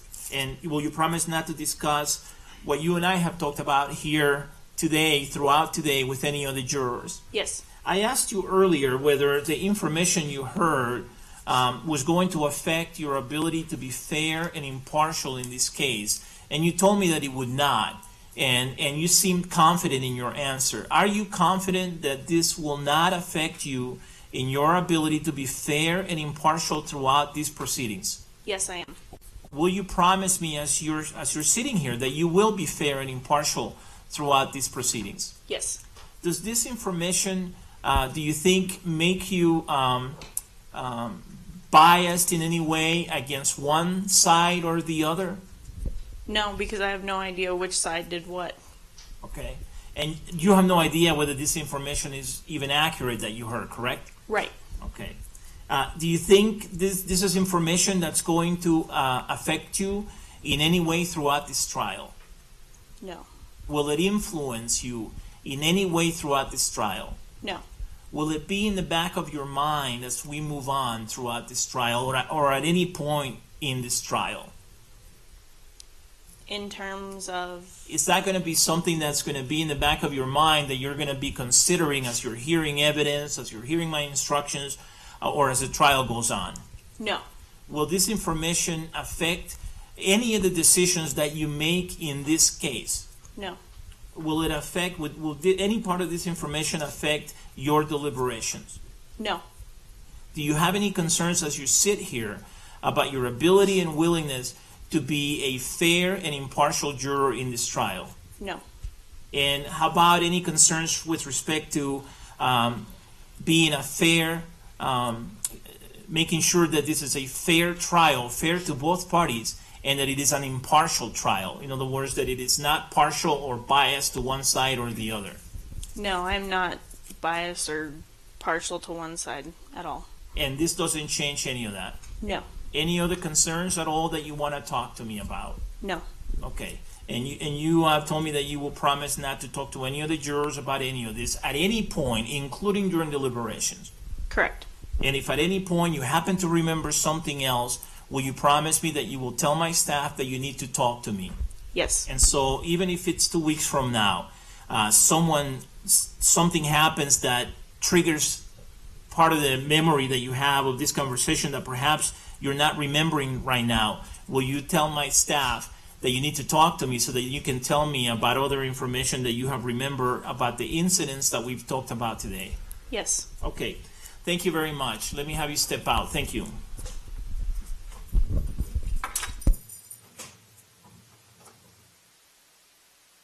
All right, the record should reflect that uh, juror number 673 has stepped out of the courtroom at this time. Based on that additional record, Mr. King, I'm going to deny your request. I understand the request, but uh, I am comfortable that this juror can and will be fair and impartial and will not be affected in any way by this information throughout the trial, including in her deliberations and in any decisions that she makes in this case. I also um, am 100% comfortable that if she remembers something else from any of the conversations that we've been talking about today in terms of juror number 872 and things juror 872 said, uh, that she will tell me about it. I have no doubt that this that this juror will, will tell me about it. So I believe her when she commits to me that if something else comes to, to mind, she will tell me. And I believe her when she says that she will follow all my instructions and my advisements.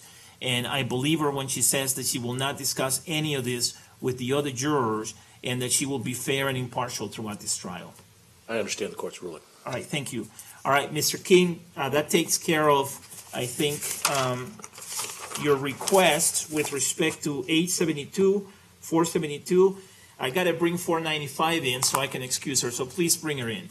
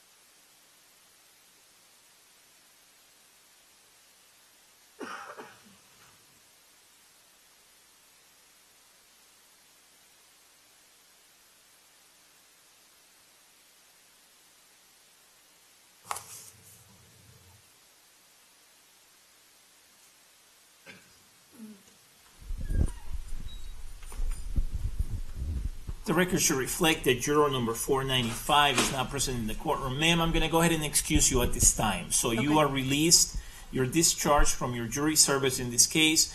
I'm going to admonish you that you cannot talk to any of the jurors while these trial court proceedings are pending. You also cannot talk to any members of the media about this case while these trial court proceedings are pending. Do you understand that? Yes. Okay, thank you. Okay, thank you.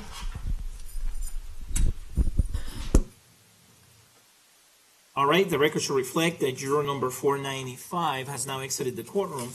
All right, Mr. King, I have addressed your request with respect to jurors A seventy-two, four twelve, and four ninety-five, and also with respect to six seventy-three.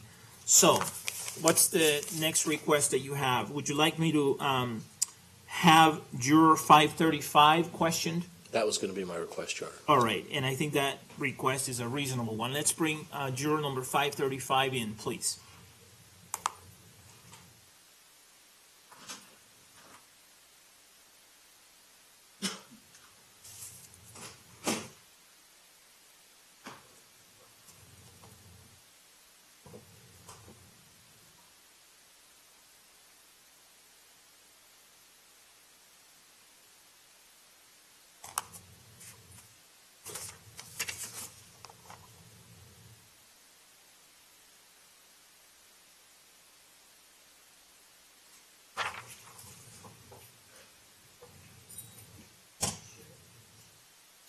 The record should reflect that juror number five thirty-five is now present in the courtroom. Good afternoon. Good afternoon. How are you? Okay. All right, thanks for coming in. Uh, I wanna, I wanted to ask you whether you've heard any juror make any statements related to this case in the last couple of weeks, either last week or this week or both, like during one of the breaks. Uh, when we go outside, I really don't pay that much attention. I just kind of do my thing and I leave. Okay. You know, I, I, they may, but to tell you what or who, I don't pay attention to it.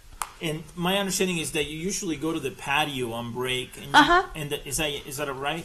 Yes, that's And you- right. And you hang out with, I think you don't know juror numbers, but No, I I think it's the juror who sits in seat number nine there. Right there, yeah. and you're pointing to it. The juror who sits all the way up, up top. The very end. The very oh, end. the, yeah, the very top, and then the very end here, and then on, on one of these seats here.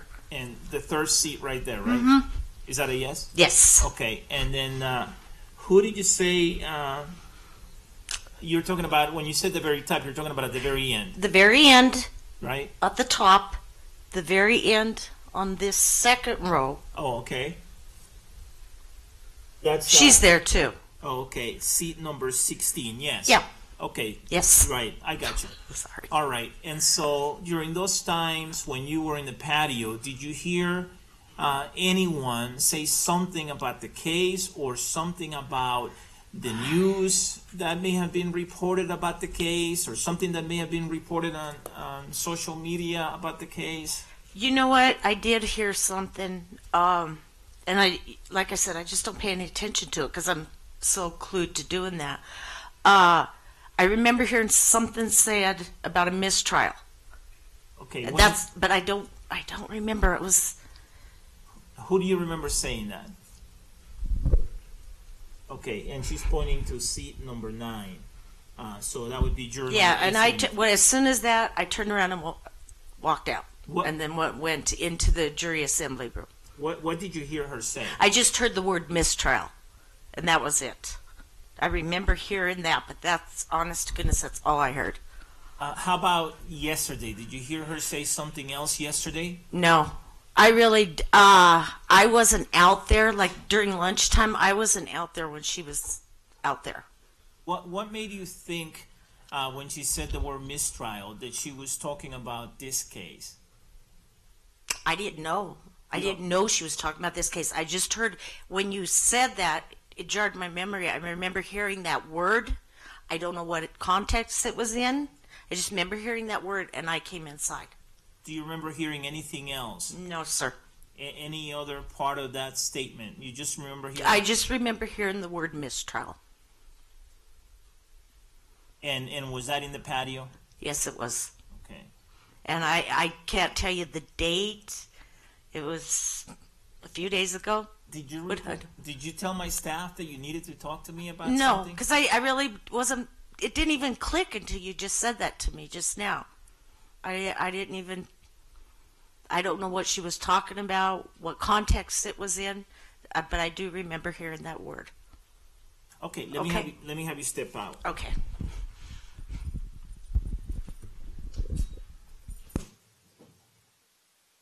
All right, the record should reflect that juror number 535 has now stepped out of the courtroom. Any other questions that the parties want me to ask her? Mr. Orman, No, Your Honor. Mr. King?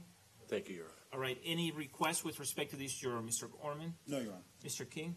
No, Your Honor. I, I, I believe this juror, and it seems to comport with what 673 said as well. Yes, I agree, and I will bring her back and just make sure uh, I advise her that she's not to uh, speculate about any of this and that she's not to uh, talk to any of the other jurors about it. So let's bring her back, please.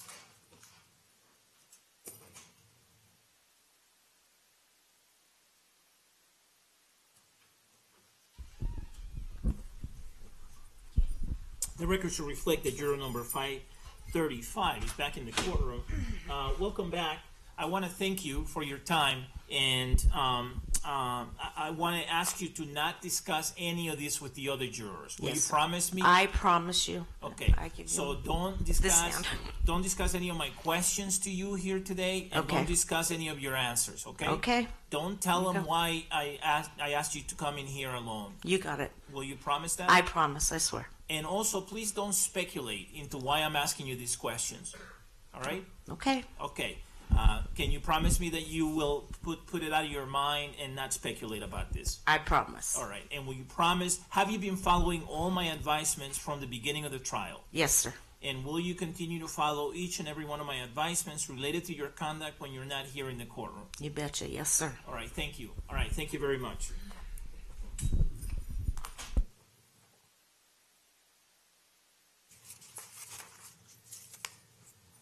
All right, Mr. King, any other requests? Which I have one other request, and I, I frankly think I already know what the court's response is going to be. If- Okay. I, I'm going to request that, that we individually poll the remaining jurors to see if they've had any inadvertent contact to, to any of this or any other media contact. I, I would acknowledge, what I expect the court is going to say is that we, looks like we've identified a discrete group of folks that got together for, um, because of one of their, to smoke, and, and we've questioned all the folks that 673 has said were part of that group. Um, I'm just requesting in an abundance of caution that we individually poll the rest of the jurors, uh, and that's all, Your Honor. All right. Do the people have a position? Well, I think it's clear, at least from reading the, the law from the other states that was in, quoted in the Amjur article that I mentioned to the court, that this is a matter completely within Your Honor's discretion. And I think that if Your Honor has a discretion to do that if you want, but I don't think it's necessary. First of all, I think frankly, doing that might have a chilling effect on the remainder of the jurors if something else happens in the future, if, of the sort of being brought in and interrogated. I, so I think that there's a, a negative aspect to it, but frankly, there's just no rationale for it at this point. As Mr. King acknowledged, we have a group of jurors who were out there smoking. They've all sort of indicated who that group is. We've questioned all of them. Uh, none of them have indicated that, that this was conveyed to other people or anything like that. There's just no need to go through all the other jurors when we know the group of people that were involved. So I, I object to the proposed procedure for those reasons. Yeah, and I don't think that there's any basis at this time for it. I, I am satisfied that we have um, identified the group of folks who were involved or who were around at the time that the statements were made, the improper statements were made by juror number 872. Um, and we've addressed all of the folks who were present uh, during both incidents. Uh, I, I will add during my advisements that if they at any point overhear anyone talking about the case, including another juror, uh, that they need to let my staff know. Uh, and that should take care of it. I mean, if they have heard another juror talk about the case, then that should do it. Um, so at this time, the request is denied. Would counsel please approach so that we can talk about the alternates?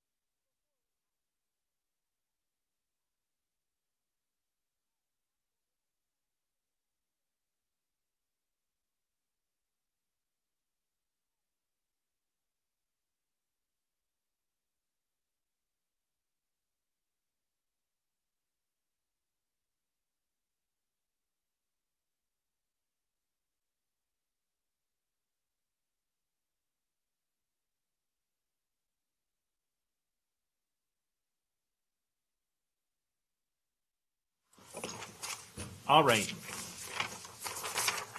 Okay, that, that takes care of the juror issues for now.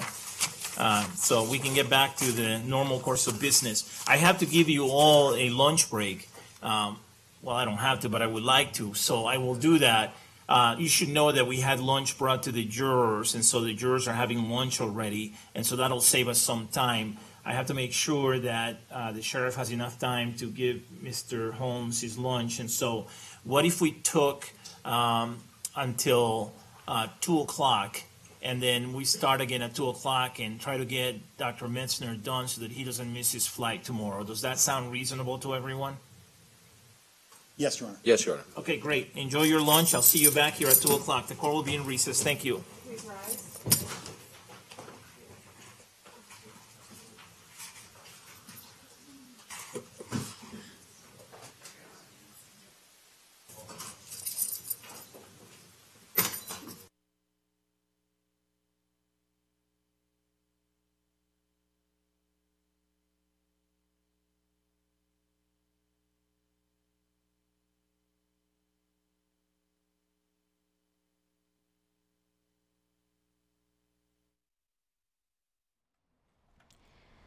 Welcome back, everyone. Amanda Zitzman joining you alongside my colleagues Erica Tinsley and Brian Hernandez. Some major developments here with the jury.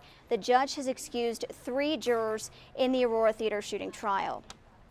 Now, this all stems from allegations by juror number 673 in seat 16. She says another juror made statements about seeing news articles related to the trial on Facebook, and that two other jurors, number 495 and 412, may have been present at that time. These are allegations against juror number 872 in seat 9. So to get to the bottom of this, the judge questioned the jurors that may have been involved. Juror number 495 in seat 8 was called in first. She referenced the juror in seat 9 as jokingly making statements about checking news online, possibly during a recess. She said she took it as a joke, didn't hear anything with regards to the actual news coverage of the trial. Now, Juror number 412 in seat 19 was called in next. She told the judge that she didn't recall seeing or hearing anything related to media coverage of this case. And then they called in juror number 872 in seat 9, the one at the center of these allegations. She says her husband had called her and asked her if she knew about the attorney that had tweeted during the trial. She said she didn't, and she says they didn't discuss it any further. She also goes on to say that she scrolls through Facebook but scrolls past any articles related to the trial. The judge asked why she didn't come forward about her husband's comments. She apologized at that time, said there was really no excuse for it. So the judge ruled to release jurors number 872 and 412, and later to release juror number 495. That juror had mentioned another juror, juror number 593. She was called in, said she remembered hearing something about a mistrial, but walked away after that, didn't hear anything further, so she will stay. The defense had actually argued um, in relation to the juror that brought all of this forward, juror number 673, that she had been a tainted juror because she was exposed to the information about the uh, mistrial in addition to the district attorney's tweet that was leaked. Uh, the judge denied that. He believes that that juror will be fair and impartial. So big developments here. We have three jurors that have been released from this trial. We want to bring in 7 News legal analyst Dan Recht. Oh, he isn't ready for us yet, but we are working to get 7 News legal analyst Dan Recht for you to discuss exactly what this all means. So there was some speculation that there would actually be a mistrial here. Clearly, that is not the case. They have just released these three jurors in this trial the ones that were exposed to the information. The only one that is still here that was also exposed to the information is the whistleblower, juror number 673. And the judge repeatedly thanked her for coming forward, repeatedly called her an honest juror, and uh, said that he believes that she will be fair and impartial as this trial goes on. So to reiterate, again, major de developments here with the jury. The judge has excused three jurors in the Aurora Theater shooting trial. Uh, this stems from allegations by juror number 673. She had said another juror made statements about seeing news articles related to the trial on Facebook and that two other jurors, number 495 and 412, may have been present at the time. These are allegations that were against juror number 872 in seat 9. So to get to the bottom of it, the judge questioned everyone involved, he ultimately decided to release juror number 872 in addition to juror number 495 and juror number 412. The only one that had information related to this is juror number 673. She will still stay. She's in seat 16. Uh, the judge says that he believes she will be impartial, despite the defense arguing that she was exposed to the same information as the other jurors that had been released. So we are still waiting to hear from our legal analyst, Dan Recht. We're trying to set that up right now. Erica looks like she is dialing in with Dan Recht. So as soon as we get him, we can talk to him about, you know, where do we go from here? What does this mean uh, going forward in this trial? Right now, the uh, judge has allowed everyone to be released for a lunch break. So court is not in session. As soon as it resumes, of course, you can count on us to carry that live. Those of you that have been following along uh, with us on our live chat. If we can go over the poll, a lot of you had actually said that you thought the juror in question should be released uh, once this information was brought to light if it was in fact found to be truthful. Uh, I think it was about 90% had said that they felt that way. I do, I'm hearing that Dan Recht is available, so we want to bring in 7 News legal analyst uh, Dan Recht. And Dan, let's go ahead and start with, you know, obviously big developments in the trial, three jurors that have been dismissed. Where do we go from here?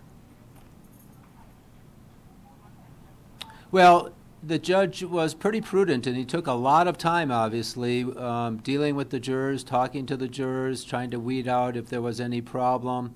Um, and where we go from here is we continue the trial, and now instead of uh, a total of 24 jurors, 12 jurors and 12 alternates. We will have 21 jurors, um, nine of whom um, are alternates. And keep in mind, importantly, no one knows, we don't know, and certainly those jurors don't know which of them are alternates and which of them are going to be real jurors when it comes to deliberating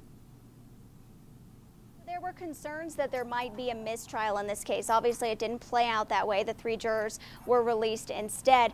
What do you think about that? Why didn't it turn out that way? Is that something that normally would have happened? No, um, these are always judgment calls. It depends on the level of contamination of the jury. Um, and here, the judge and seemingly the attorneys as well agreed that it was um, innocent enough that if they got rid of those few jurors that he- heard uh, the comments, that the rest of the uh, jury was not contaminated, was not prejudiced, and that they could go on. But that's not always the case. It really is fact specific. It, it depends on the level of problem within the jury, and those the level of problem is determined by the very process they just went through, questioning the jurors one by one. So the defense had argued that uh, the whistleblower in all this, juror number 673, was a quote tainted juror, but the judge denied that, said that he believes she will be fair and impartial. What are your thoughts on that? Because she was exposed to the same information as the other jurors that were released. Yeah, that that was curious. Um, it, it, was almost as if the judge was awarding her, to the extent that it's an award to stay on the jury, for being um, the person that came forward. Uh, you'll recall the judge said she seemed to be the most credible. Uh, it was agonizing for her to even disclose this. She didn't, you know, she was pained by having to do it, but she was trying to do the right thing. And I had the sense that the judge um, didn't want to get rid of her as a juror because she had done the right thing. Sounds good. So going forward, what do you think uh, is the mindset of the jury? Do you think that there may have been more jurors involved in this? Will they look into that further, or will they just, you know, move on from here? Well, I think we um, will move on from here. It, there's no indication that there were other jurors, but who knows? The one thing that was um, interesting and maybe remains interesting is that there certainly was a divisiveness um, among the jurors, and, and, I mean that's by definition. One juror was um, telling the judge about misconduct of another juror, um, and divisiveness is uh, a very problematic thing for the prosecution Because keep in mind, the prosecution has to prove their case so that there's a unanimous verdict. And if they can't be unanimous, it's a mistrial. And so I would think the um, prosecution is a, maybe a bit troubled by the notion that this jury is divisive in some way. All right, Dan Recht, thank you so much for joining us and for providing your insight. Again, three jurors have been released in the Aurora Theater shooting trial. We want to go ahead and replay for you exactly what went down in the courtroom as it unfolded.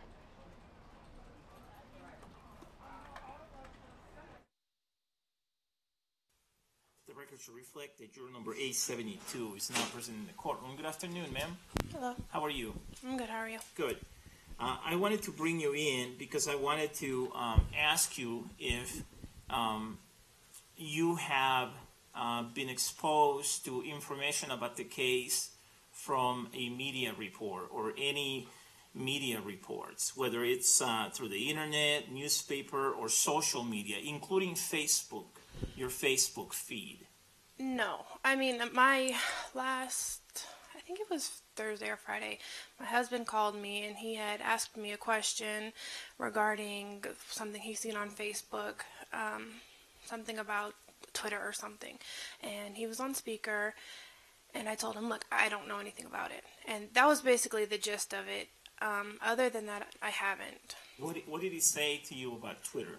Well, he asked me if I knew who the uh, the lawyer was, and I said no. Why? And he was like, "Well, that idiot's tweeting on Facebook," and that was pretty much how it goes on. He knows that I'm not supposed to talk about it, and I, I don't read the newspaper, and I, you know, when I watch TV, it's not the news. Um, so I mean, him and I got into a really big argument about it because he knows, and it just so happened to be when we were on lunch. And have you heard any other information about uh, related to the case, whether through your husband or anyone else, or whether through uh, the internet or um, any media reports from any source? Have you heard any information about the case? No.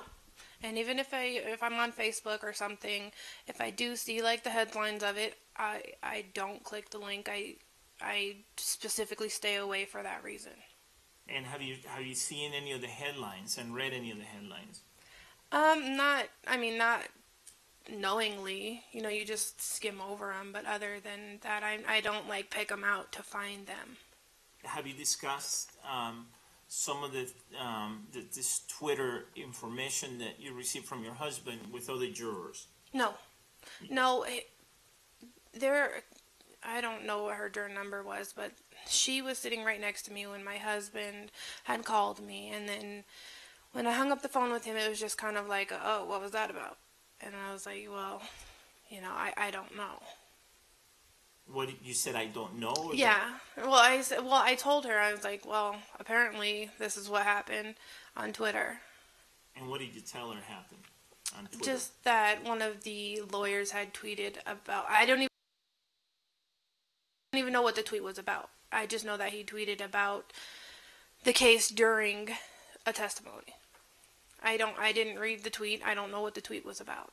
and when when was this? Um, I think it was sometime last week. I honestly I don't remember. And did your husband provide any other information to you about? No, no. I, I basically that was it, and then I got off the phone with him. Did he say uh, anything else related to the attorney or the party, uh, which side it was, or anything like that that he was referring to? No, he just asked. Well, he asked me who who George Brauchler was, or who Brauchler was, and I said, well, he's he's one of the the um uh, one of the lawyers, and he was like, like I said, he said, well, that idiot tweeted during the the the uh, testimony, and that was it. I didn't ask what he tweeted or anything like that. During the breaks, do you usually hang out in the patio downstairs, in the lounge area with a few of the jurors? Occasionally, Occasionally? occasionally, and if I don't, I'm out for lunch. Okay. All right. And do you remember talking to the other jurors about any of this conversation you had with your husband? I don't. I mean, if it was, if this happened yesterday, maybe, but honestly, I don't, I don't remember. I don't think I did, because I didn't have a conversation with anybody about it specifically. We didn't sit down, we didn't talk about it in conversation. It was just more of a in passing kind of thing. What, why didn't you bring it up to my attention? I, I've been telling jurors throughout that even if despite their best efforts, they inadvertently come upon any information related to the case, whether it's accurate or not, or whether uh, it's um, directly from the media or not, if they inadvertently come up or hear or overhear any information about the case, they should tell my staff that they need to talk to me. Right.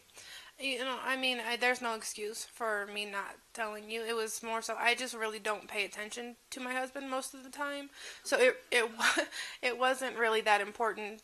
I at that time I didn't expect you know anything out of it, so it was just kind of pushed under the rug and forgot about. Okay, let me have you step out for just a moment, please. Thank you.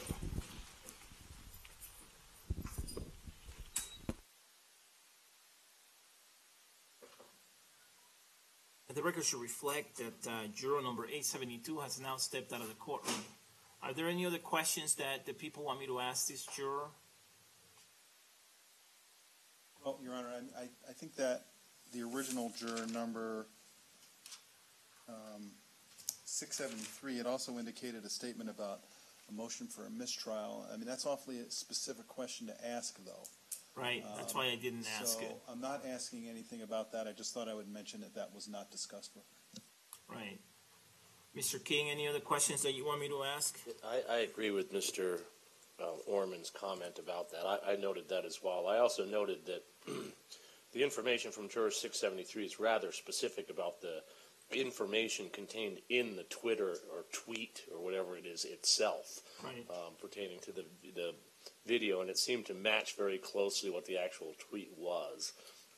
Um, I would ask, um, she, I, if I r- recollect correctly, juror 872 said that she, this phone call with her husband was on speaker. Uh, so perhaps we should ask if the others were there. It sounds like the others were there and overheard it, and that's why they had a conversation about it. I'm pretty unclear about that, but I will follow up with uh, juror number 872 about that. And, and perhaps we should also ask her if there was a second incident. I, I suppose you have asked if there are any other incidents, so. I have, and I just didn't want to ask, you know, did you hear anything about a mistrial? Um, that would um, be improper. So I'll bring her back and ask her about whether there was a second incident, and I'll ask her if, um, when she had her husband on speaker, uh, if there were other jurors around uh, within distance to hear what was being said. Um, but um, regardless, um, I have some concerns about this juror, and uh, if the parties are in agreement, and maybe this will make the additional questions. Um, although I think it makes sense to ask the additional questions, so I will ask them. But if the parties are in agreement, uh, I am inclined to let her go to excuse her. So, is there any objection? Can I have a moment, Your Honor? Yes. I mean, clearly, there has been a violation of my advisements. My advisements say you cannot obtain any information about the case, and if you obtain information about the case, even inadvertently, you have to tell me about it. You have to tell my staff that you need to talk to me. Furthermore, uh, between her and juror 673, I find juror 673 to be the more credible juror. And so I don't know that we're getting the full story from this particular juror. Not object, Your Honor. All right, Mr. King? We don't object to her being excused, Judge. We have additional concerns, though. Um, we, I have concerns, very serious concerns about juror 412 and the way she responded to the court's questions. Um, so, so my thought is that we may need to go back and re-question these other jurors again about the information related by um, juror 872 to determine whether that's the case. And we, we may be asking Judge to, to poll the panel um, individually about whether they anyone has any had any contact with this juror or, or received any information. Let's take it one step at a time. Let's not get ahead of ourselves. Um, Good, understood. I have some concerns about juror 412 as well, Mr. King. So I, um, I she took her time answering questions. She paused. Uh, she used words that suggested at times that she was holding something back or might be holding something back, such as saying, uh, not that I heard and processed. I, I don't know who answers questions that way when they are asked, Did you hear something about this? Usually people tell you, No, I haven't heard anything. Uh, I, I, didn't have concerns with juror number 495. Um, I thought juror 495 was being forthcoming, and it may well be that she just didn't hear uh, a whole lot other than she overheard um, juror number 872 say something along the lines of um, maybe looking something on a, on a phone and she thought it was a joke and there, therefore didn't report it to the court. Um, but uh, I do have some concerns about juror number 412 as well in terms of her demeanor uh, and how credible she was with me, or, or perhaps the better word is how forthcoming she was with me. So if the parties are asking me to release 412, um, I, I uh, would grant that request. Judge, may we have a moment, and, and while we're thinking about that, I, we have some concerns about 495 as well. Um, there were some long periods of silence when the court was asking its questions, um, and and her statements are in direct contradiction of Juror 673, um, and so that it sounded better when she said it, but it's contradicted by the very credible statements of Juror 673. So, who specifically identified her? So, I, our request is is that you dismiss all three of them at this point in time, Judge. And um, we have 12 alternate jurors in this case, and that's why we have 12 alternate jurors. And we're, we're well into the case. We're more than halfway through the case. Um, and any kind of um, discrepancy should be resolved in, in favor of making sure that this is a, an impartial juror. And there's no harm in, in excusing these these jurors. Essentially, we believe all four jurors should be excused, Judge. We believe that 673 has been tainted by her what she's heard about the case, and we're I'm willing to deal with that argument too when it comes, but I don't want to jump ahead of myself here. I'm yeah, sorry. I think we're jumping around a little bit. Uh, so let's deal one by one. Uh, first, there has been no objection already with respect to 872, and so I will release 872. The next question is 412. The defense is asking me to release number 412. And is there any objection to me releasing 412? Yes.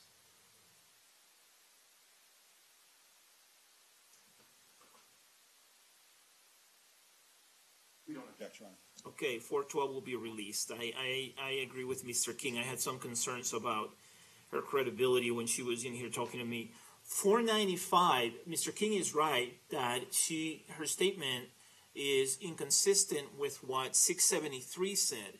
However, it's possible that she just didn't hear it. It's possible that this is not an inconsistency. It's possible that 673 um, thought that 495 would have heard this comment, but that 495, in fact, did not hear the comment. And so, unless um, there's an agreement to release her as well, I'm inclined to follow up with her, or actually follow up with perhaps 673 and see whether 673 thinks if um, that 495 was in a position where she would have been able to hear this conversation. I mean, this is not um, you know, one war we're talking about. This, these are a couple of comments, uh, two or three comments uh, that we're talking about. And so I think 673 may be able to shed further light on, as to whether she thinks 495 would have been close enough to, to have been able to hear this. Mr. Orman? Your Honor, I don't object to that. I, I, the only thing I think that should be noted is very often people are around things that are said and don't pay attention or don't remember. And it's possible that 495 was there whenever this conversation occurred, but it just didn't listen to it.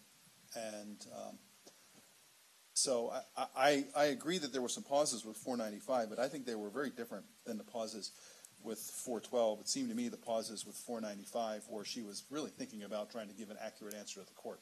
That's the way it looked to me.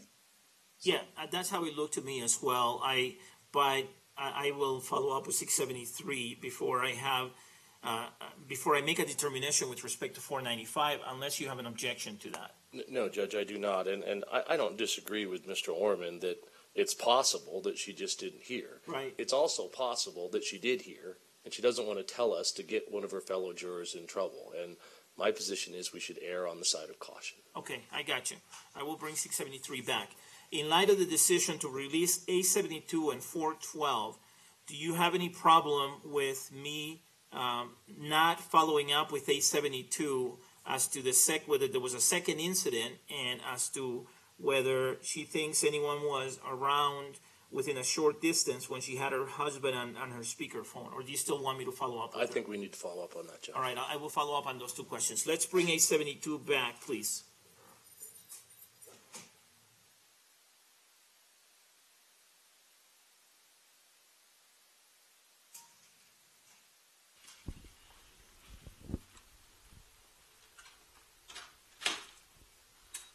The record should reflect that uh, number A seventy-two is now back in the courtroom. Uh, Thank you for your patience. A couple of follow-up questions. Was there a second incident um, where you discussed uh, something related to the case, or someone discussed it with you? No. The, the only one that I can think of is, is the Twitter. And you said you had your husband on the speakerphone. Uh, do you know whether there were other jurors uh, within a close distance or a short distance who would have been able, would have been in position to hear what was being said? Um, well, there's usually four of us that all eat lunch in the same area, and I don't know of the other two that heard, um, but I'm sure the one sitting right next to me heard it. And who was sitting next to you? I don't know her number. Where, do, where does she sit? right here.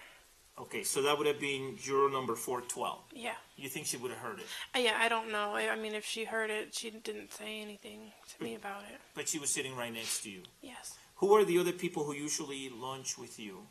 Who would have been who would have been there during that time when you had your husband on the speakerphone? Um, I don't know. But I know she sits up in the back corner, and then the other one, I don't know where she sits. And the woman who sits in the back corner, it's the top row all the way at the end. Yes. And how close would she have been? Was she to to you? Um, uh, well, she was on the other side. I was sitting on the on the far end of of the um the patio in the shade, and she was over walking in the sun. Uh, can you estimate for me how many steps she would have been away from you? Maybe about twenty five feet. She was- 25 She was pretty far. Twenty-five feet. Yeah. So she was pretty far. Yeah. And so, but uh, juror number, f- uh, the other juror, juror number four twelve, was sitting right next to you. Yeah. So- okay. All right. All right. Give me just a second. I'm going to ask you to step out one more time. Okay. Thank you. Thanks for your patience.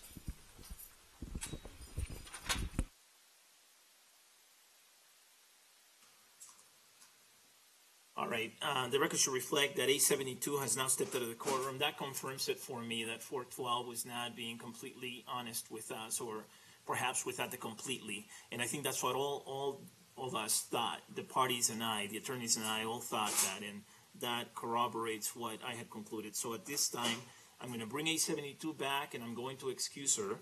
Then I'm gonna bring four twelve back and I'm going to excuse her. Neither one of them is going to be allowed to enter the jur- any of the jury rooms. Uh, while the other jurors are in there, they're gonna be taken downstairs. And then when the jurors are not around, they'll be escorted so that they can get their uh, possessions and they can, and they will be escorted out of the building, okay? Okay, the record should reflect that juror number eight seventy-two is back in the courtroom. Uh, ma'am, I'm gonna go ahead and excuse you at this time. Uh, so you are, uh, discharged from, uh, jury, um, service in this case. I want to advise you that you are prohibited from talking to any of the other jurors in the case. I know that you may have, um, made acquaintanceships or friendships with some of the other jurors. You cannot talk to them, uh, while they remain on the jury. Do you understand that? Yes. And you also cannot talk to the members of the media. I'm prohibiting you from talking to the members of the media until the trial is completed. Okay. Do you understand? Yes. Okay. All right. Thank you. The record should reflect that juror number four twelve is back in the courtroom at this time. Ma'am, I'm gonna go ahead and excuse you at this time. You're excused and discharged from uh, jury duty in this case. Um, you are not allowed to talk to any of the other jurors as long as the trial is pending, as long as the trial is continuing. You also are prohibited from talking to any, any members of the media until the trial is completed. And when I say trial, I mean the entire thing, including any proceedings that may be had in this case. Do you understand? I do. All right, thank you. You're discharged.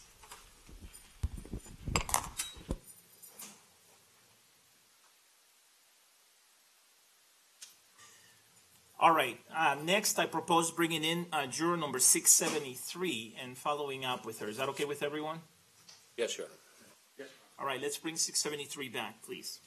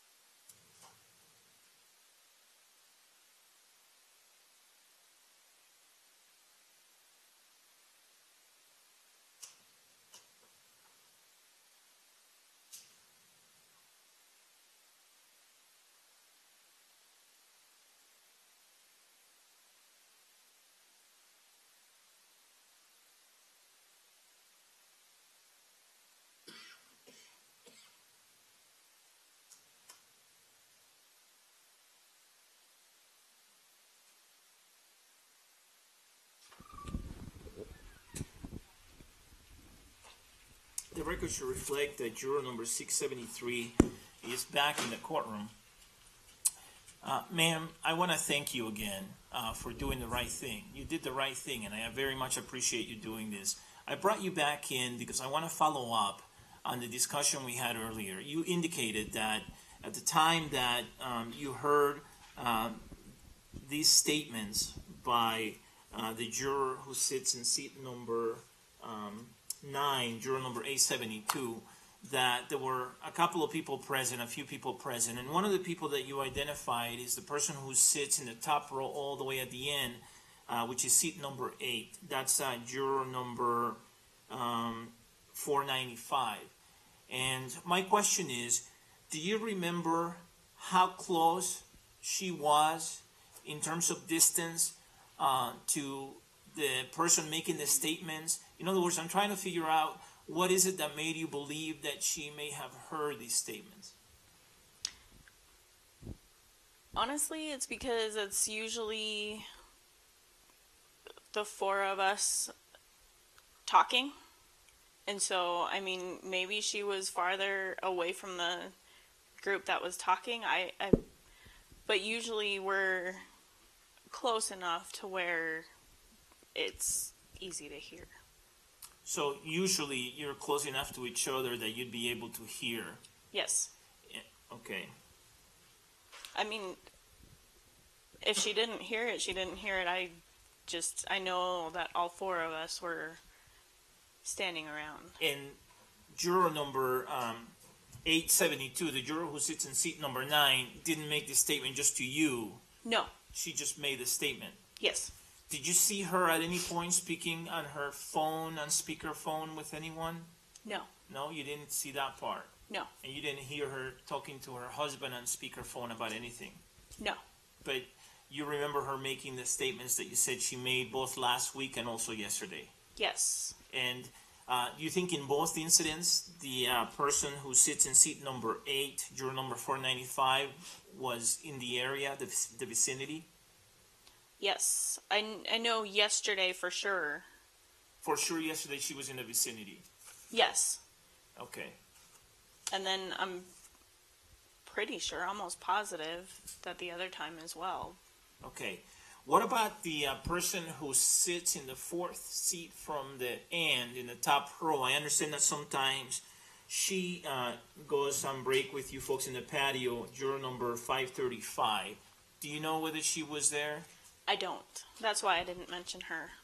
Okay. Do you do you recall her not being there or her being there, or do you just not remember? I don't remember. You don't remember. Okay. All right. Thank you, ma'am. Let me have you step out again. Thank you very much.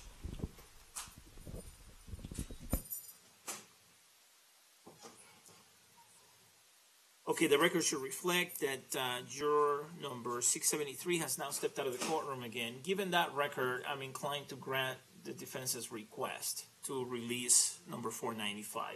I think uh, 673, juror number 673, is the most honest of all these jurors that I've spoken to today. And I believe what she says. I think she's being very candid with the court. I think this was a hard thing for her. Uh, she's not looking like she's getting any pleasure out of this at all. This is uh, actually uh, seemingly painful for her, but I think she's doing it because she felt it was the right thing to do, and I appreciate her doing that. But I find her to be the most honest of all the jurors. And if she's telling me that uh, juror number 495 was in the vicinity, um, then I believe her. And uh, again, you know, this isn't a a um, one word type of thing. There are multiple comments, um, and I think it's likely that four juror number 495 would have heard uh, some, if not all, of these comments. So um, I'm inclined to grant the request. Is there any objection? I don't object, Your Honor. All right, I will release number 495. So um, before we take 673 back to the jury room, she's just, she's still, she's waiting in the hallway, right? Yes. Um, Mr. King, I think you had said that you wanted, uh, you might have a request to excuse her, or perhaps you actually made the request to excuse 673. Um, do you want to make that request still? Yes, please. Okay. And, and, and I could not agree with the court more. I, I think that she's doing the right thing. I think that she's being very honest. Um, I'm just very concerned about the nature of the information that she's been revealed to. She now knows about a mistrial. Uh, she a request for a mistrial that was denied. That's likely could have a prejudicial effect. She's like she knows about uh, the tweeting thing and um, uh, and and Lord knows what else. So I, I just think we.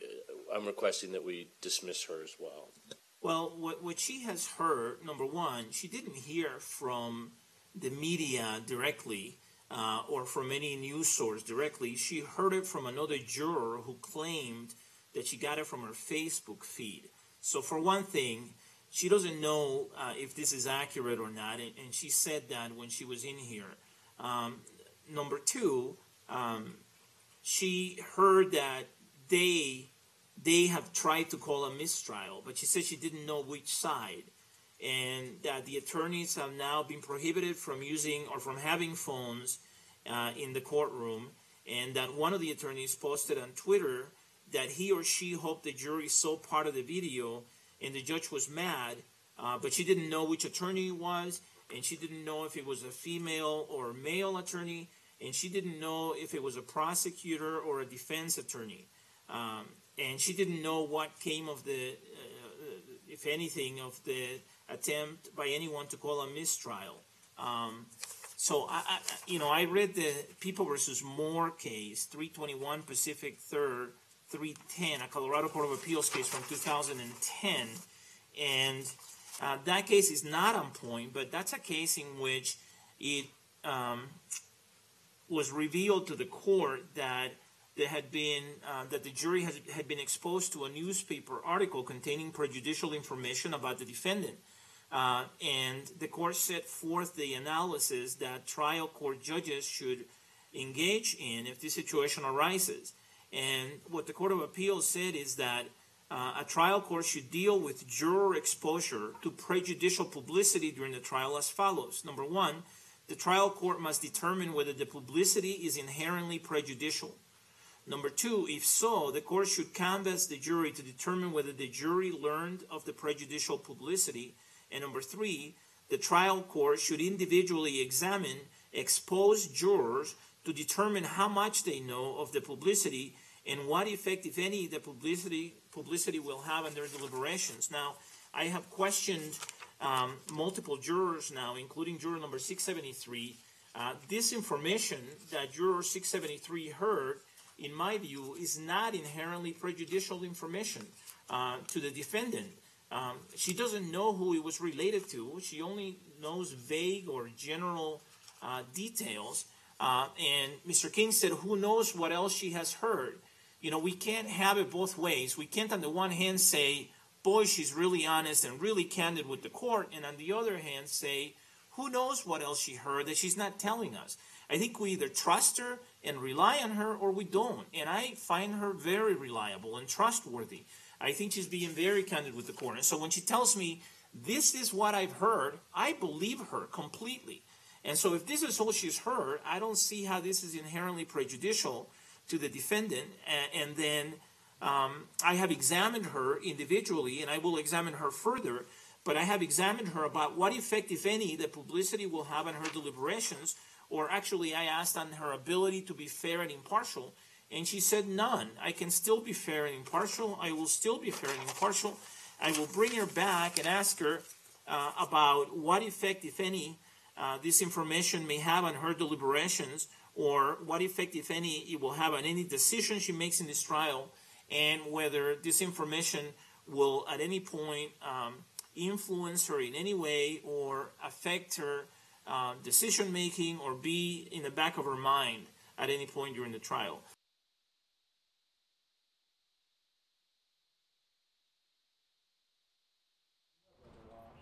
Well, good afternoon. I want to say hello and uh, welcome you all to joining us if you're just joining us during this lunch break. But I also want to give a really powerful shout out to Amanda Zitzman, who did an absolutely incredible job anchoring this coverage all the way through the morning. She has departed now for home because she started, was on our morning shows if you're in the Colorado area and we're, we're able to watch 7 News this morning. Um, she was on that all throughout the morning, had a 3 a.m. wake up call, and so we have let her go home to get some sleep, and we'll be seeing more of her. She did such an exceptional job, so I'm sure we'll try to steal her more for this coverage as it goes on. Uh, what you were just listening to, what Erica Tinsley played for you there during that segment of our recess, here our lunch recess, which has just a little bit while left to go. We heard from jurors 872 and 673. 673, of course, is the juror who brought up the issue that we've spent the day on.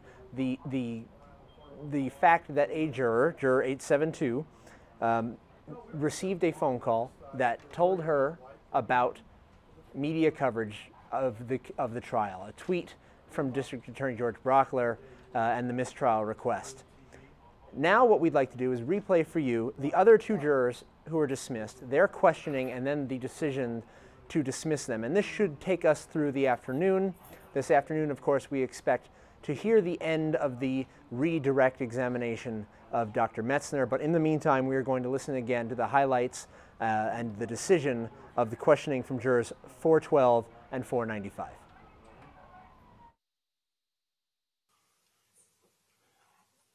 All right, Mr. Uh, King, have you had an opportunity to think about uh, the issue that came up earlier today with respect to the note that I have marked as question form number 173? Yes, Your Honor. And, and how would you like, and for the record, I think we actually were on break for more than an hour, as it turns out, uh, although I don't know how much of that time you actually had to think about this or to work on this, but um, how would you like the court to proceed? At this point in time, to begin with, we think we need to question individually the three jurors that were mentioned by juror number 673 as being present um, w- when these comments were made. Uh, we think we should do that individually. Um, we understand that the court will probably want to ask questions of the jurors first. Our request would be that we allow, be allowed to ask follow-up questions, um, possibly uh, with the court's uh, approval. Um, and then we are, are prepared to make some decisions about what we think needs to happen after that based upon the responses that these jurors give. Do you have a preference uh, or a position as to which of the three jurors should be questioned first?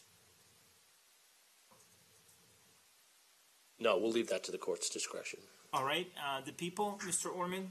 Your Honor, I agree with what counsel suggested, although I think that in the middle of a trial, under these circumstances, all the questioning should be done by the court. I don't think attorneys should be questioning these jurors at this point.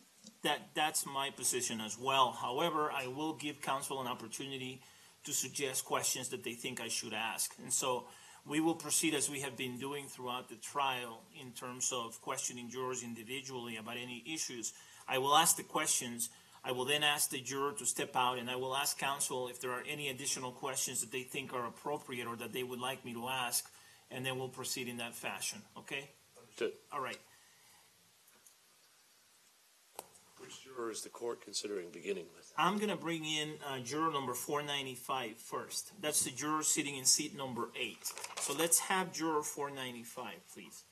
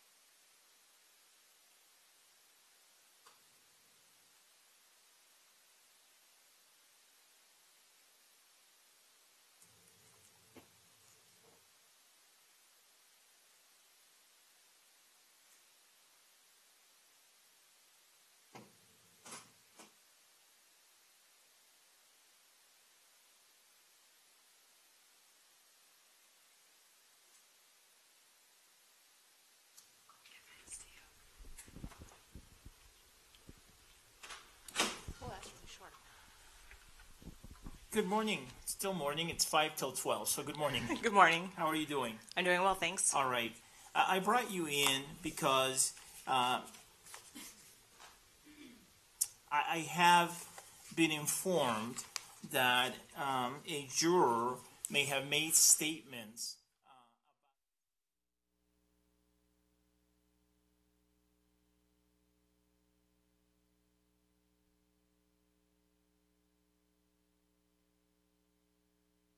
Attorneys, uh, Ms. Brady, Mr. King, Ms. Nelson, Ms. Higgs, and Ms. Spengler.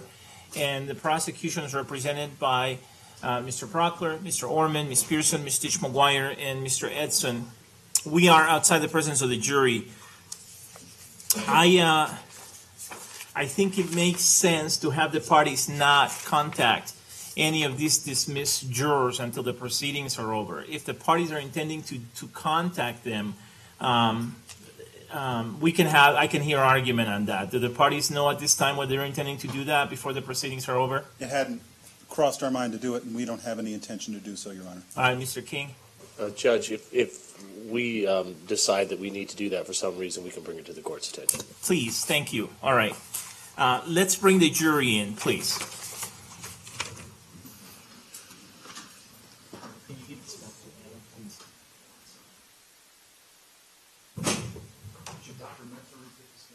Yes, please.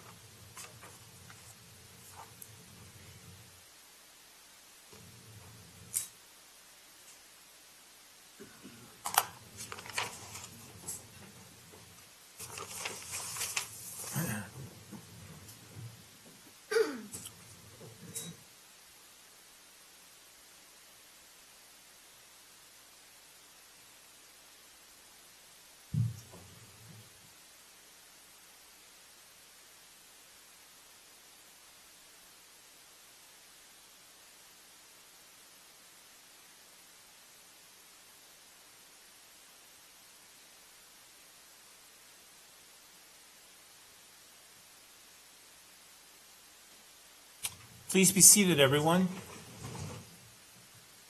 The record should reflect that the jury is back in the courtroom. Good afternoon, folks. I want to thank you for your patience today. I hope you enjoyed your lunch. I know we had lunch brought in. Uh, we figured we, we would do that given um, how long you had to wait for us, but I, I very much appreciate how patient you've been. You may have noticed, or you may be noticing now, that uh, there are three of you missing. We've lost three jurors. Please don't speculate about that. Uh, don't think about uh, why that happened or, or what happened. You should not speculate about any of that. I have prohibited those three jurors from having any contact with you related to this case. And I am prohibiting you from having any contact whatsoever with them. I say whatsoever because, frankly, um, given that this is where you met, uh, if one of them contacts you, it, it seems to me uh, almost impossible that something about this case is not going to come up. So, um, so don't you you are as one of the advisements that I, have been giving you with respect to your conduct when you're not here in the courtroom. There's one that I'm adding, and that is you cannot have any contact of any kind with any of these three jurors who have been released, whether it's by phone, whether it's through email, whether it's in person, uh, social media, through any means. No contact about anything, whether related to the case or not. Does everybody understand that?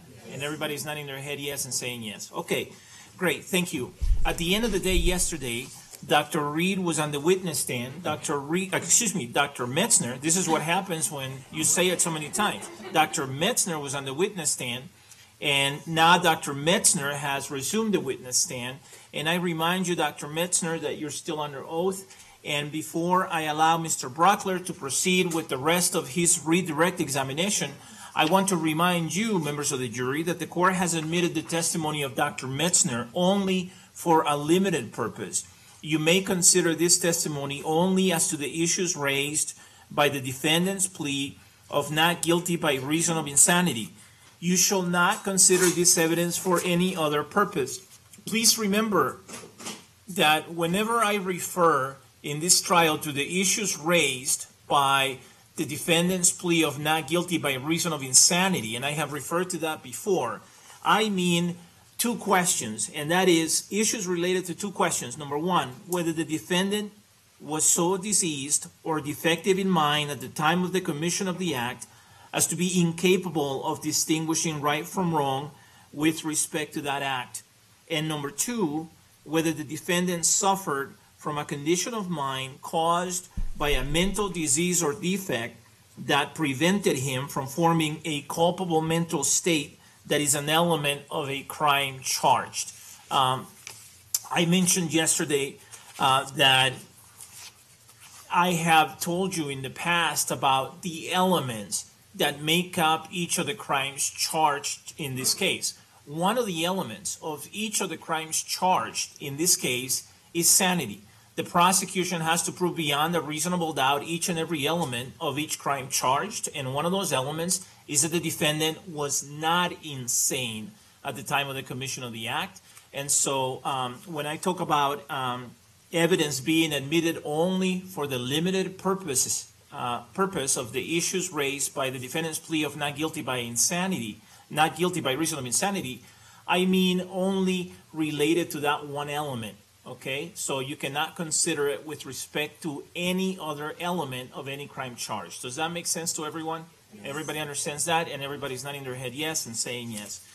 Okay, with that, Mr. Brauchler, you may proceed with the rest of your redirect examination of Dr. Metzner.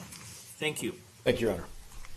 Dr. Metzner, yesterday uh, there was some conversation during cross-examination about uh, malingering and the tests that were um, validity tests and tests for maling- malingering. Do you remember that? I do. I want to make sure that we're clear on what those tests and your opinions about malingering are and what they are not. Are those validity tests and those um, those tests for malingering are those guarantees of accuracy or trustworthiness for all the statements that the defendant makes? No. What is it that they're talking about when you talk about malingering? What, what those tests talk about and my opinions when I'm talking about malingering I think the tests are very consistent with my opinion that Mr. Holmes wasn't faking a mental illness.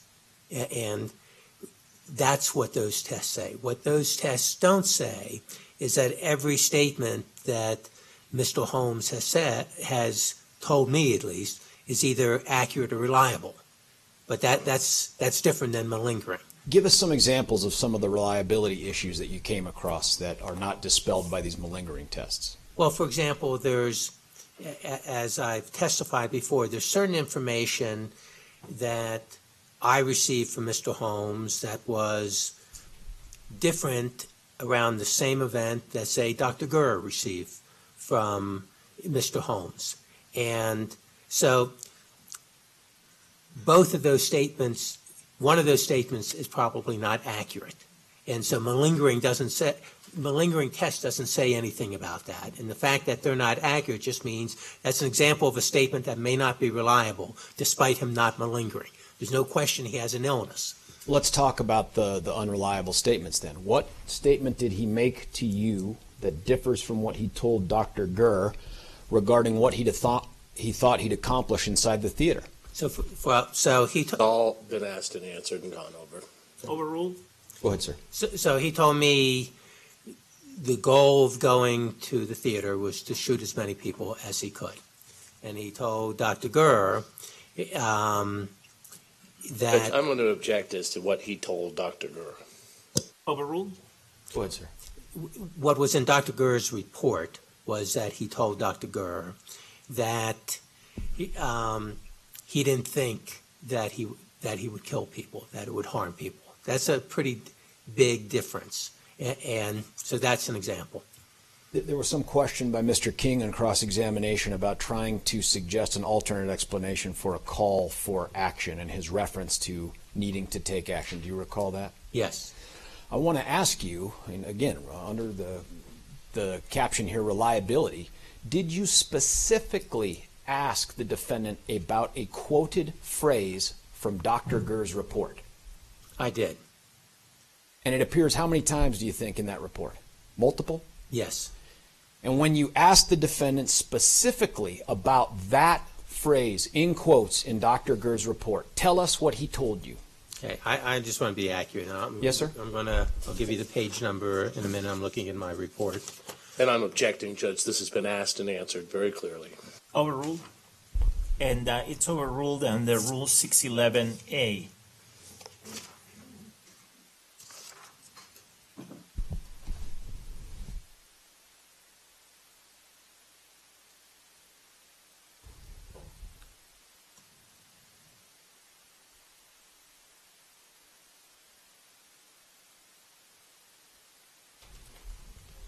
Well, specifically with, I- I'm referring to page seven.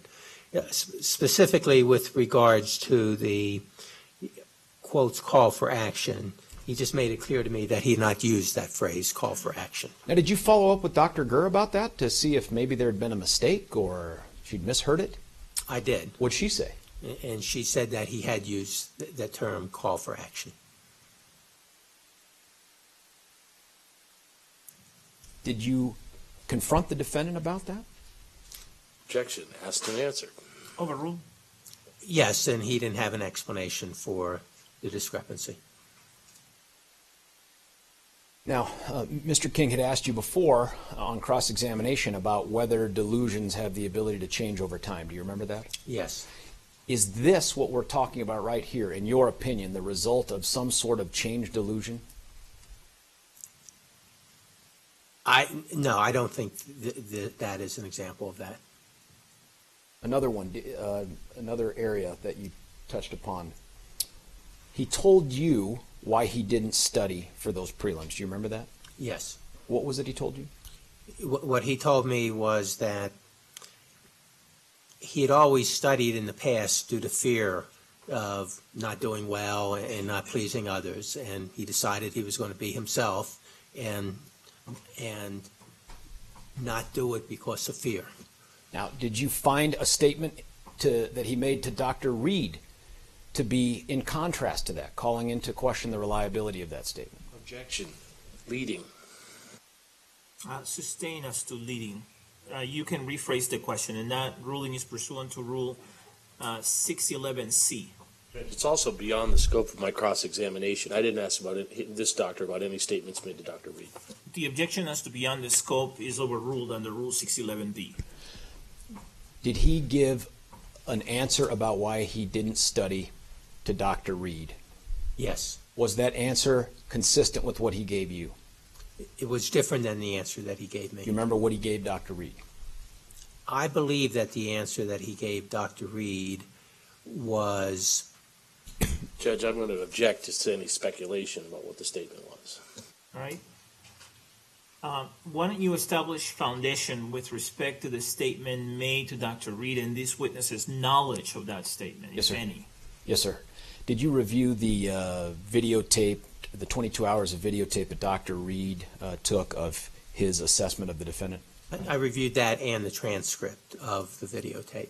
And based on that, do you know what it was that the defendant gave as a reason why he didn't study with Dr. Reid? I can tell you what my memory is of what that was. Yes, sir. Uh, My memory of what that was is it had to do with um, it would be suspicious if he just dropped out of school, A- and that by failing, that wouldn't raise suspicions. There was some conversation, uh, you recall in cross-examination, about um, the defendant's interactions with Doctors Fenton and Feinstein. Do you recall that? Yes. One of the things that Mr. King asked you about was about possible uh, manic impacts caused by uh, some of the drugs that were prescribed by Dr. Fenton. Do you recall that conversation? Yes. To your knowledge, based on what you reviewed from Doctors Fenton and Feinstein, as well as your conversations with them, did the defendant ever report to them feeling manic? He did not. Did they ever observe him displaying manic symptoms? They did not. How about um, depression? Did he ever express to them that he was depressed? He told me on at least one occasion that he did. They said that he had not. And that's borne out too by their notes. Correct. Did he ever display to them any symptoms of seeming depressed? They didn't observe that. How about suicide? Did they ask him whether or not he was feeling suicidal or had had suicidal thoughts?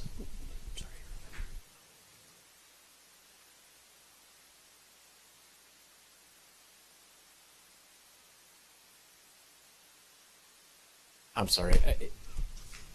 We're doing real time looking at the transcript. I just want to make sure the last answer to the question about did they observe any signs of depression with the defendant, you said what? I said I did, do not think that they did. Okay. In terms of um, feeling suicidal, did they ask the defendant? In fact, when I say they, I mean Miss Roth, Dr. Fenton, Dr. Feinstein. Did they ask him whether he was uh, feeling suicidal? Yes. And what did he tell them? And he denied suicidal thinking. Every time. Correct. In fact, did he, uh, answer a question about whether or not he'd ever attempted suicide with them?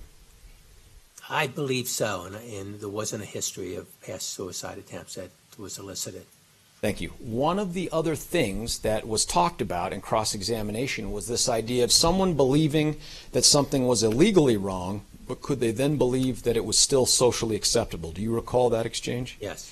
Can you, and I should have done this in direct, but in light of cross, can you give us an example of something that someone could do in terms of a crime that is illegal, and they'd know it was illegal, but they would believe that it was socially acceptable or within the societal standards of morality? Objection as to relevance. Um, overruled? Go ahead, sir. A, a person could have a paranoid delusion in which the delusion was that Joe Smith is going to kill my family.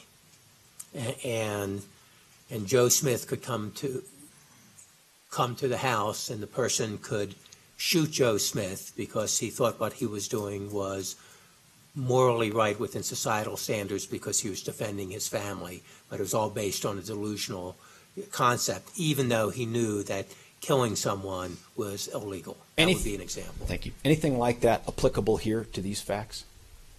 Objection calls for speculation. Overruled?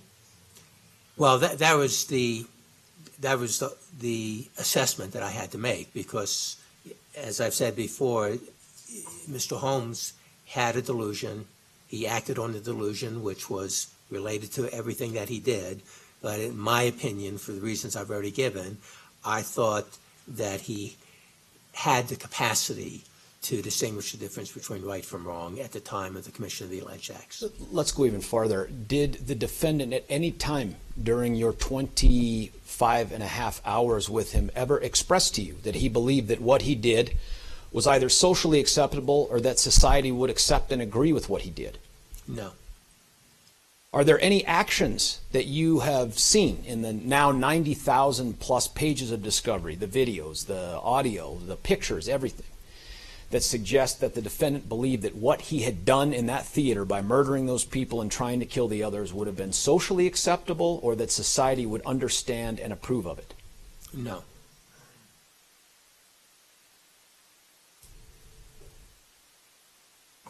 Again, in terms of talking about the capacity to know right from wrong based on societal standards of morality, is being delusional and, and thus having a psychosis, does that mean automatically you lack the capacity to know right from wrong? Objection asked and answered. Um, overruled.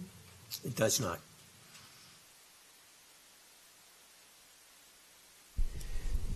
The delusion here you have talked about really in two parts. Uh, is that true? Yes. Is one of those parts that the defendant believed he would increase his self worth by murdering people? Correct. And the other part is that he would uh, feel better? Objection asked and answered. Sustained.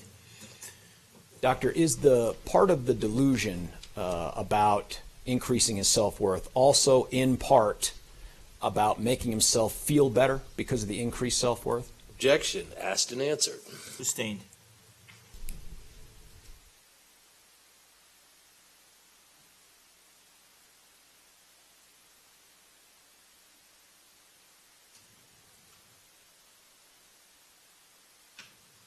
When the defendant um, carried out his two and a half plus month plans uh, on the 19th and 20th of July, is it your opinion that he was doing that?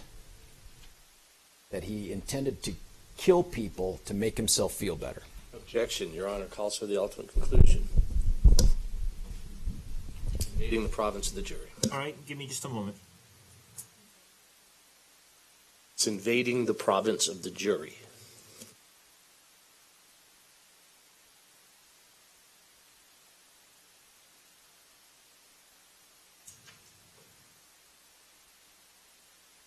Um, the objection is overruled.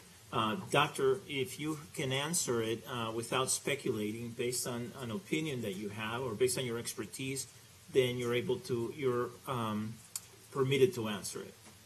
Can I have the question repeated? Yes, Mr. Brauchler, do you want to repeat the question? Can I have a moment, Your Honor? Yes. Um, I think, because I put a lot of words in it, I'm sorry. I think what I was asking you was, is it your opinion that the defendant's decision to carry out this, to execute this two and a half month plan on the 19th and 20th of July to include killing those people in that theater was to make himself feel better? Objection asked and answered. Overruled. Yes, that was part of his delusional belief, and it's my opinion that that's why he did that. Can we understand, in your opinion, that desire to increase his self worth and that desire to feel better as his motivation for why he did what he did? Yes. May I have a moment, Your Honor? Yes.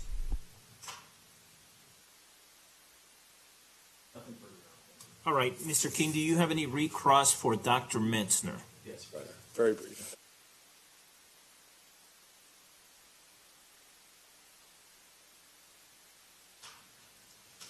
Doctor, you were asked some questions about some alleged inconsistencies in statements that were made by Mr. Holmes. Uh, suffice it to say, the fact that you find inconsistencies in what one person says over time when they're relating events that happened years before, before they were medicated, and when they were in a psychotic state, that doesn't mean that they're malingering, does it? No, it does not mean that the malingering. And those inconsistencies did not have a significant impact on your opinions, did they? That's correct. very few evaluations, very few, with the kind of history and investigation that took place in this case, will you find no inconsistencies, correct? Correct. As a matter of fact, if someone were to be completely consistent when they recalled events to you over and over again, that would cause you concern that they might be malingering because that would suggest that they had planned it out or had been coached, correct? Would be concerning. So the fact that there are inconsistencies is not concerning in terms of your opinions. Fair to say? It doesn't change my opinions, a- and it, it depends on the nature of the inconsistencies. I would not say that none of those inconsistencies are not concerning, but I would agree with you that none of those inconsistencies changes my opinion.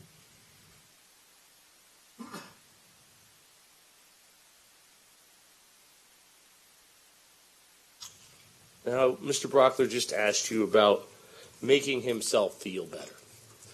Now, to be clear, is this making himself feel better in kind of a um, a, a physical way? No. Is it making himself feel better? Is that a, a psychotic concept for him to have that killing other people would alleviate his depression and make him feel better? It was a psychotic concept. A psychotic delusion, and that's what the th- shooting was based on. Is that correct? That's correct. I don't have any other questions. All right, thank you. Dr. Metzner, the jury may have questions for you. Could you give us a moment, please? Yes. Thank you.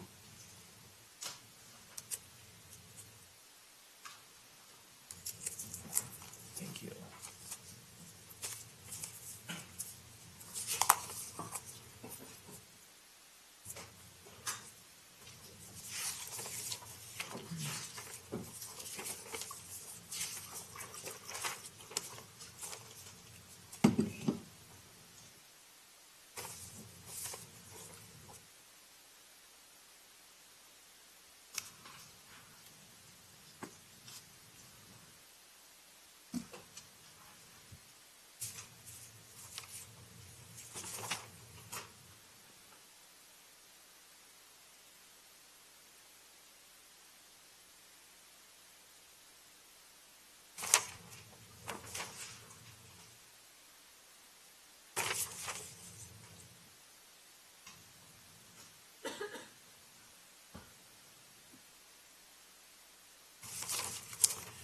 Would counsel please approach?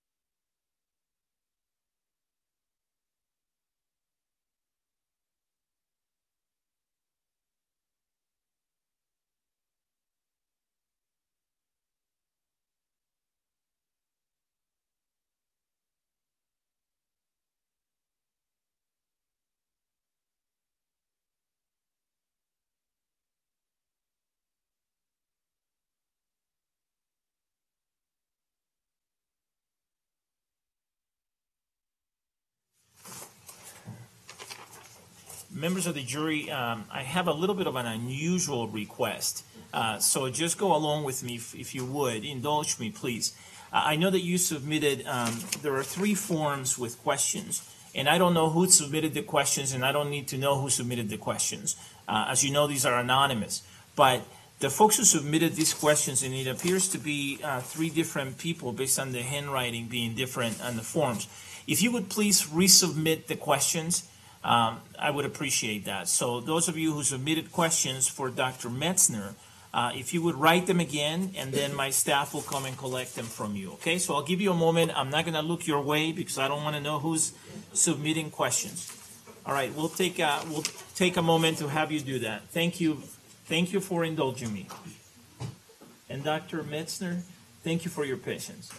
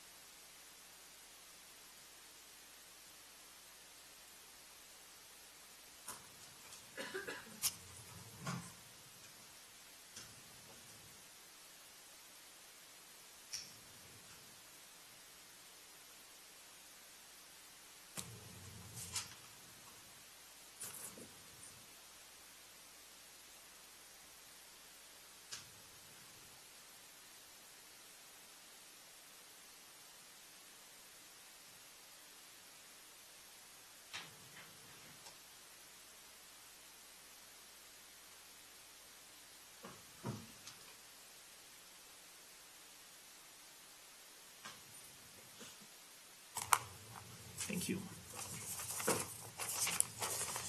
Would council please approach? This is what they call um, deja vu all over again.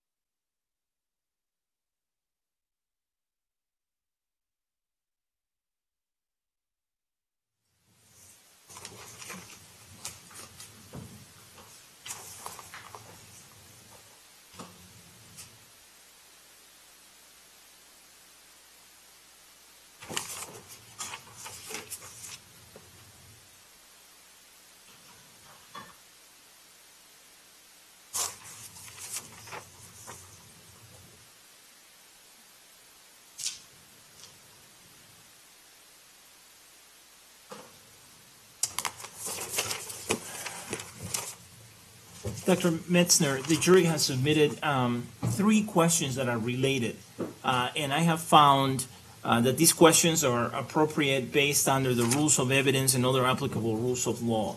Um, the first question, I'm going to read all three of them together, and if you need me to repeat any part of it, you let me know. The question is as follows When was Zoloft prescribed? How long to start showing effects? How long until full effect? Let me give you the exact date. I want to, because it's in Dr. Fenton's notes. Uh, I'm going to refer, I think it was the second session, but let me look it up and I'll give you the page number from my report.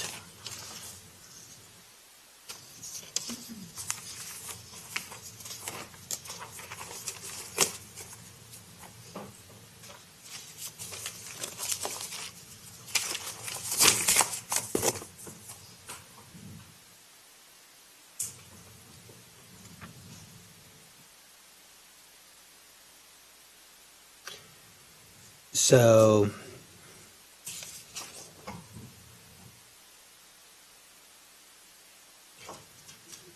Dr. Fenton's first saw Mr. Holmes on March 21st. And that's when Zoloft was initially prescribed. It was initially prescribed uh, 50 milligrams a day with the plan to increase it to 100 to 200 milligrams. The and then the question was, how long does it take effect? Let me answer it two ways. To remind the jury that Zoloft, despite it being called an antidepressant medication, it's used for other things, and it was specifically prescribed for his obsessive compulsive uh, symptoms. For depression, once you get a therapeutic dose, and the 50 milligrams, uh, most people would say it's not a therapeutic dose. What you tell a patient is this could take four to six weeks before it takes effect. Some people it works much faster, but you can't, you got to be on a therapeutic dose for at least four to six weeks before it takes effect. Now, that's for depression. I think for um, obsessive compulsive traits, you would say the same thing. That some people will get an effect fairly soon. Most people don't. And you'll tell them you got to be on it for at least four to six weeks. I don't think that. Let me just look at a couple other records about the Zoloft. It was increased on April 17 to 150 milligrams.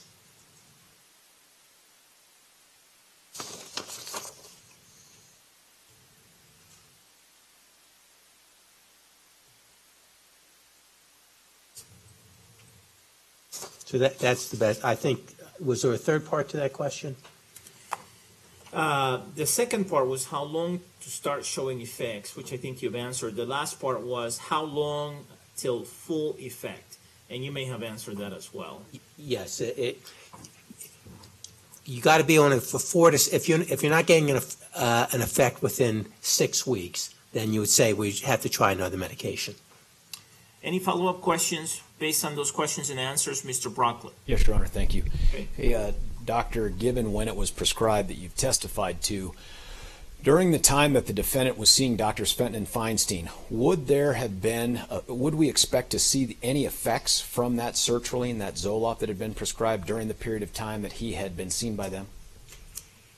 It's possible, and again, remember the history that he gave me is that once he got on sertraline, that if you read his notebook, that's when he describes manic-like symptoms. That's also when he describes losing the fear, and, and it's it's conceivable that that was related to the medication. Now, is it? Do you prescribe sertraline? Yes. And you have for a long time? Yes. Um, in this particular case, you've already testified on redirect that there was no observed or reported manic symptoms uh, to Doctors Fenton and Feinstein. Did the defendant ever report any uh, ill or otherwise side effects from the sertraline to Doctors Fenton and Feinstein that you're aware of? Objection asked and answered. Overruled. I don't think that he reported symptoms. uh, reg- related to that. And you had also testified earlier, was it this drug or some other drug that you said he had discontinued on his own? I think that I had mentioned that he had stopped the Zoloft, the sertraline. I'm, I'm not sure of that too. Uh, I, I can't, I'm not sure whether he in fact did that or not. Do you have an opinion as to whether or not, uh, for, for the point of this question, do you have an opinion as to whether or not the sertraline is what caused this uh, murderous conduct by the defendant? Judge, objection. Um, it's, this is way beyond the scope of the juror's question. The juror's question just related to the, when and how the effects take, take effect. Mr. Brauchler? Well, uh, Your Honor, I think the question is when would this reach full effect? And uh, I mean, I can rephrase the question to be would the full effect have caused him to? I'll sustain the objection. You can rephrase your question and we'll see if there's an objection. Doctor, for whatever is meant by the full effect of sertraline, do you have an opinion as to whether or not the full effect of sertraline, based on what was prescribed and when it was prescribed, would have caused the defendant to not have the capacity to know right from wrong based on societal standards of morality or to be able to form the culpable mental states related to the crimes in this case? Objection, Judge. Way beyond the scope of the juror's question. Overruled. I don't think the sertraline had an impact on whether he did or did not have the capacity to distinguish the difference between right from wrong. Thank you. All right, any follow-up questions from you, Mr. King? Just one. Um, you do think that the sertraline may have um, made his the mental illness worse, and may have contributed to the delusional um, beliefs that he ended up acting on. I don't think it, I don't think it contributed to delusional beliefs. He had the delusional beliefs before. I think it's, for a short period of time, it's conceivable that it could have made his condition worse. All right, may Dr. Metzner be released from his subpoena?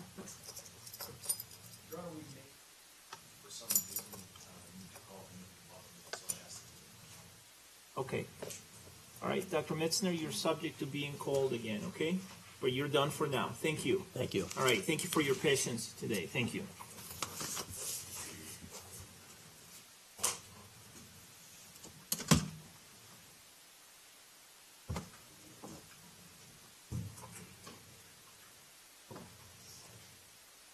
All right, Mr. Orman, call your next witness, please. Before we do that, can I approach with counsel, Your Honor, just to Yes. ask the question of the court? Yep.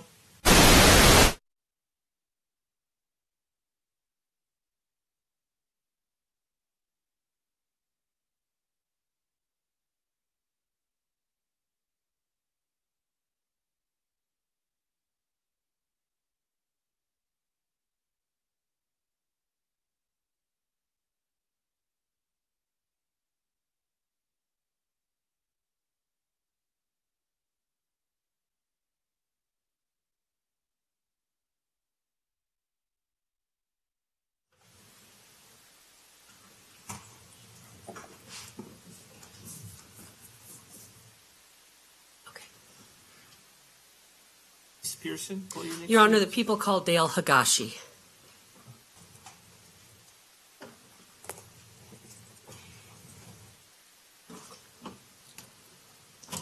Good afternoon. Good afternoon. solemnly swear or affirm on the penalty of law that the testimony you're about to give will be the truth, the whole truth, and nothing but the truth? Yes, I do. All right, please be seated. Thank you, Your Honor. Could you please tell us your full name for the record and spell your first, middle, and last names? Certainly.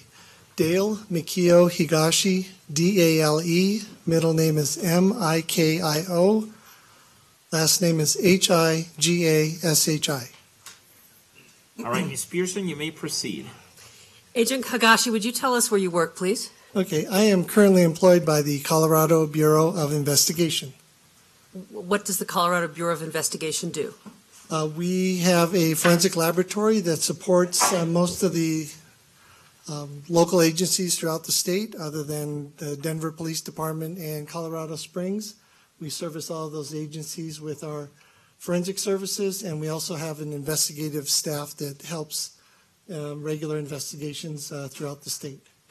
Are there different disciplines at the Colorado Bureau of Investigation, and is that called CBI? Yes, uh, the CBI laboratory has um, probably six or seven different disciplines. I'd have to count. Which one do you work in? I work in the firearms and tool mark section. How long have you been employed at CBI? I've been there for uh, coming up on 11 years. What's your actual title at CBI? It's a laboratory agent. What do your duties consist of? My, my duties in the firearms section are to analyze uh, firearms and firearms related evidence. Uh, we help detectives determine uh, type and caliber of unknown uh, shootings, let's say, if we get fired bullets or fired casings submitted to the laboratory.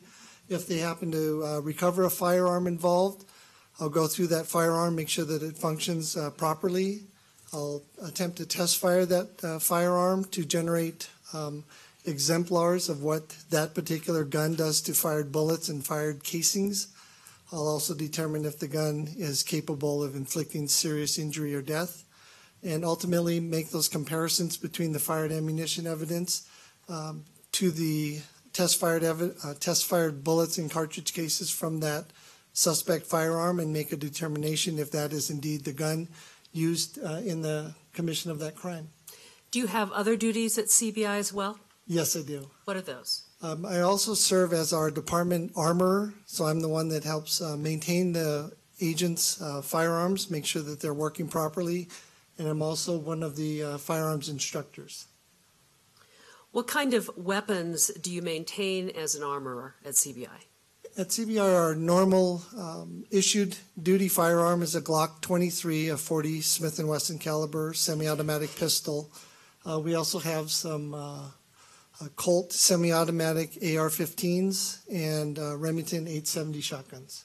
Now, did you also say that you're a range officer? Yes, ma'am. And what do you do as a range officer? Uh, we help instruct our uh, field agents in the proper use of their firearms, um, pistols, rifles, and shotguns.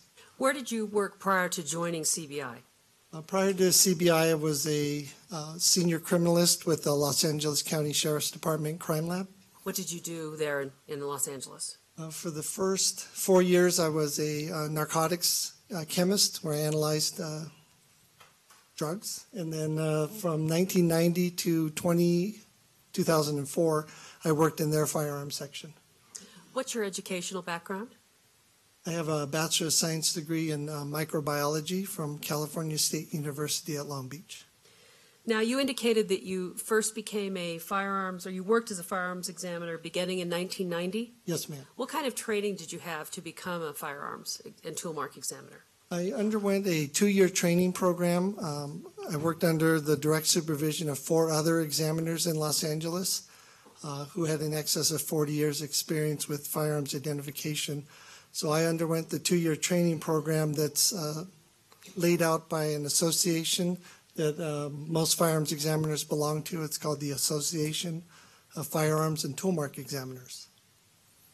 Since that time, have you continued to have training in firearms and toolmark examination? Yes. How do you undergo additional training?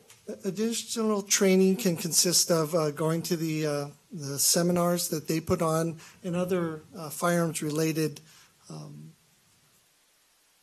information that I can gather. Sometimes I'll go to the, um, the weapons manufacturers. They put on something in Las Vegas called the SHOT Show where they bring out new guns, new ammunition components that are available to the public. So that's, again, something that a firearms examiner wants to uh, be on top of. So uh, it, it varies, but there's always continuing education in, in my field. Do you belong to any professional associations that are related to firearms and tool mark examination? Yes, I am a regular member of the Association of Firearms and Toolmark Examiners. Do you stay up to date with new developments and changes in the, the field of firearms and tool mark examination? Yes, I do, and I'm on their website pretty much daily. Have you testified as an expert in the field of firearms and tool mark examination? Yes, I have. Could you tell us how many times and in what counties or what states? Okay, uh, in the state of Colorado, in excess of 130 times, and I've been all over the state, uh, from the south, uh, Huerfano County, out in um, Durango. I've been out west and most of the metro area. And then in uh, the state of California, I would estimate probably close to 500 prior occasions in mostly Los Angeles County Superior Courts. Your Honor, I would move for the admittance of Dale Higashi as an expert in the forensic examination of ballistics, firearms, and tool marks. Without objection. All right.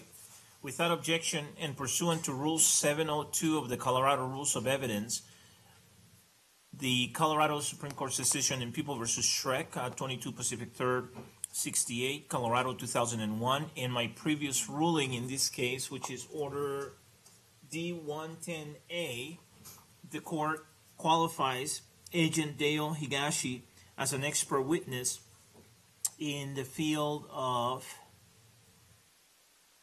did you say firearms? Your Honor, I asked for the forensic examination of ballistics, firearms, and tool marks.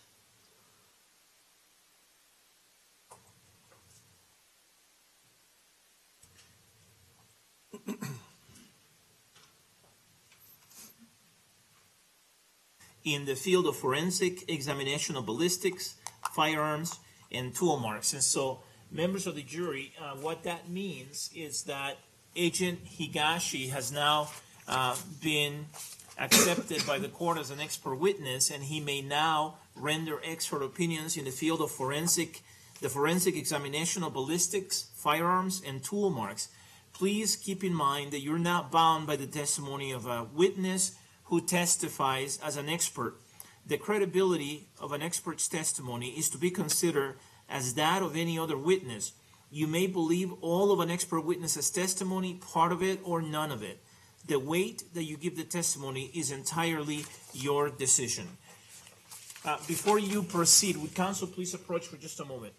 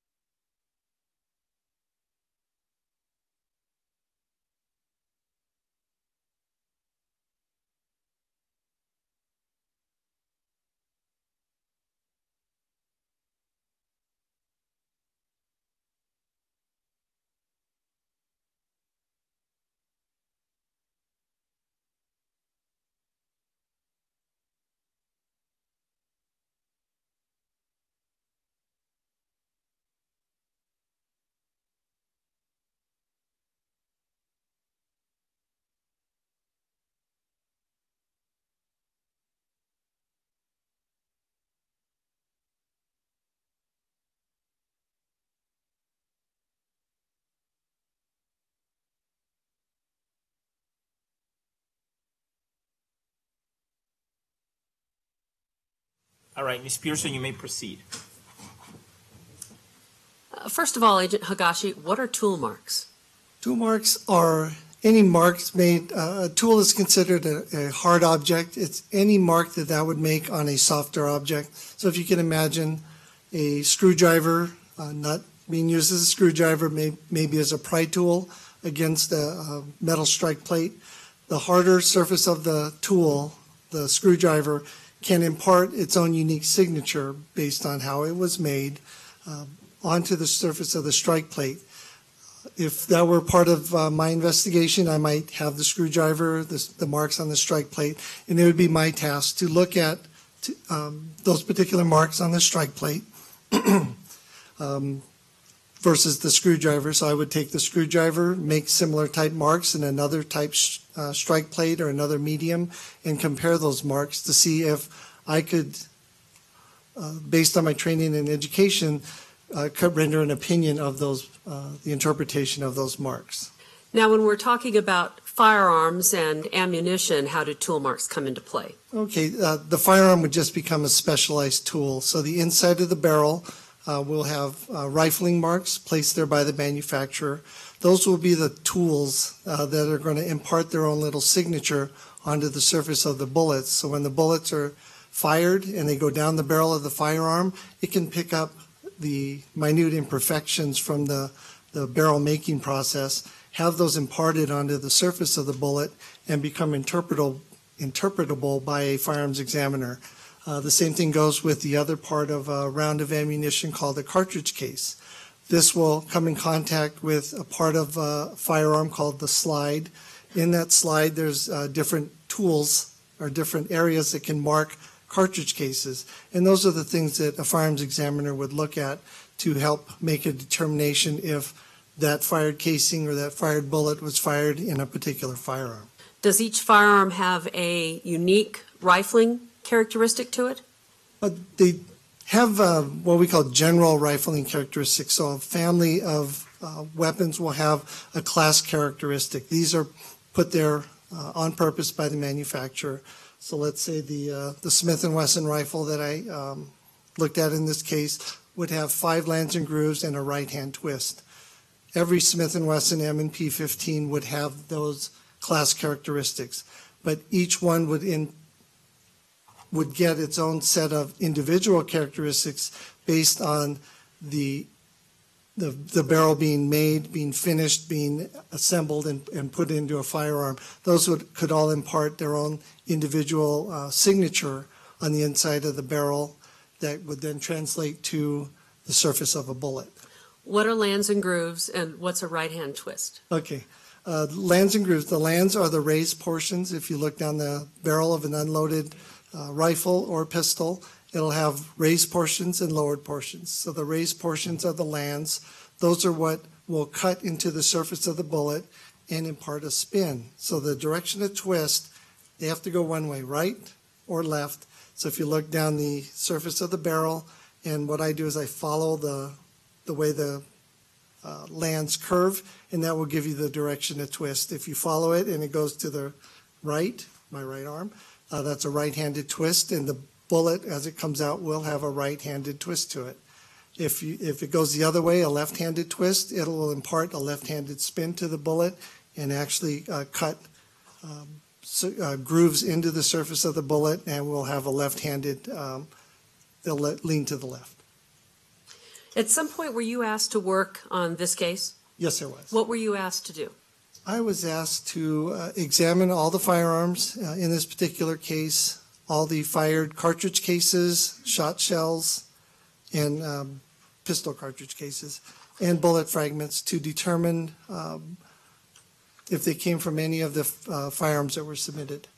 And in what order did you do your examination? What did you do first? How did you go through looking at firearms, ammunition, et cetera? Okay. It, it, first of all, I would examine the firearms, one, to see if they function properly, see if their integrity uh, is um, sound enough for me to test fire them without uh, causing damage to me. Um, I'll then look at some of the uh, evidence in the case to see what I need to um, to shoot. I want to shoot similar ammunition from our collection so I can get the best known exemplars uh, from these firearms that are that are given to me that will be uh, suitable for comparison to all the evidence in this case. Um, then once I generate test fires and the, I know the uh, firearms function properly, then the task of comparing uh, like items to like items begin. Before we get to your results in this case, this case, I'd like to actually talk about firearms and ammunition in general and how guns work. Okay. Did you bring some firearms with you today? Yes, I did. And I see a couple of bags behind you. What did you bring with you? I brought a uh, Glock Model 22, a 40 Smith & Wesson caliber uh, semi-automatic pistol. I brought a Colt AR-15, uh, one of our uh, our duty firearms, and I also brought in a Remington 12 gauge 870 shotgun. Also, that's one of our uh, duty firearms. Now, is that a Glock 22? Is that the same model of Glock as we have that we've previously admitted and identified as being recovered in this case? Yes, ma'am. And the Remington 870 shotgun, is that like the Remington 870 shotgun that we collected in this case? Yes, it is. Now, the um, Colt AR-15, is that like the Smith & Wesson MP-15 that we recovered in this case? Yes, it is. It's very similar. The, the parts would interchange. It's just that uh, this is one that uh, we had that I was um, made available to me that I could actually remove the firing pin. Actually, all the guns, the firing pins have been removed for court safety. I also have uh, dummy ammunition that uh, incapable of being fired, so I could demonstrate this, uh, these different firearms uh, to the jury. I would ask you first if you could take the shotgun out, and I'm going to give you the uh, wireless mic so that you could have it, you can wear it, it'll be Okay. easier. Judge, before we do this, may we approach? Yes.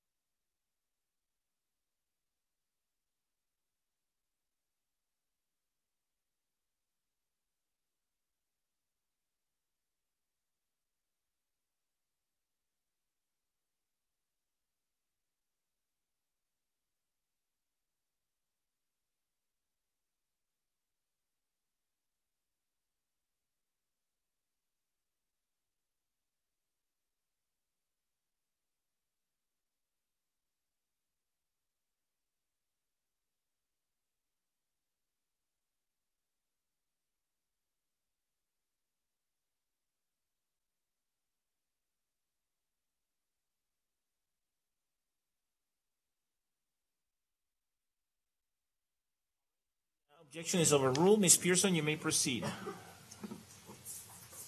Your Honor, did you want to take the afternoon break before we begin? Let's do that. It's uh, 3:15. Maybe members of the jury, let's go ahead and take our afternoon break.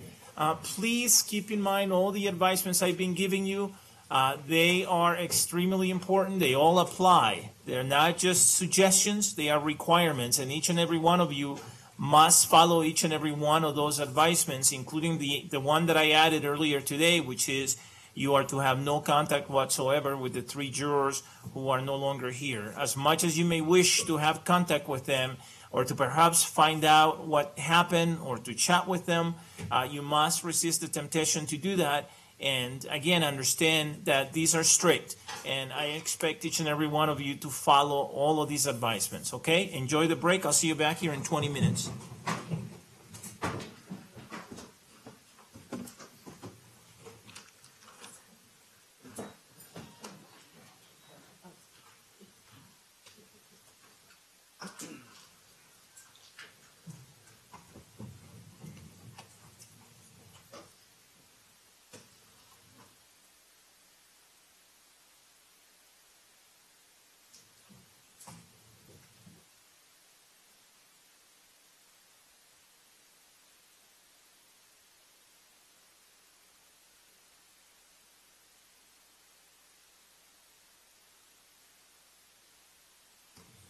Please be seated, everyone. The record should reflect that the jury has left the courtroom. Uh, is there anything we need to talk about before we go on break? No? No? Okay, enjoy the break. I'll see you in 20. The court will be in recess. Please rise.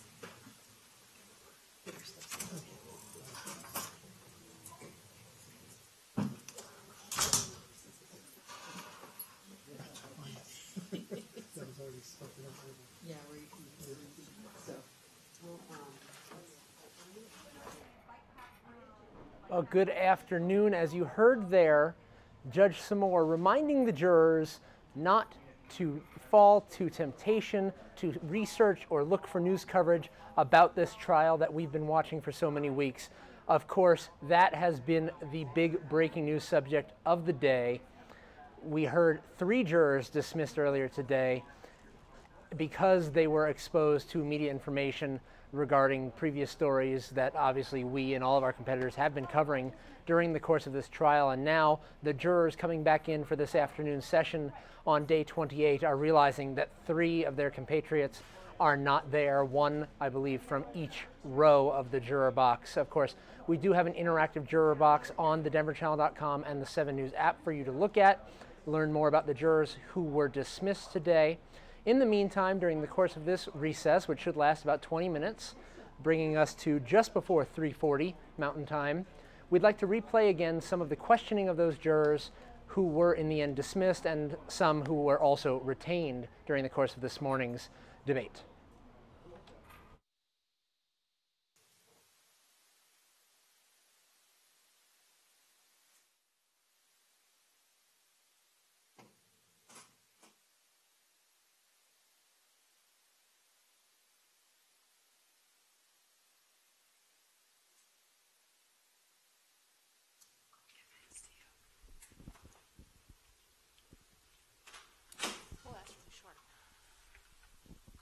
Morning. It's still morning. It's 5 till 12, so good morning. Good morning. How are you doing? I'm doing well, thanks. All right. Uh, I brought you in because uh, I, I have been informed that um, a juror may have made statements uh, about this case last week and this week, and that you that may have happened in your presence during one of the breaks or during a couple of breaks. Uh, have you, do you recall any jurors making any statements related to anything with respect to this case um, in the last couple of weeks during one of the breaks?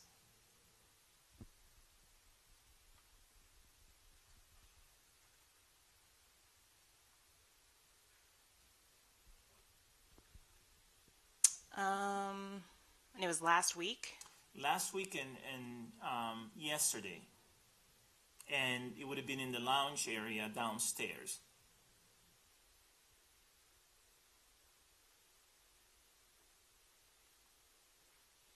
Not that I can immediately recall, no.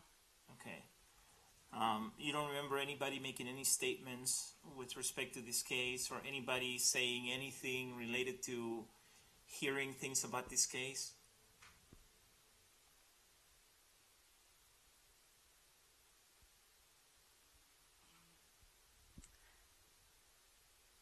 There was mention of maybe looking at something on a phone. Okay, tell me about that. Um, Who, who did you hear make the statement I was Danielle. without using any? Oh, I'm names, sorry. I please? don't know a juror Do you know where she sits in the courtroom? Uh, in the middle row. The middle row. Yeah, Um, do you know towards where? the end or the end. All the way at the end of the middle row? Oh, on this end, Right. okay, all right. And what did you hear her say? It was. And for the record, she's pointing at seat number nine, where juror number eight seventy-two sits, sits. Okay, go ahead. I can't remember what had happened that day. It was something. I don't know, we'd had a long break or something unusual had happened. And in my, what I heard was just jokingly, well, we can go check the news to see what's going on.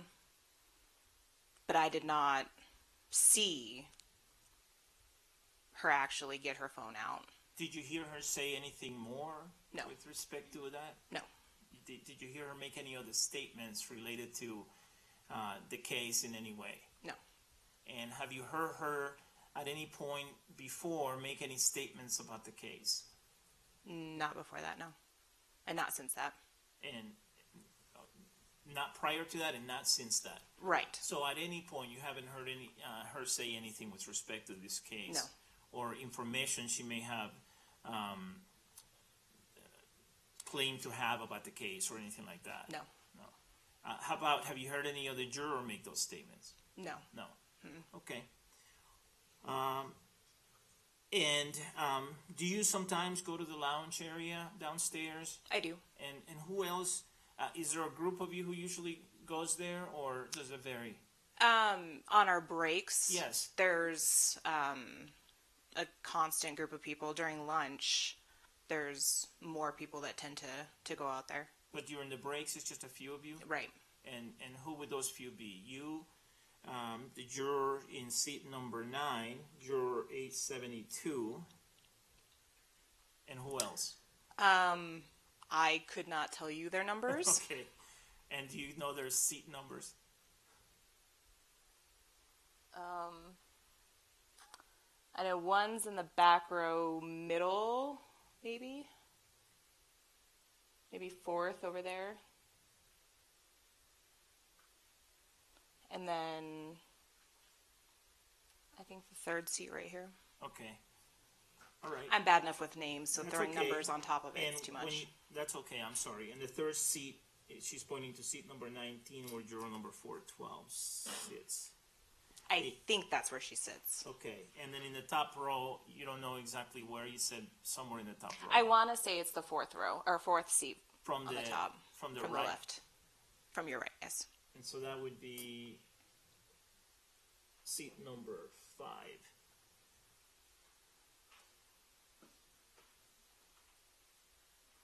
And then, Are these, oh, sorry. go sorry, ahead. one more person I just thought of at the very end of the middle row, to your right. And that would be in seat number sixteen. Juror number six seventy-three. All right, that tends to be, to the best of your recollection, the group of folks who, who, who is uh, there during the breaks is what, from what you can remember, correct? Yes. All right. Yeah. Okay, let me have you step out for just a moment, Okay. please. Thank you. Give us just a moment.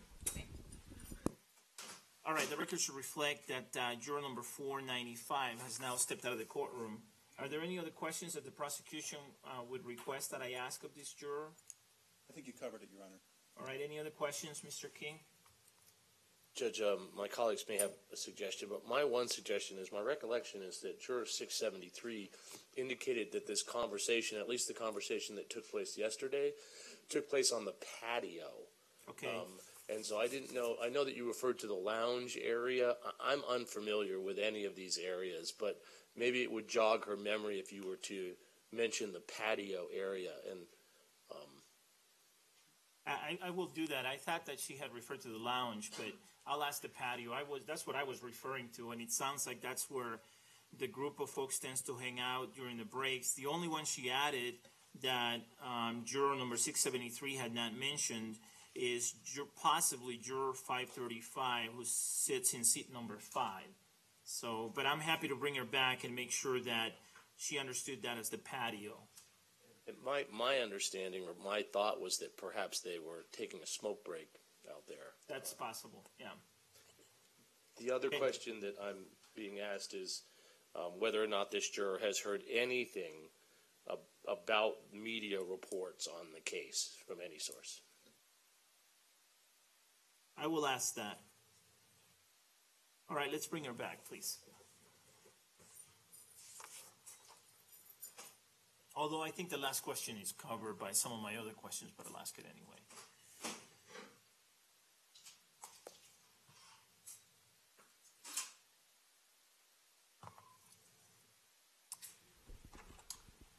The record should reflect that juror number four ninety-five is back in the courtroom. Thank you for your patience. Uh, I want to follow up on, on some of the discussion we had because I want to make sure that we're talking about the same thing. When I refer to the lounge area, um, did you understand that as the patio as well downstairs outside Yes. it? Okay, where sometimes, uh, do jurors smoke there sometimes? Yes. okay.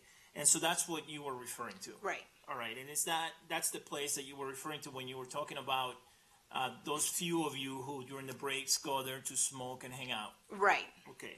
Um, and the uh, other follow up question I had is Have you heard any media reports about the case since the trial started?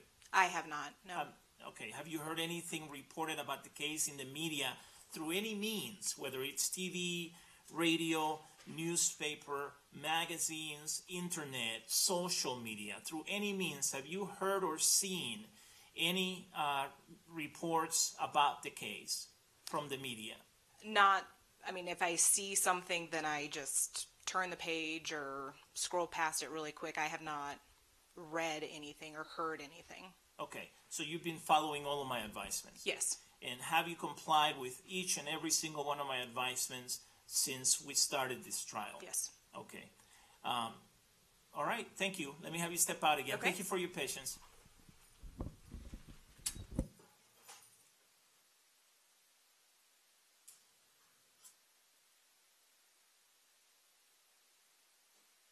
All right, uh, I'm gonna bring in um, the next juror, who is juror number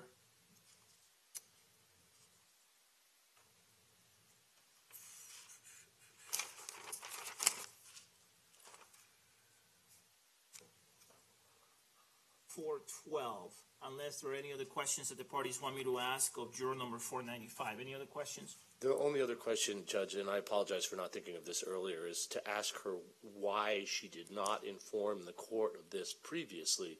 Um, my understanding is that you've instructed this jury very, very clearly over and over again that if there's any violation in any way of the court's orders uh, by themselves or by other jurors um, from any source, that they're to notify the court. And that's potentially a violation of the court order that could affect this juror's uh, future service.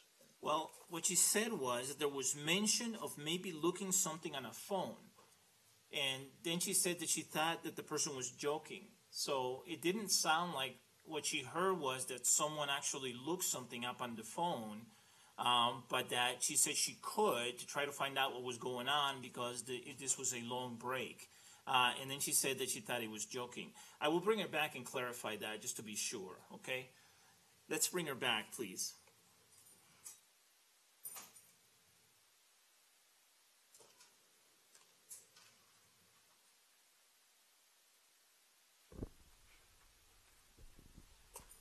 All right, the record should reflect that juror number four ninety-five is now back in the courtroom. Let me follow up on the statement that you think you heard. Uh, Okay. I, what I heard you say is that you heard during one of the breaks that there was mention of maybe looking something on a phone. Right. And when do you think that happened? Um,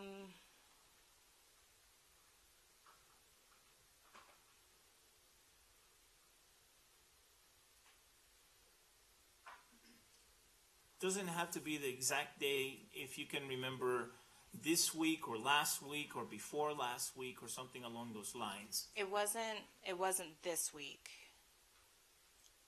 So not yesterday or today, No. okay? Um,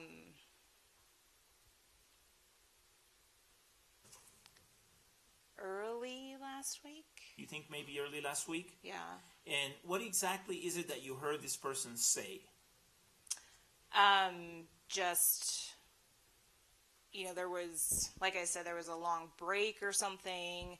Um, and so we were excited, an extra break or something. So we were excited to go outside, and was just mentioned. Well, let me get out my phone and check the news.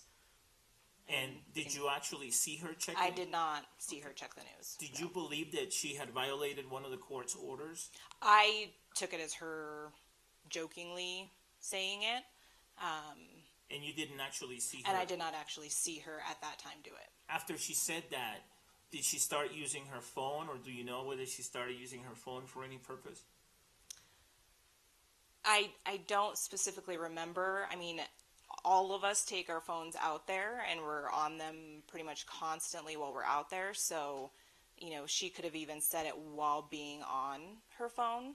Um, but I didn't put any. I I took it as her saying it jokingly. Okay, you didn't believe that she was in violation of one of my Right. advisements that I have been that I have been giving you. Correct. Okay. All right. Do you remember anything else about that event? No, I mean it was just a a fleeting passing comment, and then we all just carried on with what we were what we were doing. And do you know who else was present when she made that comment?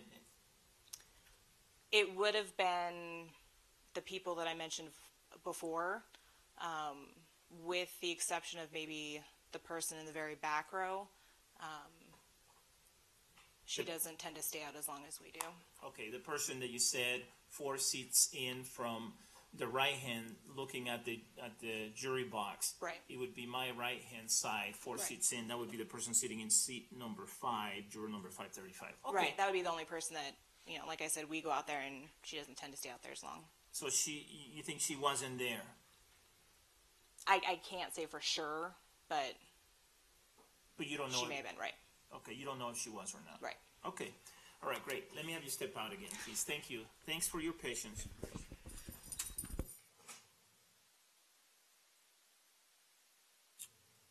Okay, the records reflect that juror number four ninety-five has now exited the courtroom.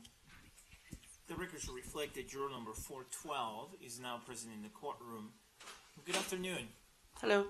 Uh, I brought you in because I wanted to ask you whether you've heard any juror make a statement of any kind about the case during one of the breaks, uh, and specifically last week and yesterday, and uh, in terms of location, specifically in the patio downstairs or in the lounge area.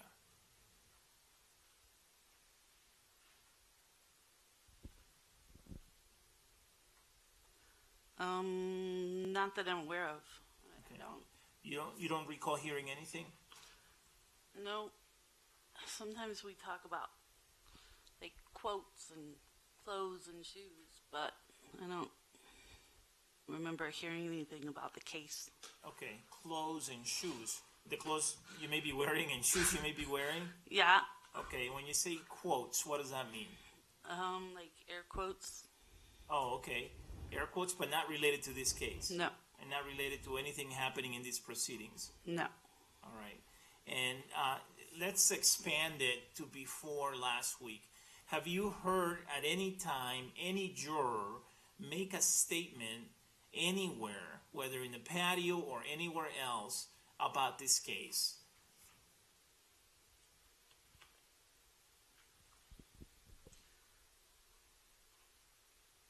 I've heard people talk about the length uh, going over hmm, five o'clock, past five, five thirty, six. Okay so scheduling and, and, my, and my staff talks to you folks about that uh, often in terms of how late you can stay and that kind of thing as well. Right.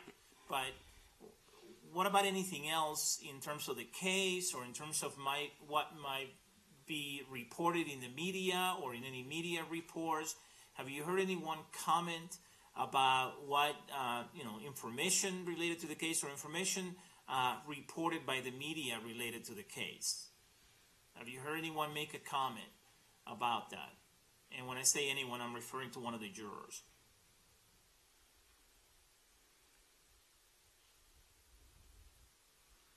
No. No. And um, my understanding is sometimes during the breaks you go to the patio with a few other jurors. Is that right? I do. Ha- have you heard any any such comments while you're there at the patio made by any juror statements um, related to the case or what may have been reported about the case in the media or anything like that? Specifically talking about the media? Any anything related to the case? No, just just talking about schedules and stuff. and, Okay. uh, I tend to play my phone. Okay, that's okay. Uh, so That's all right. All right. Um, no. Have you received any information or seen or heard or read any information about the case in any media report since the case started? Um, I look at Huffington Post, but I scroll past anything that has to do with anything. related to the case. Yes. And so you, you're following my advice then to avoid any stories about the case. Yes, I don't look at the news. I don't watch the news with my family. We don't even watch it anymore. I watch Rachel Maddow. Okay. And you've been following my advisements, each and every one of my advisements, uh, since you since we started this trial. Yes. Okay. All right. Um,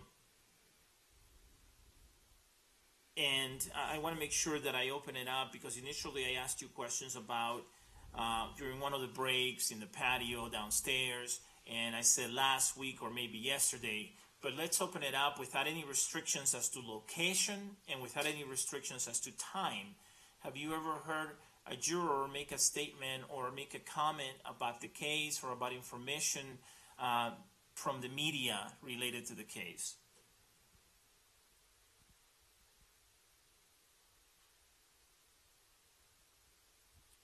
I can't think of any that I've like heard and um, like processed. I guess I can't think of any that I've paid any attention to. Anything about the even- media. All right. Even if you weren't paying attention um, and processing it, have you heard any juror make any statements about the case or information in the media about the case? Whether you happen to be part of the conversation or whether you happen to not be specifically talking to the juror but happen to overhear what the juror said. Have you heard a juror uh, make any statement? Back on the record, this is uh, the case of the people of the state of Colorado versus James Eagan Holmes, case number 12 CR 1522. The record should reflect that Mr. Holmes is present with his attorneys and the prosecutors are present as well. Uh, we are outside the presence of the jury. Are you ready for the jury, Ms. Pearson? Yes, Your Honor. Mr. King? Judge. All right, thank you. Let's bring the jury in, please.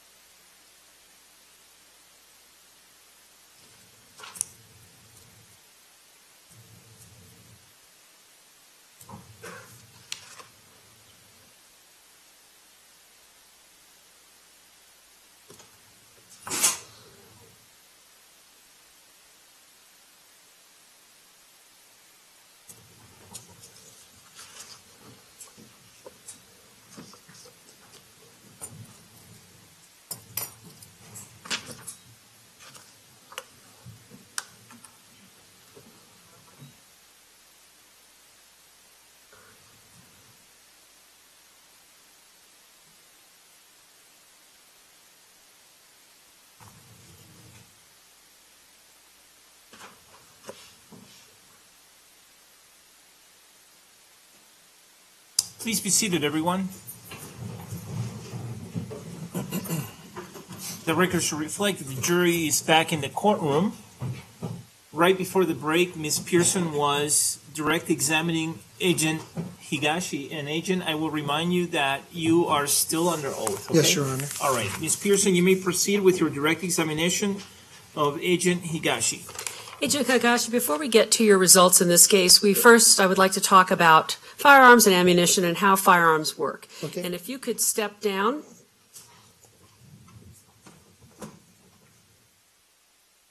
And turn on the mic there. There's a little, there it is. There you go. Okay. Now, you, today you've brought with you some firearms that are either like what we recovered in this case or of the same type. Is that correct? That is correct, yes. So let's start with the shotgun first. And I, I want to show you first, did you examine uh, the shotgun that was seized in this case, which is People's Exhibit 277 that was previously admitted and identified? Previously admitted and identified as the shotgun seized in this case, is that 870? Okay. Yes, it is. And if you could hold that up and then Okay. just one For the moment. jury, or? Yeah, just for the Okay. jury, just one moment, and then, and if you could then also hold up the one that you've brought with us today, which you've indicated you've made safe, it doesn't have a firing pin, so it can't fire, is that correct? Yes, that is correct. I removed the firing pin from this shotgun, so it is uh, incapable of firing. And would using the guns that you brought today help you to explain your testimony to the jury about how firearms work? Yes, it would.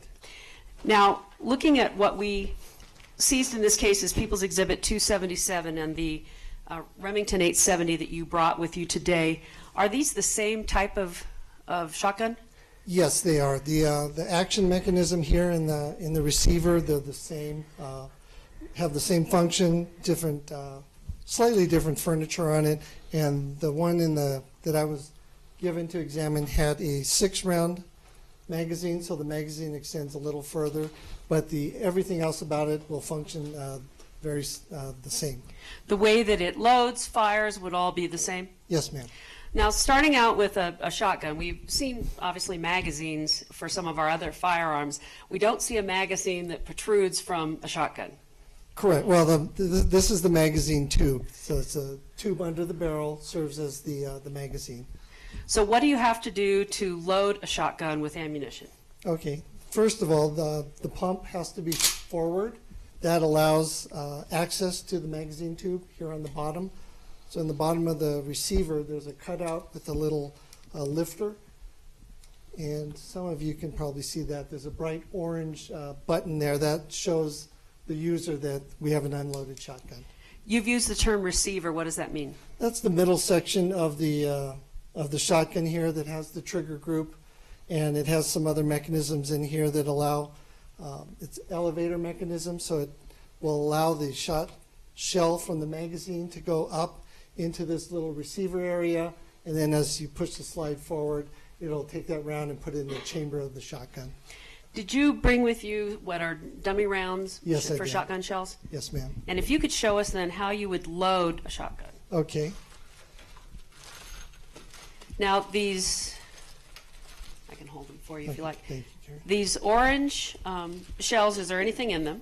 No, these are hollow plastic orange, but they're the same uh, outside diameter of a regular 12 gauge shot shell. And if you have, you have shotgun shells, you buy those separately. Yes, ma'am. And then how do you load them into a shotgun? Okay. So they're simply put in the bottom portion of the receiver here and into the, the magazine tube. This particular one will hold four in there. How many does Exhibit 277, the shotgun seized in this case, how many shot shells did it hold? That one will hold six in the, in the tube here. Once you've loaded the shells into the uh, shotgun, what do you do next if you want Okay. to, to fire a gun? Since the shotgun right now is uh, locked, one, you could pull the trigger, that would help release the pump.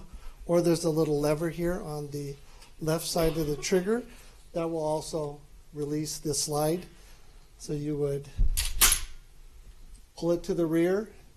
That round from the magazine is now uh, in a position to where if the slide is closed, now this is, uh, has chambered around from the magazine. Uh, the gun or the shotgun could then be fired. So to, the word chamber around, what does that mean? That just means taking a round from the magazine tube uh, and placing it in the chamber of the barrel end uh, of the shotgun, and it is now ready to be fired So you had to load the shells in- and into then the magazine tube. and then you had to pull back the Yes. the pump. Re- retract the pump. That allowed it to come into this uh, area here, and then the elevator would then make it pointing into the chamber of the barrel, and then when the slide is pulled forward, would would chamber that that round. So now a round is chambered. Is this shotgun ready to fire? Yes. And once you fire the first round, uh, are you able to do that? Yes. Now, would under normal circumstances, would the shotgun shell uh, fall out of the shotgun? No, ma'am. It, it would be just like it is now. It would still be in the chamber. Uh, you would have to manually work the pump to extract and eject the the fired casing if it had fired. So now, let's say you fired it once. Okay. What do you do next? You pull the same pump to the rear, causes that shell to, to, fi- uh, to fall out. The next round is uh, in the elevator system, ready to be loaded into the chamber. So once the slide is pushed forward, it chambers the next round. And then you fire your second round, Fire the second round. And you have to pull back in order to Right, eject you have that to casing. eject that back. And normally, you know, this would be shouldered or level, and then uh, back forward. When you a casing is ejected, a shotgun shell casing is ejected. How far does it go? It goes back as far as uh, one would operate the, the pump, but generally not very far because there's it's uh, manually operated is in, as differentiated from the, the rifle or the pistol where it's under uh, the force of the firing process. So this is a manual extraction, so it depends on the force you apply to it.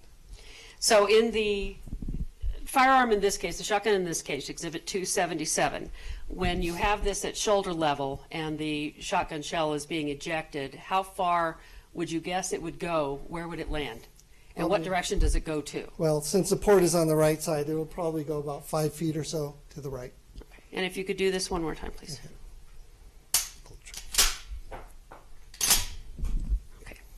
Now, shotgun shells, uh, we've seen previously admitted um, BBs that, Yes. that are from shotgun shells. Yes. How many BBs were in the shotgun shells that were fired in this case?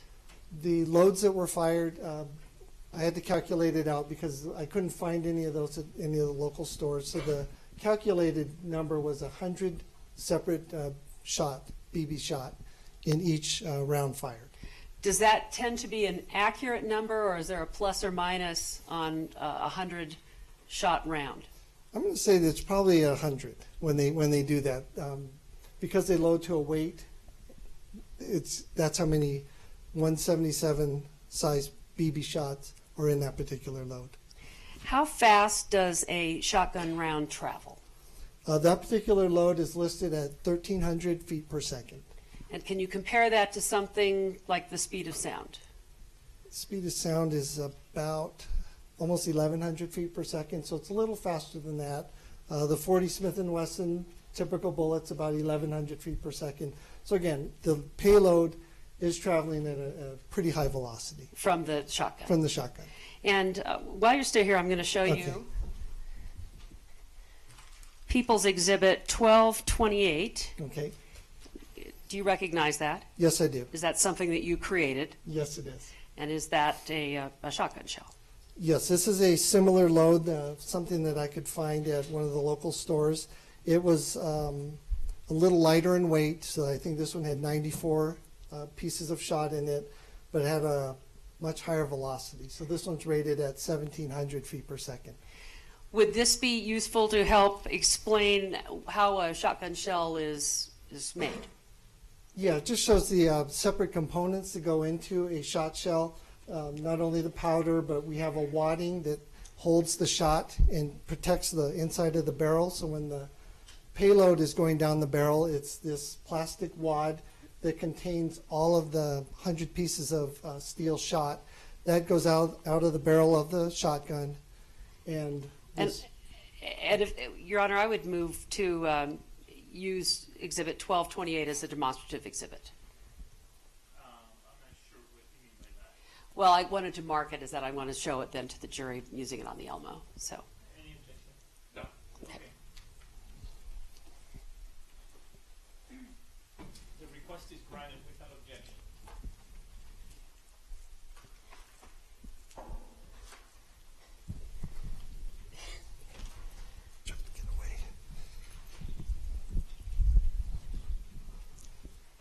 And if you could, um, and for, I guess for just for this moment, maybe we can, I can have you either look at the screen. If we could pull up 1228 on the Elmo and show it.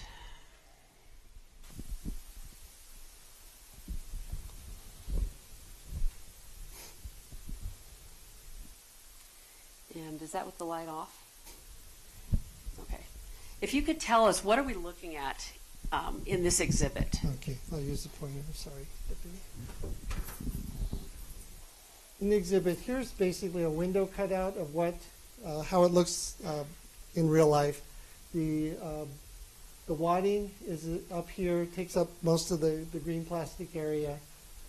Up here is where the, the loose wad is, and it's pretty sizable, and it's got a little plastic tail on the bottom. All the shot, uh, there's 94 pieces here, all that would be loaded into this area of the wad. That's the powder payload of what drives uh, the wad and the, and the shot out. So it, it just helps kind of give you in, the, in mind's eye what is going on inside of a, a shot shell. And to the left there, what we're looking at is gunpowder. Yes, the gray uh, pieces in the Ziploc bag is gunpowder. And if I could have up uh, previously admitted exhibit 2932, it's a photograph.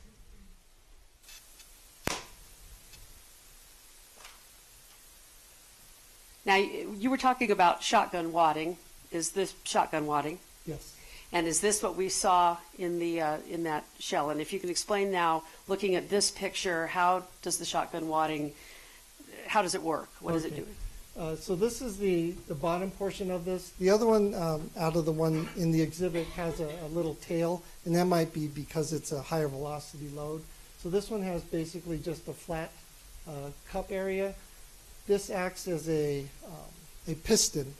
So when the gunpowder explodes, that will help fill the bore, seal the, uh, the gases, and help propel the, the payload down the barrel. You can see some of the imprints of the BB shot when it's uh, going down the barrel of the firearm and uh, under this tremendous pressure, the BB shot will impress itself into the, the wad. So sometimes that's what we can use to help determine um, the type of shot that was fired in it based on the dimple that's left. Uh, in this case, we happen to have the dimples as well as uh, the fired shot itself.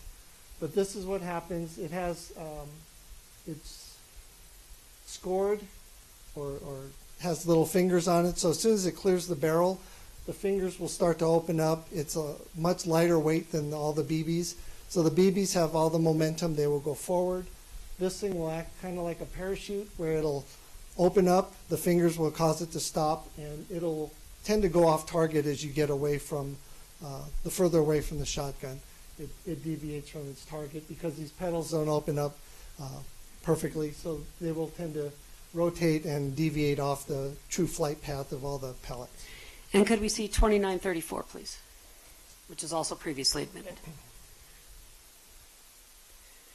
Does this show one that landed the opposite direction? Yes, this one shows with the base down and how wide the, uh, the fingers of the petals have opened up.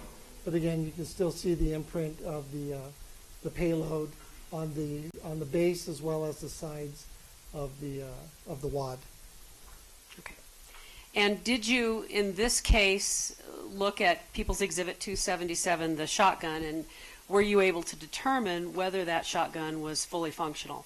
Yes, it was a fully functional firearm and was capable of inflicting serious injury or death. Let's next talk about uh, the rifle. Did you bring a, a rifle today? Yes, I did. And I'm going to put this one on the floor for the moment.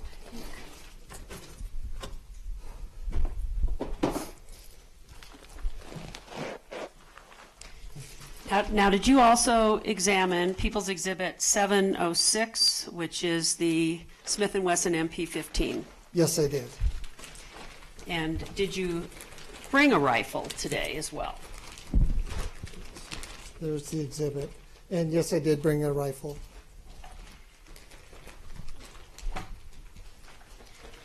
If you could uh, tell us how the rifle that you brought is the same and how it's different, Okay. and, and would the, using the rifle help you to illustrate how you load and, and fire a rifle? Yes, it would. So this is uh, one of our duty uh, rifles that we have at CBI. Similarly is uh, the collapsible stock. It's adjustable. Uh, This becomes important for our guys when they have their vest on. Usually you want it shorter because you have this football type hat on. So it has adjustability on that. Um, Let's see here, on this one, this one, the one that you brought looks like it's shorter than People's Yes, Exhibit uh, 706? We also have a shorter barrel. This helps it fit in our vehicles versus uh, normally. So this is a 14 and a half inch barrel. Uh, The one I examined was a 16 inch barrel. The big difference is this one has a roll mark that says Colt. Uh, The evidence item was a Smith & Wesson. Same design, same exact everything. All the parts would interchange with each other, so there's um, more similarities than differences. The big difference is the roll mark. This is a different brand. But they all are designed similarly. Um, They all function very similarly also. Now, I presume that the first thing you'd have to do in order to fire this would be to insert a loaded magazine into it. Yes, that is correct. As it sits now, it is a, um, a very safe weapon. And it has no firing pin in it, no ammunition in it, it cannot fire in this That courtroom. is correct, yes. Did you bring a, a magazine that would fit into this rifle with you today? Yes, I did, and I also brought uh, inert or dummy rounds that we use in training. Uh, The bright orange tip helps us know, um, users as well as the instructors, that we have some dummy ammunition. And the bright orange also helps when we have to pick them up at, at the range. I would first like for you to load a magazine if you would, so that we could see how that's done.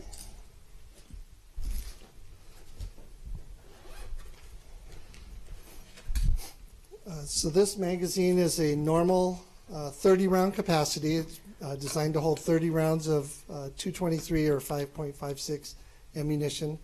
Uh, And before you go any further, will you explain the difference between, you know, 223 and 556? The, the difference is very slight. The 556 is the military designation. The, the lead of the, the barrels are slightly different. Um, In all, for all intents and purposes, they're the same thing. You can use 556 ammo in a, excuse me, you can use 223 Remington ammo, which would be commercial ammunition, in either of these firearms. Uh, There is some issue possibly with using 556 ammunition in a 223 rifle.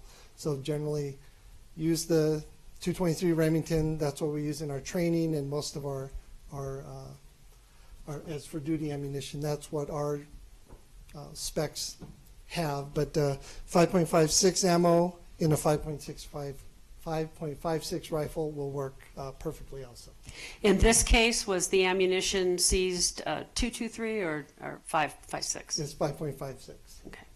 Now, looking at the top of this magazine, it looks like it has a, a bullet in it, but that's not? No, that's uh, part of the magazine part called the follower. This just helps. Um, there's a big spring in here that's all coiled up, and all this simply does is go up and down. So if you load a number of rounds in it, it'll compress the spring, and as the rifle or the user inserts ammunition into the gun, the spring will uncoil and, and move upward. There's also a part on here that will help um, lock the gun open when it's empty, so the user knows I need to reload. Uh, But in this particular case, um, we'll, we'll just load some ammo, I guess, right? And did you, how many rounds does this magazine hold? This magazine with this follower is designed to hold 30 rounds of ammunition. Did you examine 30 round magazines in this case? There were, I think, three 30-round magazines that were submitted, but uh, quite a few of them were 40 rounders or 100 rounders. So if you would show us how you load ammunition into a magazine? All it is is simply placing it, uh, there's some feed lips in the back half of the magazine, so you want to put them down right there so they seat in the back. And this will be done. Just easily insert them. Now, there's a spring in there. Is it hard to push the ammunition down onto the spring? No, not, not quite yet. When we get down to about 28 or 29, it'll get a little more difficult. But for now, it just goes in very simply. And you have to load it one bullet at a time. One bullet at a time, unless you have uh, stripper clips that you can have 10 rounds on a stripper clip and this little tool that can help insert them rather quickly, but we don't have that here. Is loading a magazine something that is easier for you because you've been doing it for, I'm guessing, decades, as years. opposed to somebody who hasn't been doing it so long? Uh, this particular magazine loads rather easily. The pistol magazine's a little more challenging because of you're, you're fighting a, uh, a spring that compresses a lot quicker. So this one's actually fairly simple.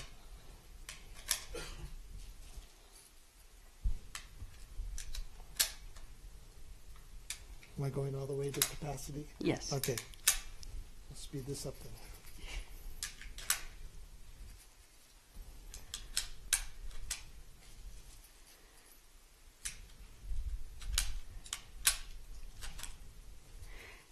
How many rounds do, now, magazines this size are they used by law enforcement? Yes, ma'am. How many rounds does law enforcement load in a 30 round magazine?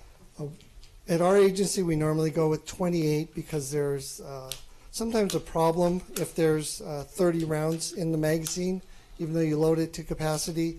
If you try and load it into your rifle when the bolt is forward or in a particular condition, I'll show you, the uh, magazine won't lock up uh, reliably, and that can be a big problem uh, that we have out in the range, which would translate to a really bad problem out in the field if uh, the agent had to reload his, his gun and was unable to seat the magazine.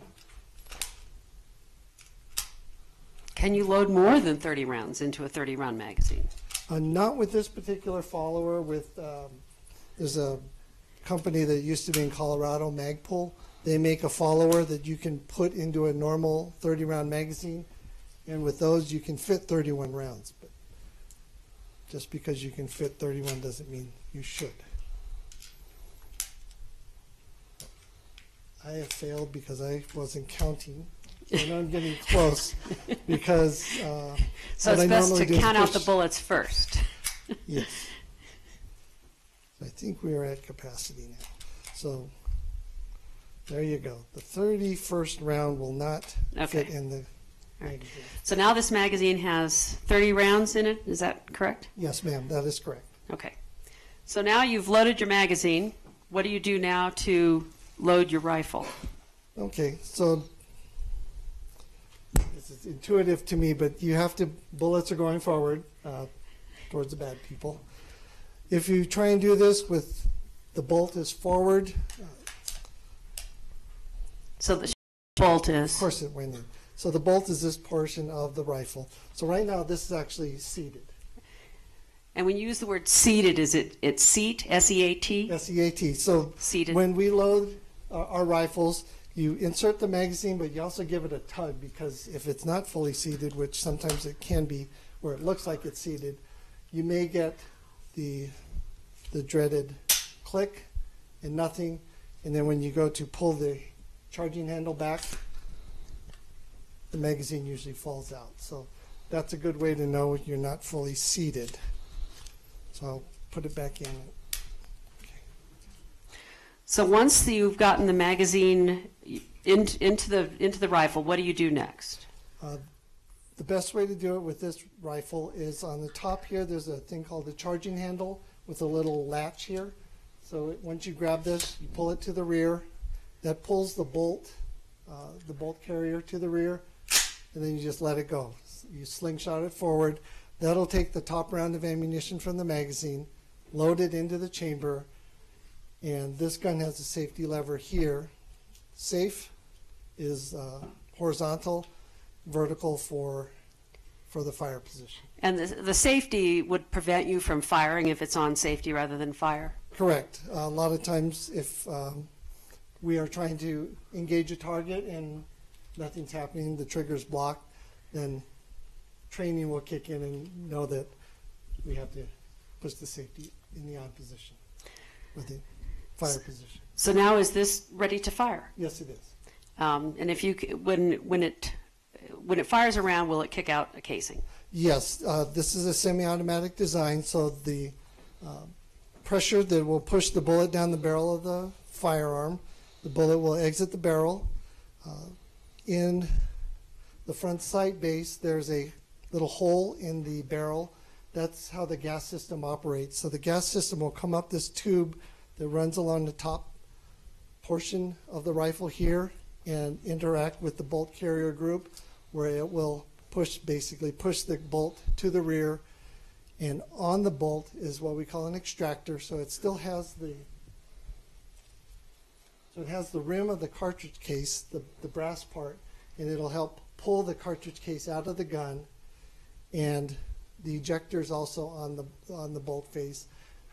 When it comes back to the rear, the bolt, the ejector will kick the cartridge case out of the firearm. And these cartridge cases go a little further because that's a lot of powder. It's got quite a bit of energy, so this will probably go about 10 feet. So, ex- right. so explain what we're looking at here. Where's the actual bullet? Okay, the actual bullet is the orange part. Um, the 556, this particular round in this case was a 62 grain, which is, um, oh gosh, the, the, um, like the 22 long rifle is about 40 grains. Just trying to give you kind of per, Well, uh, the, the, the 40 cal. mass, but uh, these come out at a lot higher velocity. Well, because we've seen in this case injuries caused by caliber round that has more grains. Can you explain how this round differs in the speed it travels versus a 40 caliber round? Okay. Uh, the 62 grain bullet that is involved, or that I examined in uh, this particular case, it generally travels out of a 16 inch barrel at about 3,000 feet per second. The, um, the Speer Gold Dot that comes out of the 40, like the, the Glock 22 that I have to show you later, uh, travels at about 1,120, 1,130 feet per second. So it's, it's a, a relative thing.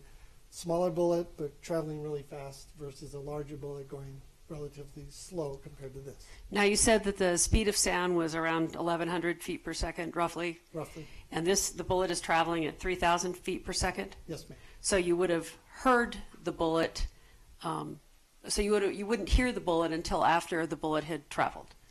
Right, the bullet's going to cover greater, the distance faster than the, uh, the sound. So now are you able to pull the trigger on this with these dummy rounds in it? Yes. So the, the gun is on fire, the safety lever is in that uh, vertical position. Merely just pulling the trigger, which is about six and a half, seven pounds.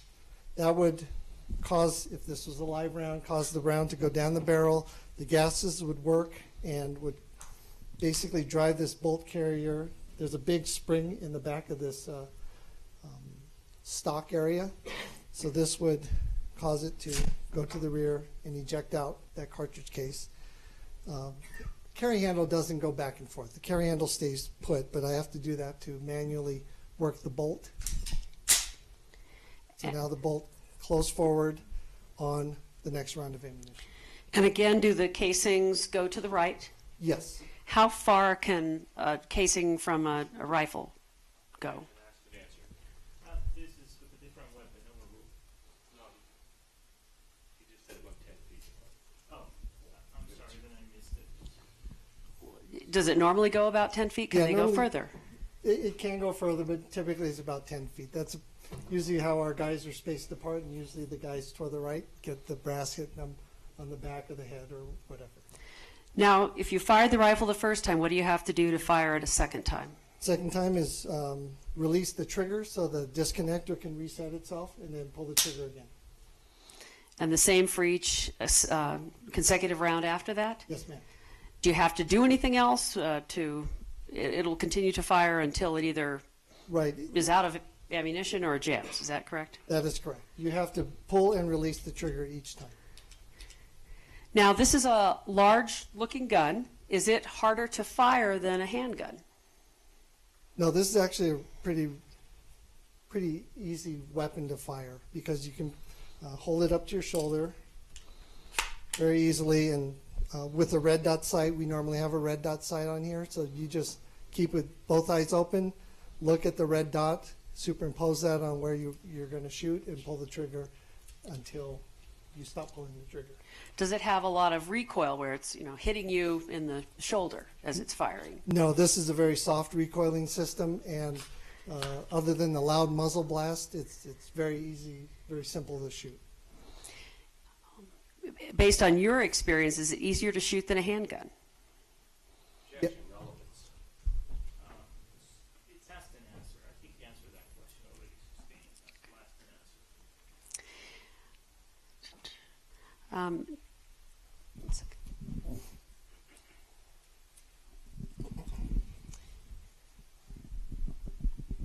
Now, the when we're talking about the casings going 10 feet, that's not how far the, the bullets are going. No, no. And we've heard uh, from some witnesses in this case um, who've been in the military who have described M16s. How does this compare to an M16? Okay, uh, the M16 is, is the same, it's like the big brother to this, same parts, same size, same configuration. Some of the internal parts are different that will allow uh, the ability to turn this lever so the little arrows pointing to the back. That will allow the uh, trigger mech- mechanism to um, override the disconnector and it, it's capable of full automatic fire. So if you pull the trigger to the rear and hold it, as long as you can hang on to this thing, it will uh, fire um, ammunition until you decide to let go of the trigger or run out of ammunition. Now, is this called an automatic weapon? No, this is a semi-automatic weapon, so one shot per pull of trigger, so you have to pull it and release for each time you fire a round. The M16, you'd be able to hold down to the rear, and usually you try and control that burst because uh, even with this soft, easy to shoot firearm, uh, you'll get muzzle rise after about six or seven rounds and probably be off target. So you want to control your burst. What do you mean by muzzle rise? Uh, the, the front end of the gun, no matter how hard you try or how much you lean into it, you really have to battle this and fully automatic to keep it on target. Because with the right, you mean the muzzle goes upwards, Yes, drifts the muzzle will tend to drift upward and I think to the left. The sound. How would the sound of an M16 compare to the sound of the rifle fired in this case? Oh, th- they would sound the same. They, use the same ammunition. Uh, the ammunition in this particular case is military surplus, so it would be the same exact ammunition uh, fired by our troops. It's just that it has the the M16 has the ability to rapidly fire multiple rounds versus this one is as fast as you can pull the trigger. Were you able to determine whether People's Exhibit 706, the rifle in this case, is capable of functioning properly? Yes, that um, People 706 does function properly and is capable of inflicting serious injury or death. Now, did you also examine handguns in this case? Yes, I did. And did you bring a handgun as well? Yes, I did. Retrieve that one. So.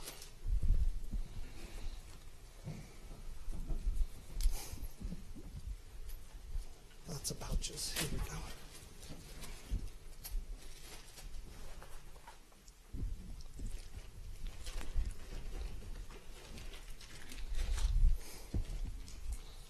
And again, is the handgun that you brought um, fully safe in this courtroom?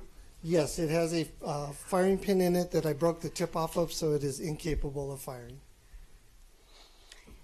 And in this case, we had two Glock handguns, uh, People's Exhibits 704, which was previously admitted as the handgun found on the top of the defendant's car, Okay. and 705, which was found in the pocket of the car.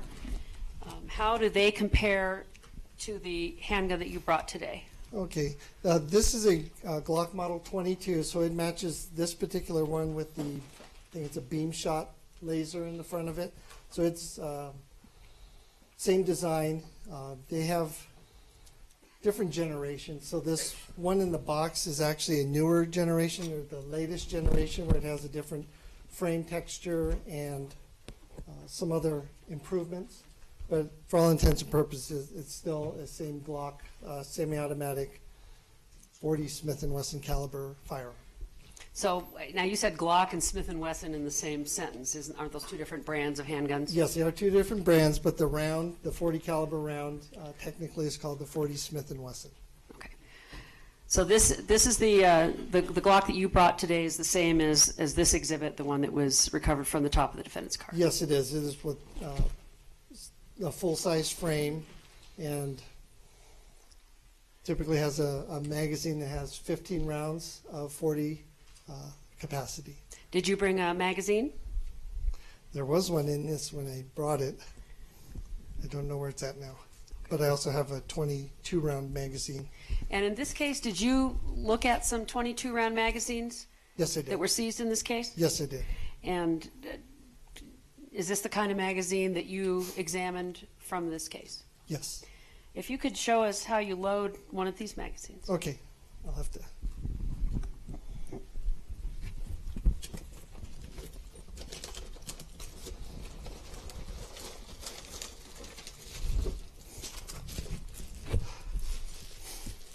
So I have more um, dummy rounds, bright orange plastic tips. These uh, are used to simulate live ammunition. Um, we also stick them in magazines when we're training because this will help uh, the shooters realize that sometimes they're anticipating the shot. So I'm trying to remember to count this time.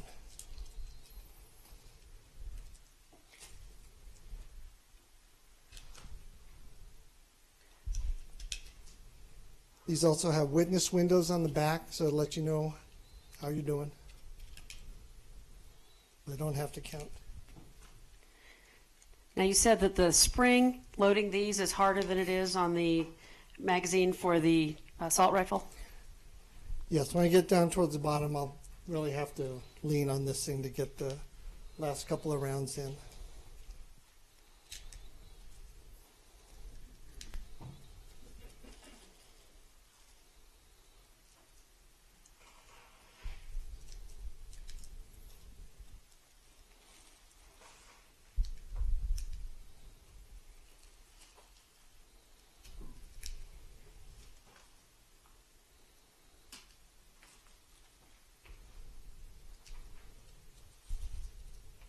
Getting there.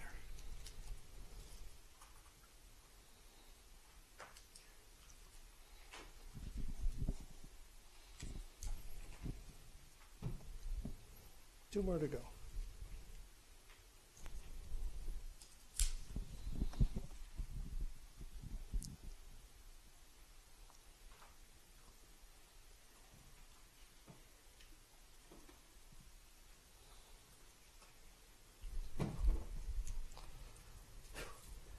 That's 22. so it's hard to get the last couple rounds in. A little harder than I thought. And is this a, if it's a new magazine or an older magazine, does that make a difference in terms of the how strong the springs are in the magazine? Yes, it does, and this proves that this is a brand new magazine, and it was uh, very difficult to get that last round in. Okay. Now, once you've loaded your magazine for your handgun, how do you load the magazine into the handgun?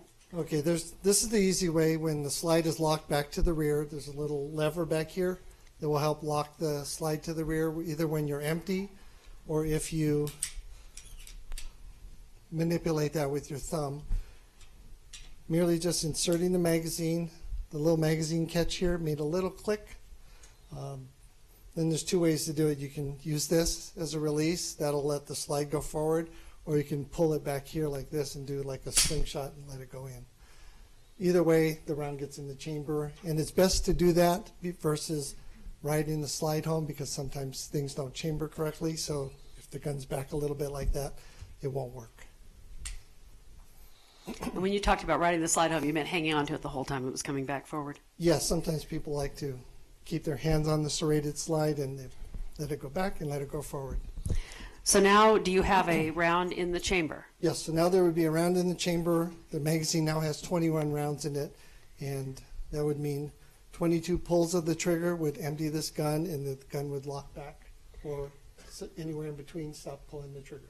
And you would be able to fire the first round, if you can do that for us. And then the slide would go to the rear. That would go shooting out. The casing would shoot out and the bullet would go forward. Correct. The bullet would go forward, the casing would shoot out to the right, and then you'd have to release the trigger and then pull it again. And you'd be able to continue to fire. Yes. Okay. Thank you. I think uh, you can actually, and and I was going to ask you too, um, how fast do the 40 caliber rounds, maybe you already said this, how fast do the 40 caliber rounds travel? Uh, the, the load that was used was about uh, 11, little over 11, 1150 maybe feet per second. A little less than the speed of sound, but pretty close? Right about there. Okay. You can go ahead and take a seat again. I'll just leave this.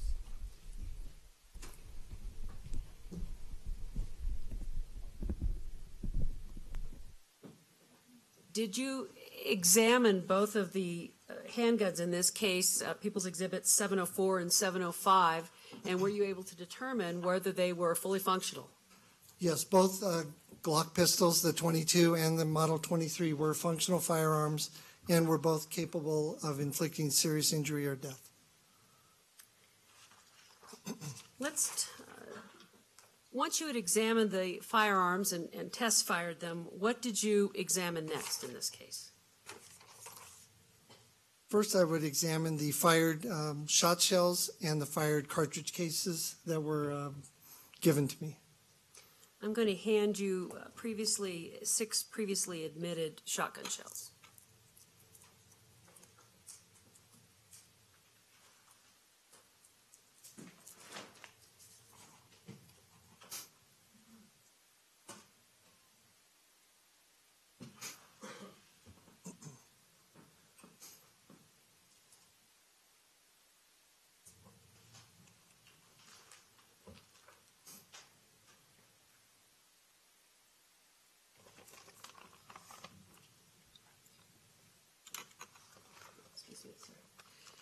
Now, I've handed you uh, three, ex- uh, six exhibits, 205, 243, 200, 201, 203, and 204 that were previously admitted in this case. Do you recognize those items as items that you examined? Yes, I do. How do you recognize them? I have the case number, the item number on both um, smaller envelopes as well as the, uh, the evidence items themselves.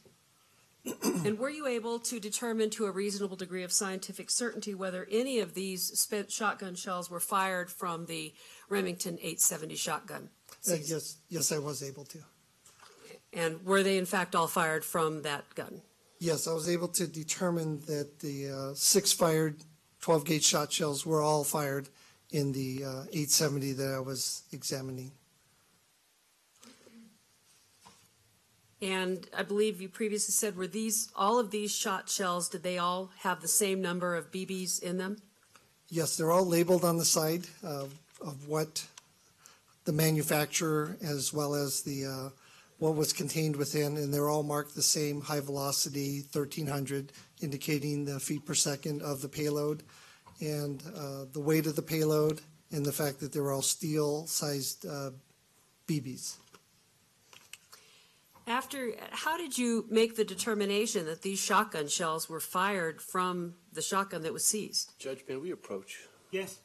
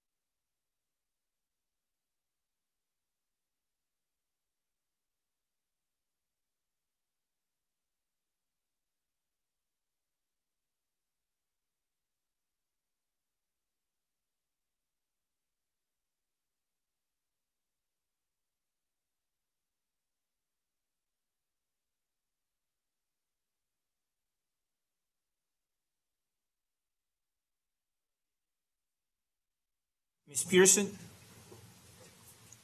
Agent Higashi, was your conclusion that to a reasonable degree of scientific certainty, those shotgun shells were fired from the shotgun recovered in this case? Yes, they, yes, it was. And how did you make that determination?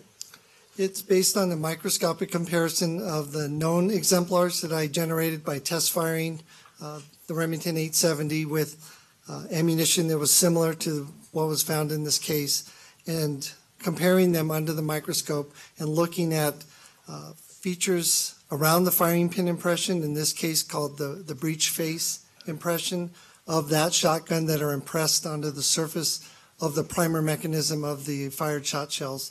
I look at that under my comparison microscope, and that allows me to look at both uh, items through one set of eyepieces so I can uh, maneuver them both around and examine the, the same areas on the known exemplars with the evidence and come to my conclusions.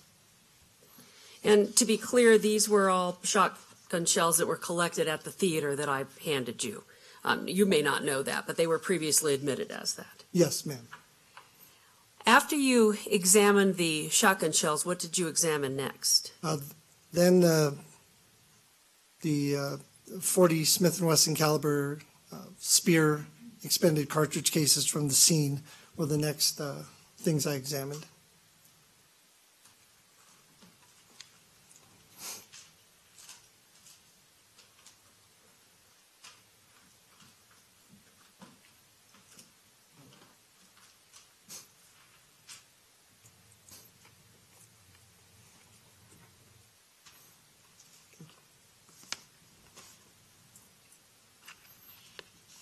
I've handed you five spent 40 caliber casings that were uh, recovered in the theater in July of 2012, and they've previously been admitted. Are those items that you examined? Uh, yes, they are. And those are our exhibits uh, 564, 578 to 581. Is that five? That is correct. What did you compare them to? I compared them to the um, test fired cartridge cases that I generated from uh, both of the Glock pistols, the Glock 22 as well as the Glock 23.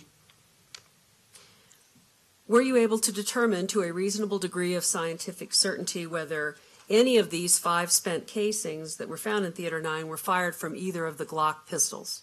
Yes, I was. And which pistol did you determine that to a reasonable degree of scientific certainty they were fired from? I was able to determine based on my microscopic comparisons that these five casings were all fired in the Glock 22 um, model pistol. And the Glock 22, that was the one that had the sight on it? With the laser on it, correct. So that was previously admitted in this case as having been seized from the top of the defendant's car. Judge, I'm, I'm, I'm just going to object to the continuing um, testimony by counsel about where items were recovered. That's up to the jury to decide based on the previous testimony. Sustained. Did you, what did you examine next? Uh, next in line would be the, I believe it was 66 fired uh, 5.56 caliber cartridge cases.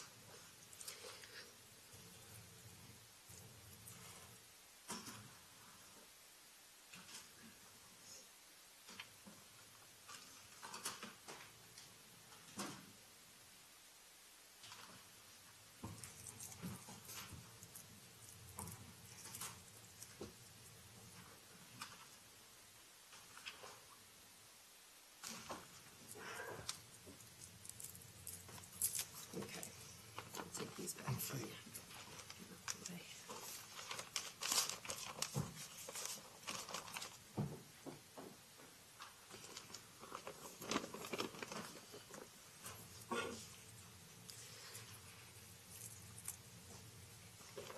And I've handed you the uh, spent cartridge casings, I think 66 of them. I believe so. Are these all spent casings that you examined? Yes, they all appear to be the ones that I examined in this particular case. Were you able to determine to a reasonable degree of scientific certainty whether any of these spent casings were fired from the Smith & Wesson MP-15 rifle. Yes, I was able to. And of the 66 that I gave you, were you able to determine to a reasonable degree of scientific certainty that all 66 of them were fired from the rifle? No, uh, 65 of them I was able to identify as being being fired in the uh, M&P, the Smith & Wesson rifle. Uh, one of them did not um, retain the marks that I was using for my identification, um, meaning the, the firing pin impression that was evident on my test fires that I made from the rifle. Uh, on 65 of them, it was in uh, sufficient quality and quantity for me to uh, make an identification. On one of them, I was unable to identify it based on the firing pin impression. And I believe that the one you were unable to identify as Exhibit uh, 464, is it at the very end of that group?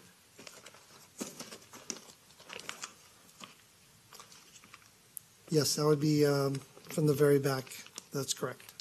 Were you able to determine anything about item 464, that it was connected to the rifle in any way? Yes, um, this particular item, which is my item number 56, uh, was identified as having been worked through the action of the Smith & Wesson rifle based on the extractor marks that were found on the on this fired casing, and I compared that to the test fired rounds that I generated from the uh, Smith & Wesson rifle. What do you mean by worked through the action of? Because the um, in the during the firing process, uh, firearms examiners are able to look at the firing pin impression because that is a process made or that is an, a, a tool mark made during the firing process. Um, also, the sometimes we use the breech face impression. So just like with the shot shells, the breech of the um, the rifle sometimes yields good enough marks to identify it um, as being made during the firing process. Uh, those marks weren't present uh, in a quality that I would use for an identification. So I had to look elsewhere uh, on the fired cartridge case uh, in People's uh, 464 for other areas of where that rifle may have come in contact with this casing because the marks due to firing were not uh, sufficient for me to identify. So I did find an extractor mark on um, People's 464 that I could identify to uh, the Smith & Wesson rifle. So again, it, it's a fired casing, but the marks that I was using to identify uh, the fired casings to the rifle were not present on this particular one for some reason, but I was able to identify the extractor mark. So it does have evidence of being in uh, the Smith & Wesson M&P 15, just I couldn't identify it as being fired in. After you examined all of the spent casings in this case, what did you do next? The next task, again, I would go with the, the slightly easier task. There were two fired uh, 40 caliber bullets, and that's the, the next I would go in, in line for my comparisons.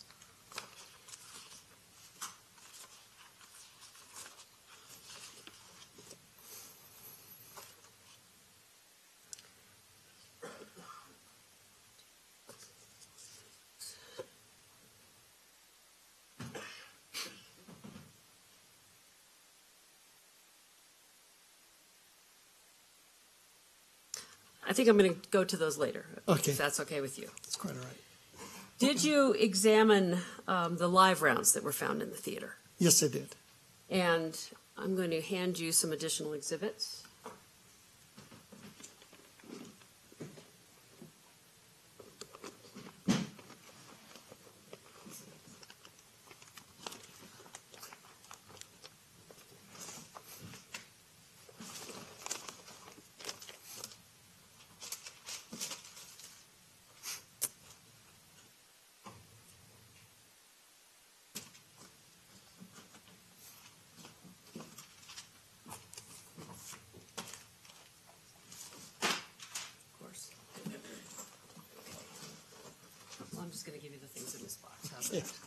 I'll take these.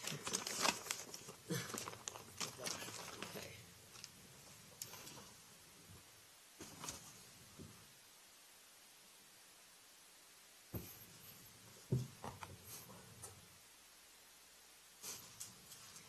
Now, the items in this box, these are gonna be the live ones. Okay.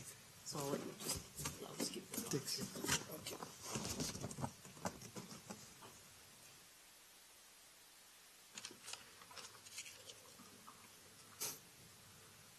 Handed you a number of, of uh, live rounds of 223 ammo that were previously collected and um, admitted in this case. Yes, If you you could look through those, are all those items that you examined?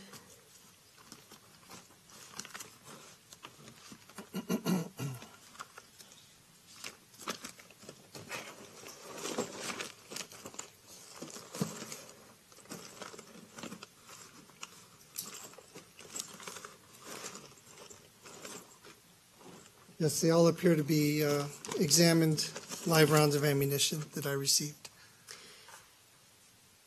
Now, these live rounds have head stamps on them, and, and we've noted previously some of them have LC11 and some have LC12. Correct. Do you know what that means? Yes, I do. What does it mean? The military rounds are marked with uh, where they're made and the date typically um, is to differentiate them from commercial rounds, which would have like federal and, and the caliber designation. Since this is uh, military rounds, they're marked uh, much more, much simpler. So this, uh, the LC denotes uh, Lake City. That's the armorer or armory that uh, made these particular rounds, and then the date, obviously 11 or uh, 2012. Uh, Those are stamped on the bottom, and I believe there's also a NATO head stamp on that, so it would denote, again, a military uh, round. When you refer to a military round, what do you mean? Uh, Again, these are made for the military, and um, the, the first run ammunition would probably go out directly to our troops, where uh, a surplus round may be, may hit the civilian market because um, specifications may not be right, or they just may be in excess, so they uh, get released to be sold to the uh, general pub, um, general public. The rounds that we have in this case have green tips. Yes, they do. Is the, does the green tip mean something? Yes, for the, the military round, this would denote it's a um, M855 round, meaning it's a 62 grain, uh, 5.56 round. Uh, It's got a little steel penetrator in it that would help uh, when this round is fired at a greater range to help uh, penetrate uh, like a Kevlar helmet or something uh, that our troops might face in the battlefield. So it's an enhanced uh, round versus the old stuff that they used to use that was just a uh, copper jacket with a lead core. So this has a little steel penetrator, a little heavier grain weight to help it uh, s- sustain some uh, energy down three, four, five hundred yards downrange. When you were examining uh, live ammunition, did you find any bullets that showed evidence of feeding malfunctions?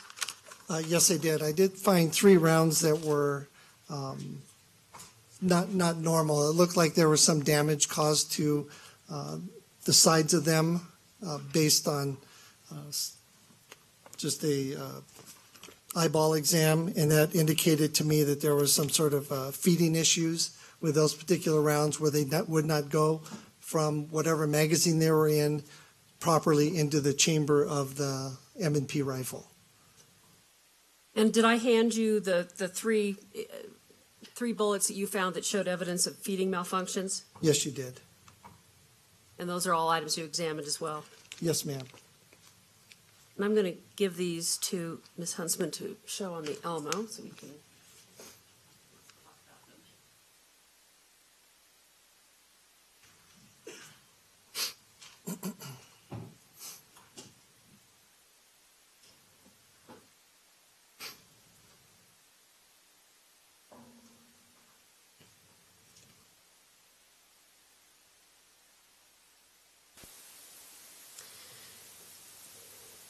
And we are looking at, I can't, which exhibit number is this?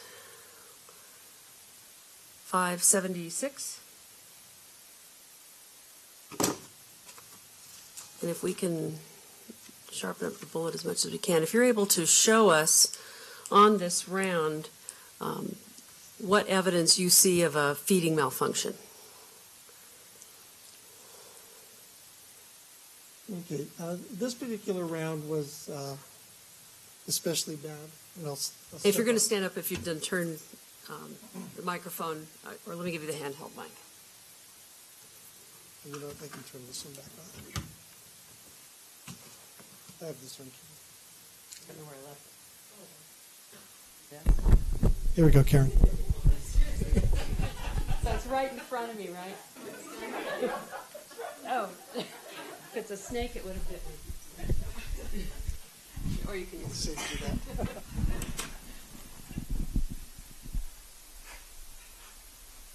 Okay, uh, uh, this particular round had uh, obvious damage that the, the bullet has been pushed back into the, the cartridge case here. And on one of the sides, it actually has a, a flattened area, a gouge. So that, to me, indicates one, the, to push a bullet back like that, one of two things. Either it tried to get chambered into the chamber of the rifle uh, when there's already a round in it that would cause um, the bullet to get pushed back so severely, or if it didn't go up the feed ramps properly and maybe engaged one of the uh, parts of the barrel extension that help uh, that thing lock up properly. If the, the round is misfed and uh, slingshotted in or even under normal fire, the, the bolt is coming forward pretty, uh, pretty quickly. So that could also cause uh, that bullet to be pushed back if it hit one of the parts of the barrel extension or basically a part it wasn't supposed to hit. It's supposed to go directly up one of the feed ramps into the chamber. It helps because back here, this is about uh, a little more than a third of an inch. The bullet diameter is 0.22. So it's going to naturally uh, feed in fairly simply, uh, except when you have a, a problem uh, with the feeding process, whether it's a magazine, usually it's a magazine induced problem. So this round either engaged uh, part of the barrel that it wasn't supposed to, or there was already a round in the chamber and it can't occupy that space. So that could cause the, the bullet to get pushed back in the casing. So again, um, if it's a double feed where this is behind a round that's already in the chamber, uh, the bolt mechanism is going to be severely back. Obviously won't be able to fire and that has to be cleared out. Um, that malfunction would have to be cleared out probably by removing the magazine to get not only this round out but also the round out that's in the chamber. So it would take uh, a lot of effort on the part of the operator to get that magazine out, the bolt lock to the rear, clear the the rounds that haven't fed properly, and then insert a new magazine to get it uh, in a firing position. And if we could see uh, the other two.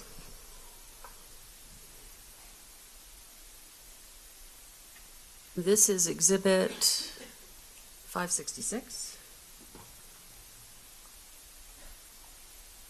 Okay, this one is my item 75, as you can see from the number there. This one too had damage to one of the shoulders, again indicating it had a problem going up the, the feed ramps. And I show you on the rifle, but there's two feed ramps on either side, just like the magazine staggered. So that's designed to go up these ramps and in properly. Uh, this one uh, obviously had some problems on the shoulder area where it may have been tried to be manually fed into the chamber, and again, it didn't quite make it, so it was on the ground. Um, So that, that is indication of a, of a problem. And the third one, please.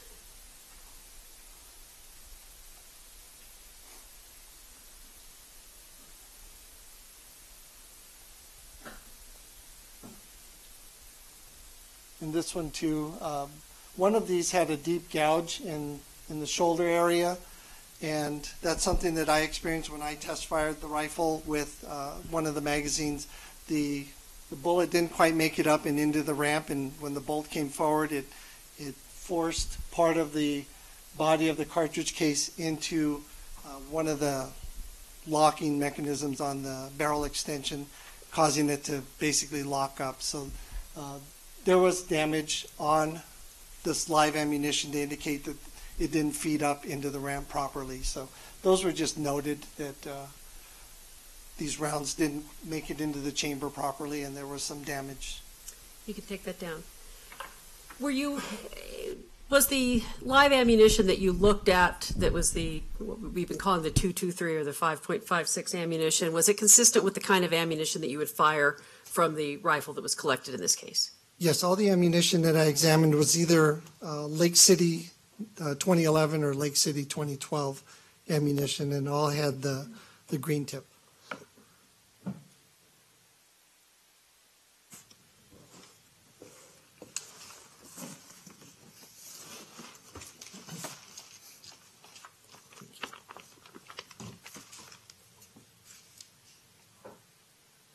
Did you look at live ammunition that was 40 caliber as well? Yes, I did. And in addition to what I've handed you, I think we have more in, in magazines. And was all of the 40 caliber ammunition that you looked at consistent with the kind of ammunition that you would fire from the handguns that were seized in this case? Yes, this particular round, um, my item number 83 was a um, an intact, uh, unfired 40 Smith & Wesson caliber gold dot ammunition. Now, the gold dot ammunition that were they hollow points or not? Yes, gold dots are hollow point ammunition. Explain what a hollow point is. A hollow point has a uh, hollow cavity in the front, and it's uh, best used for self-defense or, or police use because once it impacts soft tissue, it's designed to uh, disrupt the front end or mushroom, become a larger frontal area, and not penetrate, or not basically not over penetrate. The thing with handgun ammunition, they want to try and get at least 12 inches of, of, of penetration. So we, we, we can test this stuff into uh, 10% gelatin to simulate uh, tissue simulant. So we can have the bullets, or the bullet designers will attempt to make a design that will function uh, in this gelatin. They'll also put barriers in front of it because uh, we've learned a lot throughout the years of different police shootings that what is required um, with handgun ammunition. Judge, to I'm going to perform object well. to relevance at this point. Uh, Sustained. Ask your next question, please. The ammunition that you looked at that was all 40 caliber, was all of it hollow point ammunition? Yes, it was. Now, did you also look at some additional 12 gauge shotgun shells? Yes, I did. The shells that have previously been admitted as People's Exhibit 691, and if you can just hold them up so that the jury can see them, are they, they're they're red as opposed to the green spent shells. Yes. Does that indicate something significant? Uh, mostly a different manufacturer, but on the sides of these, it'll say uh, these are Ranger double aught buck low recoil uh, shot shells. Explain what double aught buck means. Double aught buck means the, the size of the, um, the, the shot that's contained within. These would be .32 diameter pellets uh, in the low recoil stuff. There's eight of them, and they go out um, lower velocity. I'm not sure the velocity that's normally advertised, but this is a uh, typical load that a, a police officer might use in, in their 12 gauge shotgun because you have um, eight pellets of, of great size that can help stay on target. Again, um, we don't want to get too far away when we deploy these in, in our shotguns, but uh, they're very effective uh, close range. Now, you said there are eight pellets in this compared to the 100 pellets, shot pellets that were in the green rounds that you examined. Yes, Is the green rounds had uh, 100.17 uh, diameter pellets. This, these are 8.32 diameter lead pellets. And could these red shotgun shells be fired from the rifle that was, or the uh, shotgun that was seized in this case? Yes, these are, these will fit and function in the uh, 870 shotgun.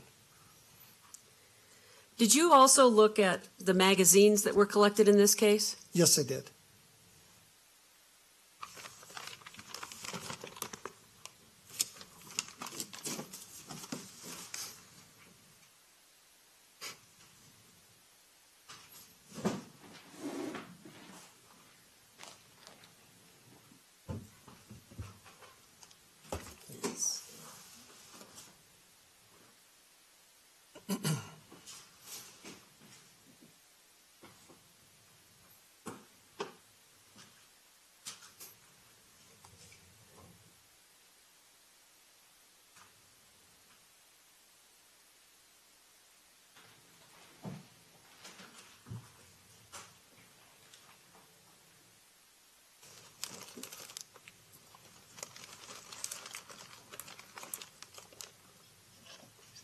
I've handed you a, a number of magazines that have been previously uh, admitted in this case.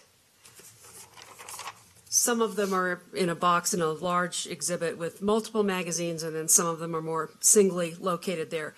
Did you examine all of these? Yes, I did. Were these all magazines that are uh, consistent with the kinds of magazines that you would use with the rifle in this case? Yes, with the rifle, and I believe I had some pistol, uh, the 22 round pistol magazines also. First, looking at the, and I think I've just handed you the uh, 223 magazines. Okay. Is that, I think that's right. If you can uh, take a look at those, and, and were you able to determine if all of these were functional or if, or if any of them had any kind of malfunctions? Most of the, um, there were, I believe, four steel uh, magazines that were supposed to hold 40 rounds. Uh, most of those uh, did have some sort of malfunction uh, th- with me. Uh, some, one of them, actually, the, the top end of it was so distorted it wouldn't even fit in the uh, well of the rifle. So that one I couldn't even test fire. Uh, the the magazine lips on some of these, uh, the steel ones I'm talking about, uh, were deformed. Um, and I'll, I'll take one and I'll put it one Okay. that has some damage over on the Elmo.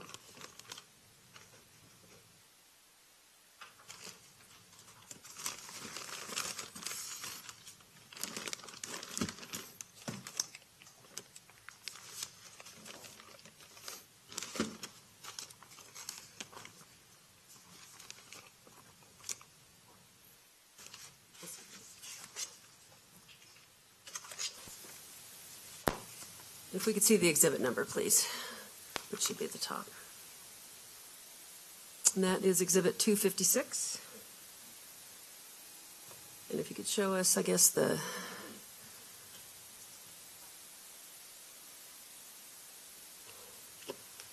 the top of the magazine or, um, I mean, on the, the end. Dale, if you can uh, show us what you, what would be helpful. So up here in this region, this is where the, uh, the, the feed lips, the magazine feed lips are. And those are, are very important in the proper feeding of the uh, ammunition that's contained within to make it work properly in the rifle.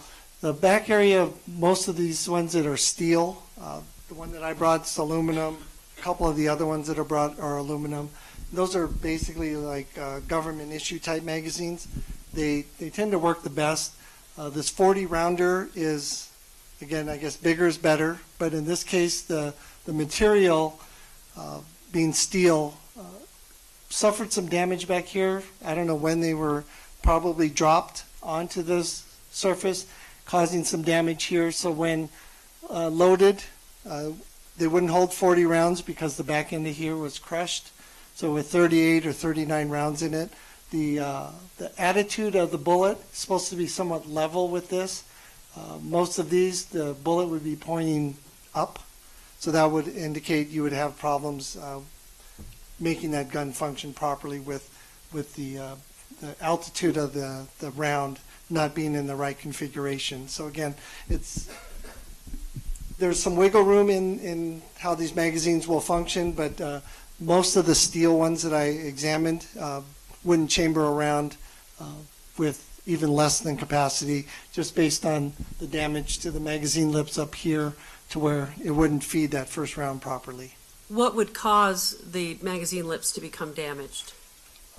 The, the back end of uh, the magazine here appeared to be peened or basically hit the deck and um, if they were fully loaded or close to being fully loaded, that I think uh, 30 rounds of ammunition or 40 rounds of ammunition is probably close to another pound with uh, the heavier magazine. If it falls on that, there's a good chance it might get damaged enough to where it would cause uh, a problem like this. So I don't know if they were damaged previous or um, having been dropped in the theater. So I, I can't say when they were damaged, but they were damaged when I received them. You said that these were steel magazines. Were some of the magazines not made of steel that you examined? Yes, some of, I, uh, I believe I had two of them that were regular aluminum magazines, and uh, the, the drum magazine. If you could find Exhibit 259.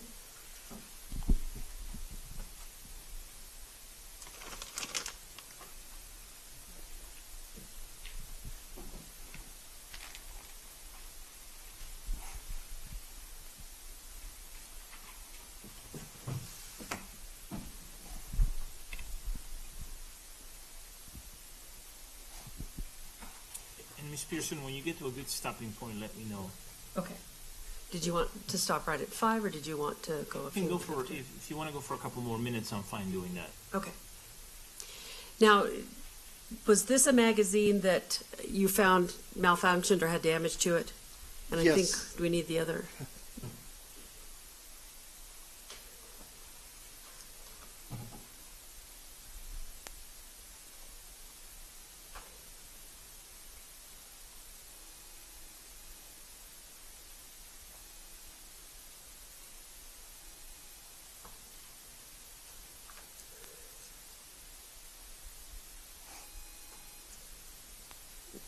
You able to tell from that angle what your, what the issue was with this magazine? Yes, with this particular magazine, this was my item number 228. This one had severe damage up here in the in the magazine lips area, to where it wouldn't even fit in the well. so it, the damage this one sustained was uh, basically made it unusable. Was this also a steel magazine? Yes, it was. And you should have their exhibit 265, the um, drum magazine. Yes. Here's the drum. Now, did that operate um, the way it was supposed to when you tested it?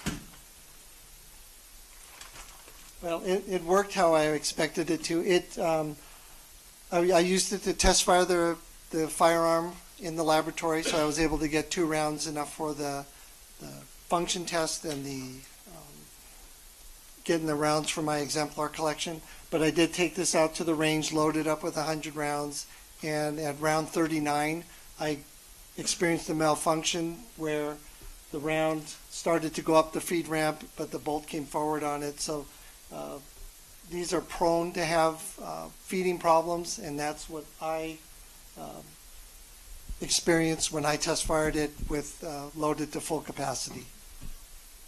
How do you uh, clear a jam from a drum magazine if that's what you're using? Uh, with this particular one, I had to remove the magazine from the rifle, take the round that was uh, pinned up against the uh, the barrel extension and the bolt, remove that from the from the mechanism, and then reinsert the magazine and let the bolt go forward.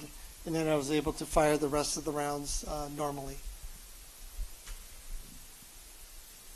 Is the kind of malfunction that you experienced with the with the drum magazine something that, in your experience, is common in a magazine of this kind? Objection asked and answered. Uh, overruled.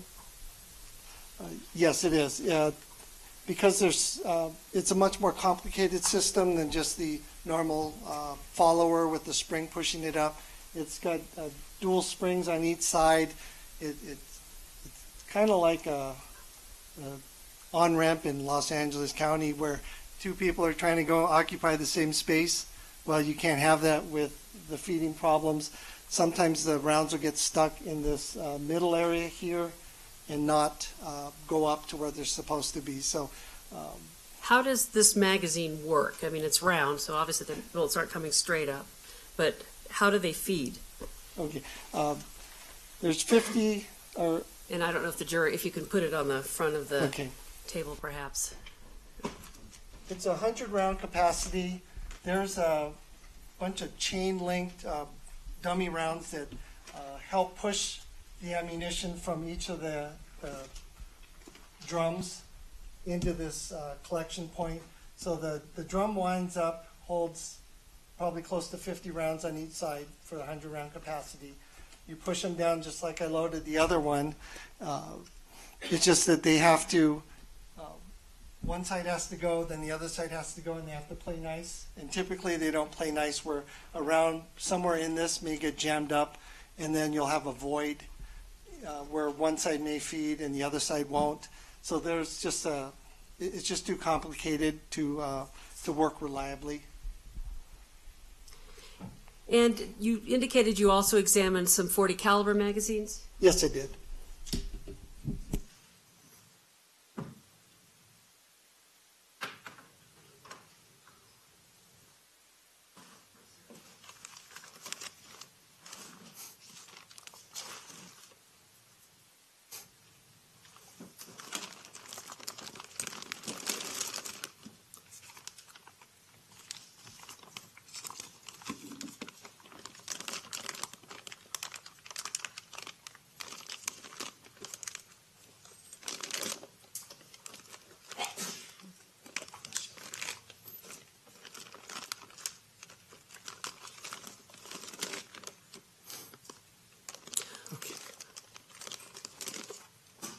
Were the Glock, uh, were all, are all of these Glock magazines? Yes, all the pistol magazines were, were Glock um, original equipment magazines. And were the magazines that you looked at, are they consistent with the kind of magazines and ammo that you would use in the handguns that were collected in this case? Yes, ma'am. Did you see evidence of the uh, malfunctions that you saw in some of the steel magazines for the rifle in any of these 40 caliber magazines? No, none of these appeared to have any uh, feeding issues or any problems. This would be a good place to stop, Your Honor. All right, thank you. All right, um, members of the jury, it's uh, five after five, so we are going to go ahead and adjourn for the day. I want to remind you that uh, you may not discuss any aspect of the case with each other. I know that it may be tempting at times during the breaks to want to talk about the case, but you have to resist that temptation. You can talk about other things if you wish. I want you to be friendly with each other, but you cannot talk about the case. You cannot talk to anyone else about the case. All you can tell people is that you're a juror in a trial in Arapahoe County, and we anticipate the trial will end in August or September. Uh, please do not talk to any witnesses, parties, or attorneys about anything. Um, to make sure that witnesses, parties, and attorneys do not talk to you, um, make sure that you, you wear your juror badge at all times and that it is visible to all those around you. Uh, having your juror badge on will also uh, reduce the risk that people will talk about the case in your presence. Uh, but even if, despite your best efforts, uh, let's say you're doing everything right, you're doing everything I've asked you to do, you still happen to overhear someone talking about the case, whether it's an attorney, a witness, um, a person from the public, a person from the media, uh, another juror, you have to let my staff know that you have heard that you need to talk to me. Don't say what it's about. Just say you need to talk to me. So if you happen to overhear or hear something about the case from anyone else, then you need to let my staff know about that. And if you have, if that has happened throughout this trial, you need to let my staff know that. Uh, please do not talk to any members of the media about anything. Uh, you must not read, view, or listen to any news or mis- uh, any news or media reports that may refer to the case. Remember that there is media coverage of the trial, and so you need to be very, very careful. Um, I've indicated to you that the best and safest course of action is to just avoid news reports or media reports. I know how hard that is, but it's frankly the, the, the best thing to do. Uh, if you happen to be watching the news or listening to the radio and a story comes on about the case, change the channel or change the station. Uh, on the internet, same thing, and it can be tricky because something may come up about the case in a headline, and you need to immediately avoid reading it. And so you need to be ready for it, and you need to be on guard to do that quickly so that you avoid reading it. Um, and that applies to social media. That applies to any other part of the internet. That applies to uh, any uh, media whatsoever. Uh, and it applies to all means of communication. You have to avoid obtaining any information about the case from outside sources. Remember that sometimes the attorneys and I are having discussions outside your presence. If you go and get some of that information that's reported from the media, uh, from an outside source, then what's the point of having the discussion outside your presence? That would defeat the point. The whole point is the law requires that I have certain conversations outside your presence, and so you need to be careful about media reports that may be out there, and that includes social media. I know that people sometimes use Facebook, but sometimes you'll see headlines or you'll see news reports, and that jeopardizes your ability to uh, make sure that you uh, do not see, hear, or read any information about the case from any media report. Um, you cannot visit any locations mentioned in the case or conduct your own investigation outside the courtroom. You cannot start forming any opinions about the case. You must keep an open mind throughout the trial. Neither sympathy nor prejudice for the prosecution or the defendant may affect any of your decisions in this case. Remember that the attorneys have a job to do, and sometimes they're required to make objections and ask to have bench conferences. Don't hold it against them if they do. Uh, please don't infer uh, from my rulings that I'm for one side or the other, or that I like one side uh, better than the other. I'm neutral in these proceedings. I'm doing my best to apply the rules of evidence and other applicable rules of law. I added to the advisements earlier that you cannot have any contact with the jurors who are no longer on this trial. So some of you may have become friends or acquaintances with them, and you may be tempted to want to talk about what happened or to just say hello. You need to avoid that. Uh, it is an advisement now that I'm giving you, an admonishment that you have to follow that you cannot have any contact with any of those jurors, but through any means, whether in person, uh, email, phone, social media, text, any means whatsoever, no contact whatsoever, whether, whether it's about this case or something else. You cannot have any contact until these proceedings are over. Does everybody understand all the advisements? All right, and everybody's saying yes. Listen, I know what I'm asking you is not easy, but we didn't just grab the first folks that we found. We took our time selecting a jury because we knew that this would be difficult, and we knew uh, that we would be asking a lot. And as you know, we started this process months and months ago. If either even one of you fails to follow a single advisement, it can create a lot of problems. So please uh, make sure you follow each and every one of these advisements. All right? Thank you, folks. Have a good evening. I'll see you tomorrow morning. Thank you.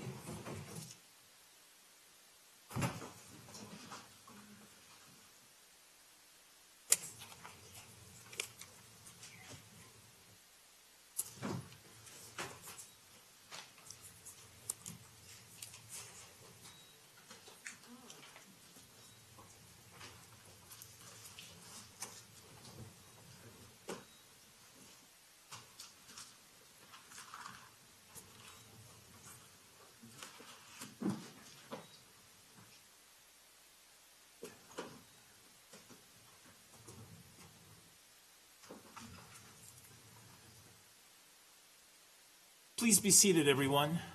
Agent Higashi, you're free to go. Thank you. We'll see you tomorrow morning. You're not free to go. You're free to go for the night. For the night, So yes, we'll sir. see you tomorrow morning.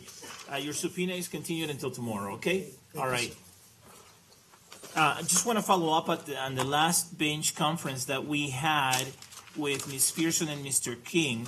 Um, Ms. Pearson was right, and, and I was wrong. She, she asked the question, um, uh, by including the language, um, to a reasonable degree of scientific certainty. She asked, and were you able to determine to a reasonable degree of scientific certainty whether any of these spent shotgun shells were fired from the Remington 870 shotgun? That was the first question that she asked uh, in terms of opinions about uh, matching um, shotgun shells with uh, actual firearms. The next question was, and were they in fact all fired from that gun? And that's the one that I think Mr. King and I were focusing on. That question did not include the language to a reasonable degree of scientific certainty, but the one immediately preceding that one had made it clear that she was asking a question uh, and asking whether uh, the witness had an opinion to a reasonable degree uh, of scientific certainty. And then after that, pursuant to my instruction, um, Ms. Pearson included that language in her questions. Obviously, Mr. King will have an opportunity on cross-examination to clarify that, uh, and, and he should if he, if he wants to. He'll have a chance to do that. But I just wanted to make that record because when we were at the bench, she said she had included that language, and Mr. King and I uh, didn't remember that language, and so I wanted to explain that. Um, by the way, right after that question that I read a moment ago, Uh, and the answer that, the answer was, uh, yes, I was able to, and then uh, that was the answer to the question that included the language to a reasonable degree of scientific certainty. And then the next question was, and were they in fact all fired from that gun? And then Agent Higashi gave an answer to that. Uh, there were no more questions that were answered um, before the bench conference that did not include that language to a reasonable degree of scientific certainty. Uh, the bench conference took place, I think, when the next question was posed, but before uh, uh, the agent could answer it. And when I mean when the next question, I mean the next question that I asked about comparing shotgun shells to a firearm. Before that next question about that subject matter was answered, the objection was made and we had the bench conference. And so, and after that, pursuant to my instruction, Ms. Pearson uh, was um, careful to include that language in all her questions. And then I don't remember any other objections with respect to that. So I wanted, I wanted to, to clarify that. Uh, Is there anything that we need to talk about at this time on behalf of the prosecution, Ms. Pearson? Your Honor. Is there anything that we need to talk about at this time on behalf of the defense, Mr. King? Brady? Yes, Your Honor. I just want to give the court a heads up that uh, Ms. Teesch-Maguire showed me an exhibit that they intend to use. It'll be exhibit number 649, and it is a series of Gmail chats. And I just wanted to let the court know that I do intend to object to all but one of the Gmail chats. And I would not uh, object if the court wanted to look at those before the witness testifies. All right, and is that okay with the people if I review that? It is, Your Honor. May I approach? Yes.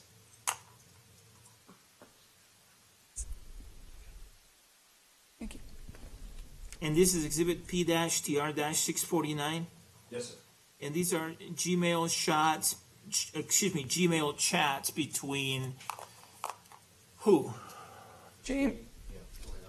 Oh, that's right. James Holmes and Gargi Datta. Okay.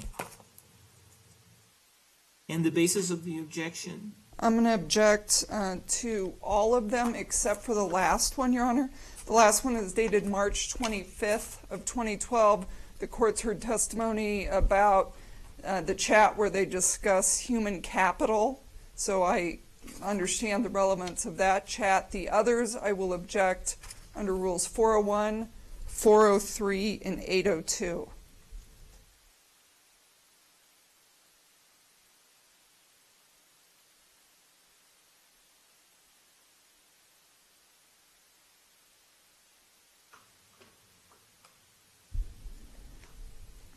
All right, and uh, the people's response to the objection? Your Honor, in this case, it's very similar to the response that we've given to the emails as well. This is even uh, more different than the emails in that these are Gmail chats that took place over an even shorter period of time between two people who had a completely different relationship over the period of time in question than the defendant had with his parents, with people from the school. Um, this encompasses a, a far more candid, I think, an intimate look at uh, how the defendant was functioning over. I, I think it goes back to no earlier than maybe October. I could be wrong on that. One second, Your Honor. It looks like the first one is October 10, 2011. That, that's right, Your Honor. I see that too. So it, it really covers about a five month period of time. I think it also serves to put into context um, that email that the defendant wants to have before the jury in terms of the topics that they had discussed previously. Um, I don't think it's hearsay to the extent that it's the defendant's statements under 801, to the extent that the conversation um, with the with Gargi is in there. I think those statements only serve to put into context, just like we've done with the emails, the statements of the defendant. Um, otherwise, I'd rely upon the arguments that we've made on the emails as well. Are you at this time intending to call Gargi Datta as a witness? Y- Yes, sir. That's how we're going to get the foundation to get these admitted. Okay. All right, thank you. I'll take a look at it and then I'll, I'll, um, give you a ruling, um, probably tomorrow, okay? All right, anything else? All right, thank you for bringing it up to my attention. I appreciate that. Your Honor, one thing. If I could uh, tender to the court C-TR-52, which is the demonstrative exhibit that I used. You want to mark it? Okay, great, thank you. All right, the court will be in recess, thank you.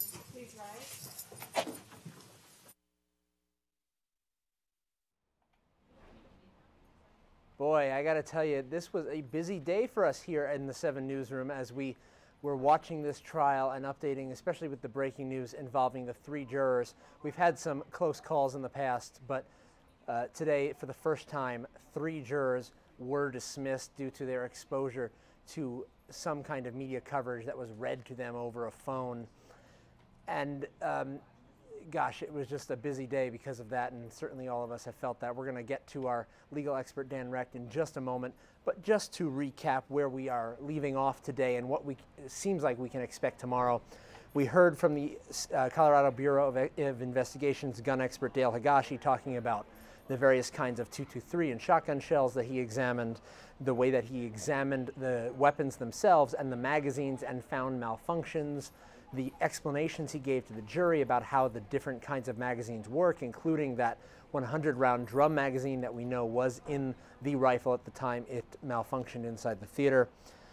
But then, as the jury was leaving, we heard those very, very long uh, and focused on the media coverage rules, those uh, repeating over and over again for the jury.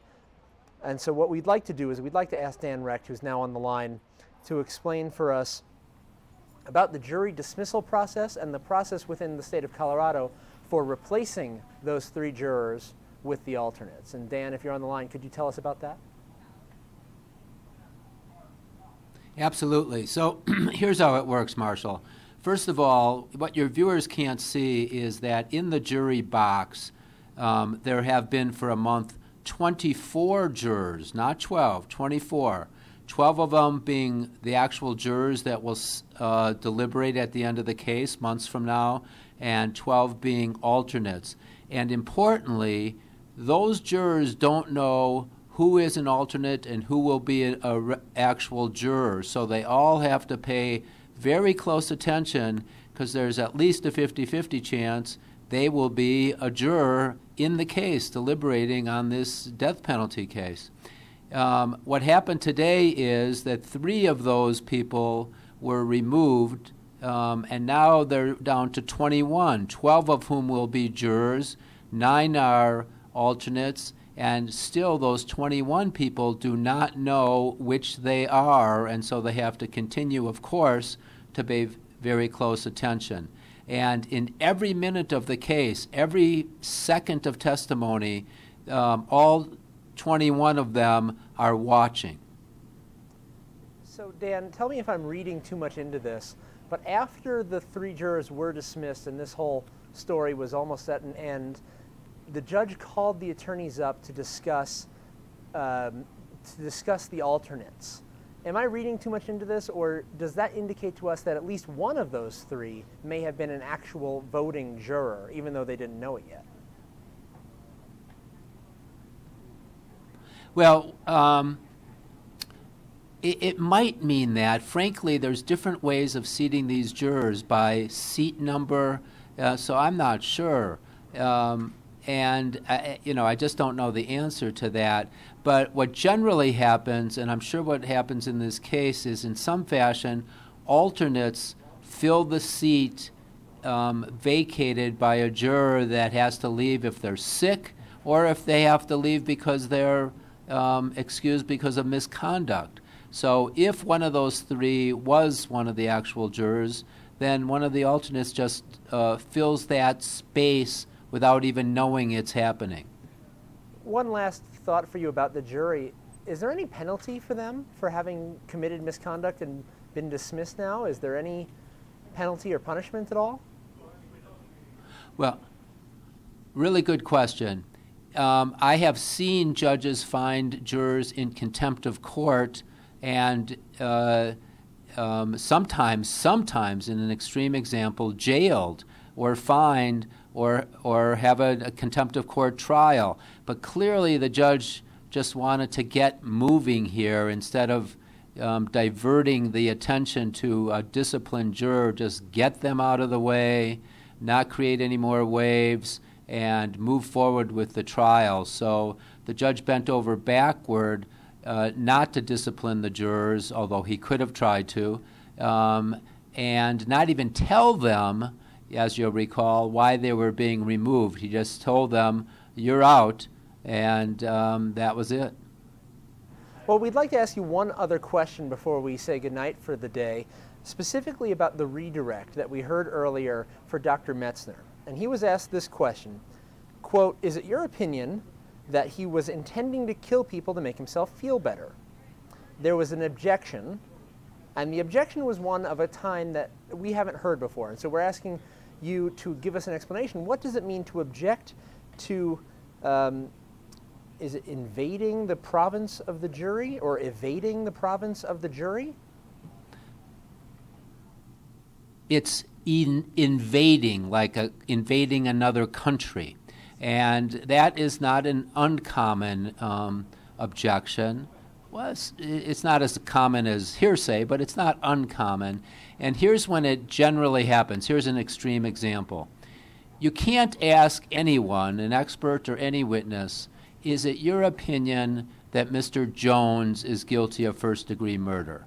That's the province of the jury. Uh, experts and lay people cannot give an opinion with regard to that. And so the defense, Dan King, thought it was getting too close to that when, um, he, when uh, Dr. Metzner was asked, uh, is it your opinion that he intended to kill these people? Because, of course, intention to kill is an element of first degree murder. So that was why he made the objection, but it was overruled. well, thank you for that, Dan. And I think tomorrow, what we can expect to be talking to you about and talking with all of our viewers about are these emails and Google chats that we heard. Um, first of all, we heard the ruling on the emails earlier today, and now we're hearing that they're asking for a ruling on the admissibility of the Google chats. And of course, thanks to some previous testimony, we know that at least some of those chats do pertain to the ex girlfriend, and um, we, we now expect that it seems imminent that we'll be hearing from her. And so, in the next day or so, uh, we will certainly know more about the Google chats and maybe even hear that piece of highly anticipated testimony. And we'll talk to you about that then, Dan. And in the meantime, we wish you a good night. We wish all of our viewers a great night. We're going to get some rest here. We've been busy uh, and come at it fresh again tomorrow. We'll be here again at 8:30, and court will begin at 8:40 in the morning. Hopefully, a little bit smoother than it did today. Have a good night.